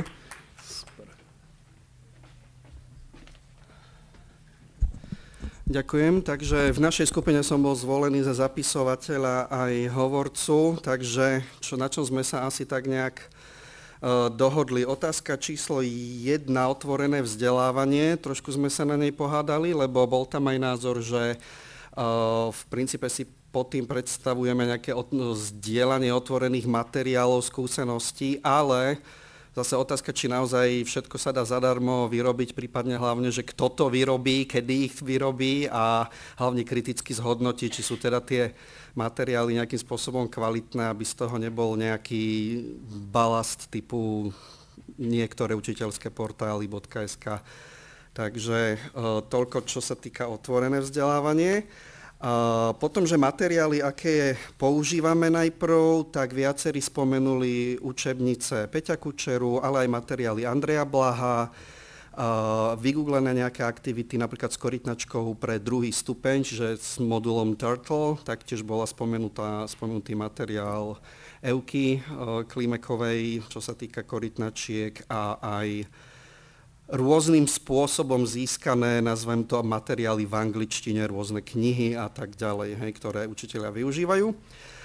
Čo chýba, tak taká asi klasika, že nedostatok skôr takých metodických materiálov, ktoré určujú aj nejakú postupnosti tých úloh, nejaké úskalia, ktoré sa môžu stať so žiakmi a podobne. Taktiež e, veľmi zaujímavá poznámka, že chýbajú také materiály a respektíve zadania pre žiakov, ktoré by boli také akože praktické, že nie len že hry alebo niečo podobné, čo tak akože všetci sa síce radi hráme, ale že aj iné možno typy nejakých väčších programov, prípadne aj nejaké v iných e, platformách, prostrediach webové, Flask alebo niečo podobné, čiže nejaké zadania pre takéhoto iného typu. Taktiež nám trošku chýbajú postupne nejaké zadania a materiály, čo sa týka k efektívnosti algoritmov, či nejakej časovej zložitosti a podobne. A s tým súvisiace možno aj trochu, že materiály alebo zadania pre takých nadanejších žiakov, matematikov, čiže spomínali sme to nejaký machine learning a vôbec takéto nejaké témy načať ktoré by zaujímali ešte takých tých najlepších. No a potom otázky 6-7 sa venovali tým IT firmám versus škola a žiaci. Tak asi také dva body tam k tomu máme, že u niektorých sa osvedčili, niektorí len začínajú, alebo niektorí by chceli uh, také, že prednášky možno odborníkov z tých firiem na tých školách, s takým otáznikom teda, že aké by to možno prípadne aj problémy prinieslo alebo nie. A možno ešte aj také, že nejaké výzvy tých firiem, nejaké také challenge, uh, súťažné úlohy pre žiakov alebo nejaké takéto zadania. Tiež sme tam potom diskutovali o tom, že či by mali tí stredoškolskí žiaci čo ponúknuť ako keby tým firmám, ale to už musí sa len uvidieť.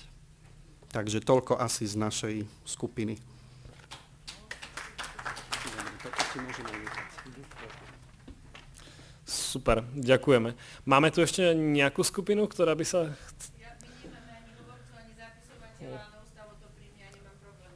Tak vás poprosím, to bude super.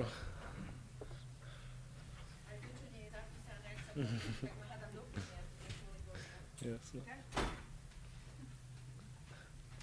Potom kľudne aj pre ostatných, ak váš hovorca z skupiny odišiel, tak sa môžete kľudne postaviť a povedať aj bez akýchkoľvek poznámok, ak už nemáte.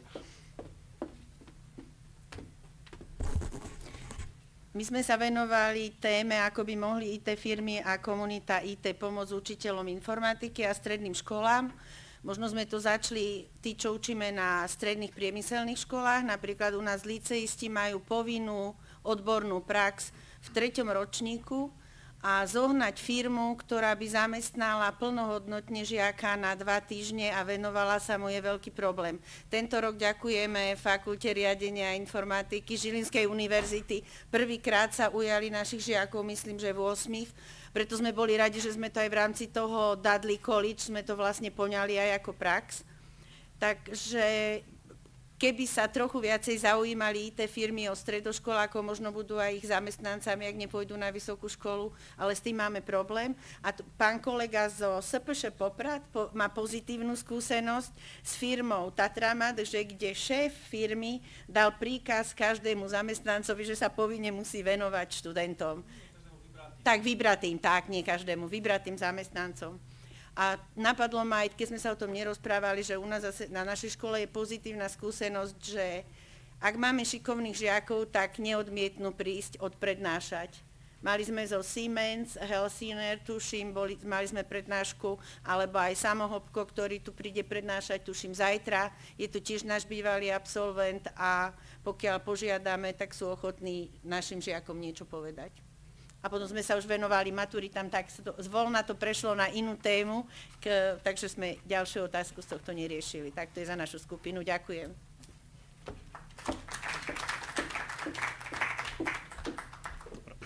Ďakujeme. A nasleduje, nasledujú teraz už jednotlivé e, edutolky. A ako teda prvý, e, prvý edutolk, ktorý tu bude? Ďakujem. A tak ako, ako prvý edutolk nám devčatá z Matfizu povedia o, o informatickom dni, takže the stage is yours.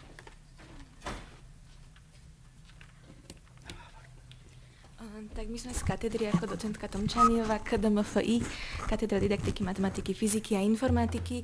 A, a chcem vám povedať takej možnosti alebo takom um, takom stretnutí, ktoré organizujeme a chceme, aby ste to povedali prípadne ďalším učiteľom.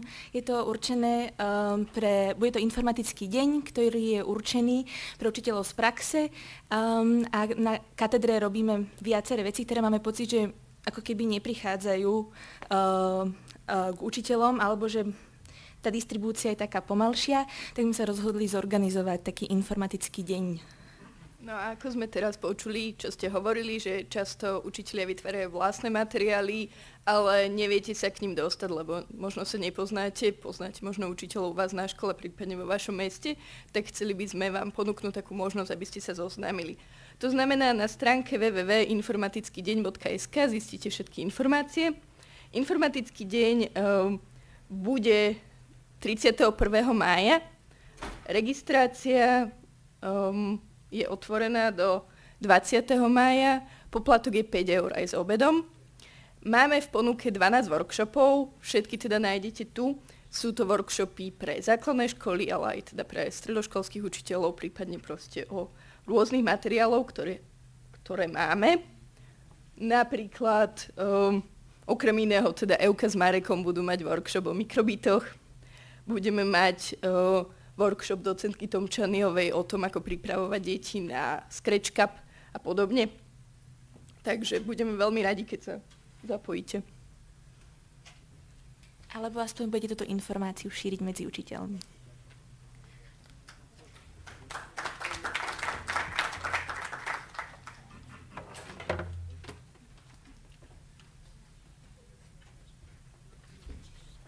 Dobre. A ako ďalší event, ktorý tu sa dnes odprezentuje, je Namakaný deň, ktorý je úžasný event v Košicach a príde nám o ňom povedať Mirek, ktorý tu dnes už prednášal.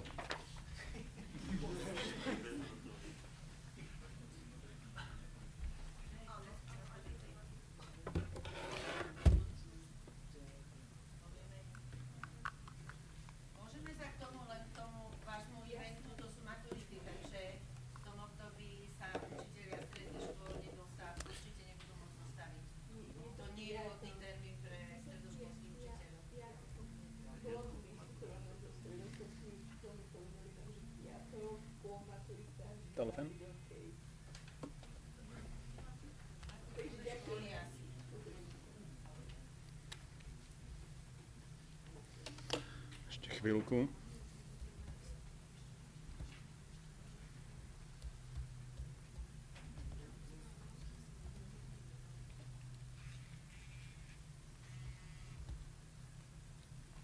Mhm.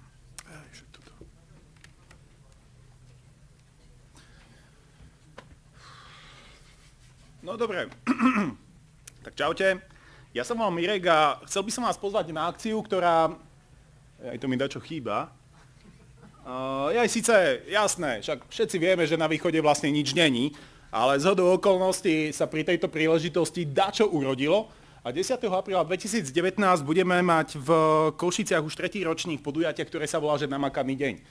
Síce názvom si veľmi fandíme, hej, že sme sami makači, ale on to vzniklo takým voľným prekladom z anglického, že Maker's Day. Hej. Maker ako makač, day ako deň, čiže to je taký ten, že poslovenčený alebo zľudovený, zľudovený názov.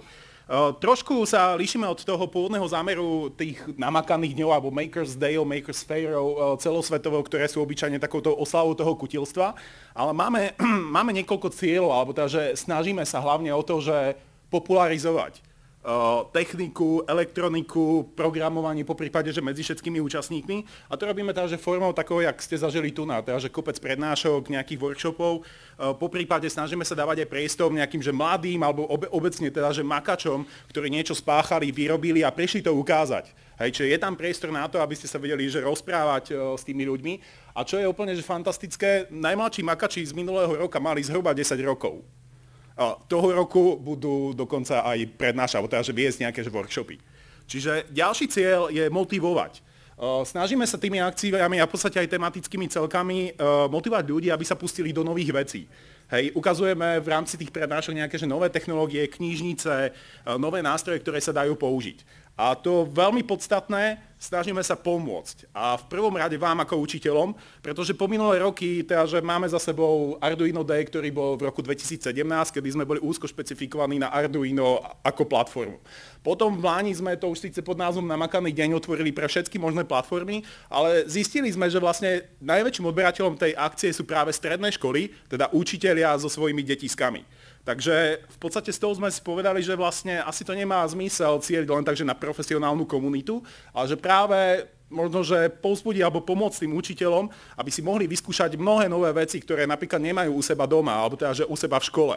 Hej, čiže pokiaľ nemáte mikrobity, tam si to vyskúšate. Pokiaľ nemáte Arduino, Raspberka, tak príďte, zahráme sa s niečím.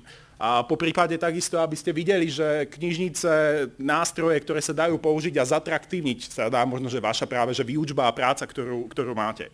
Čiže snažíme sa, aby vy ste boli obohatení v prvom rade. Dobrá správa na záver, ak ste náhodou boli na Pikone a použijete promokód, ja som bol na Pikone, tak chcem ísť aj na namakaný deň, tak máte vstup zdarma. Hej? Všetci ostatní síce pôjdu zadarmo tiež, ale tak uh, vy môžete byť aspoň taký hrdý. Tak, príďte, pozývam vás.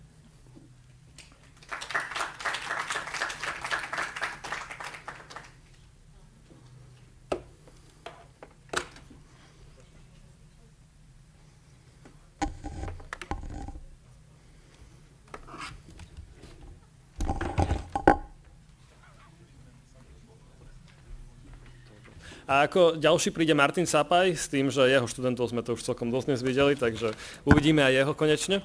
A, a povie nám niečo o mu editore. Máš HDMI či VGA? HDMI. Super.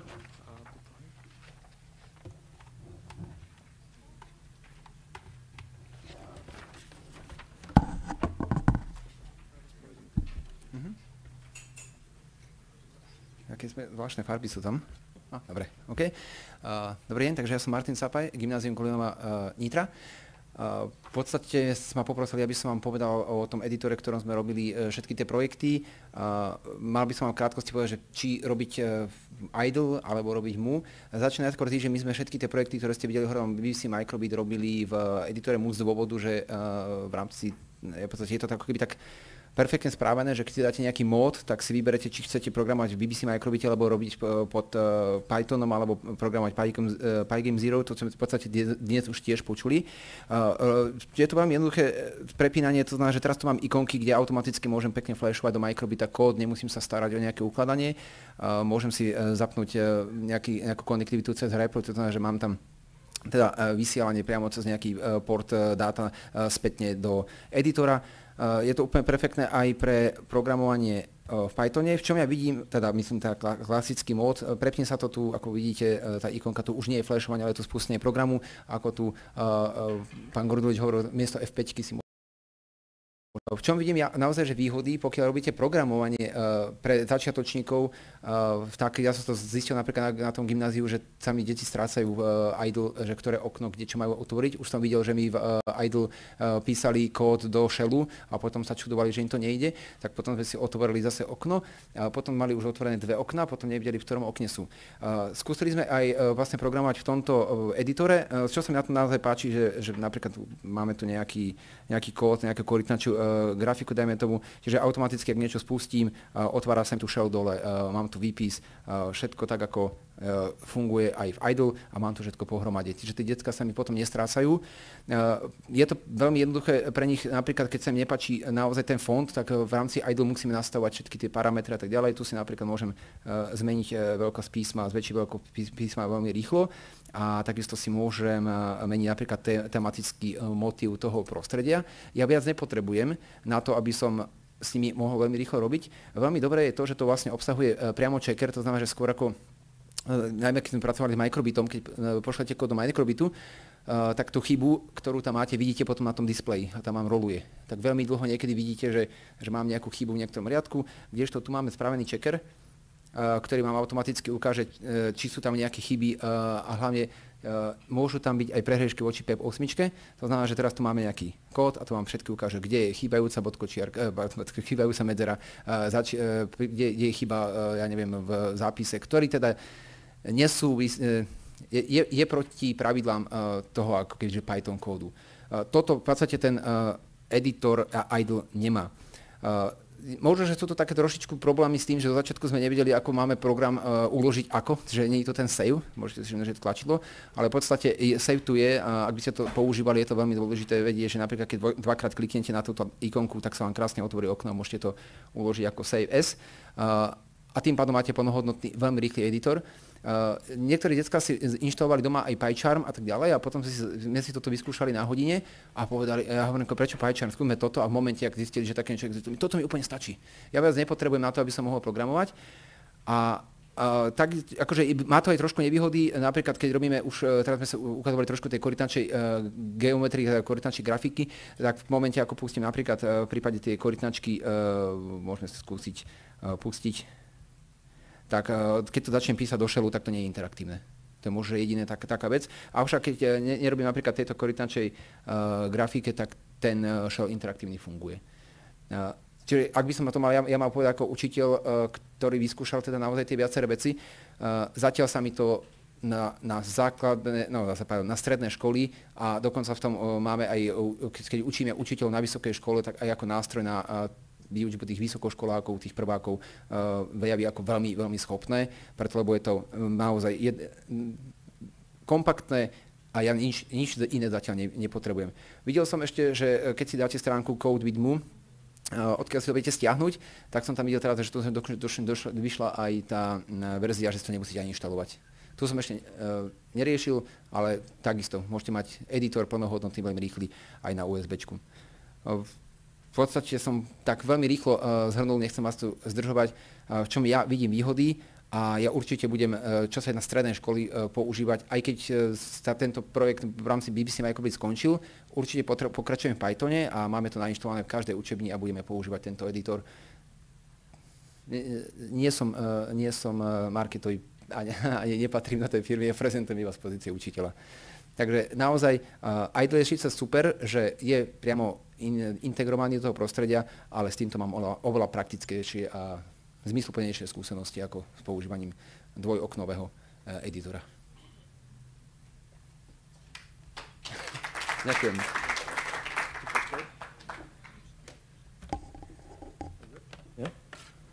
Malo by fungovať? Dobre, počujete ma. Ešte počkaj, ešte neodchádzaj.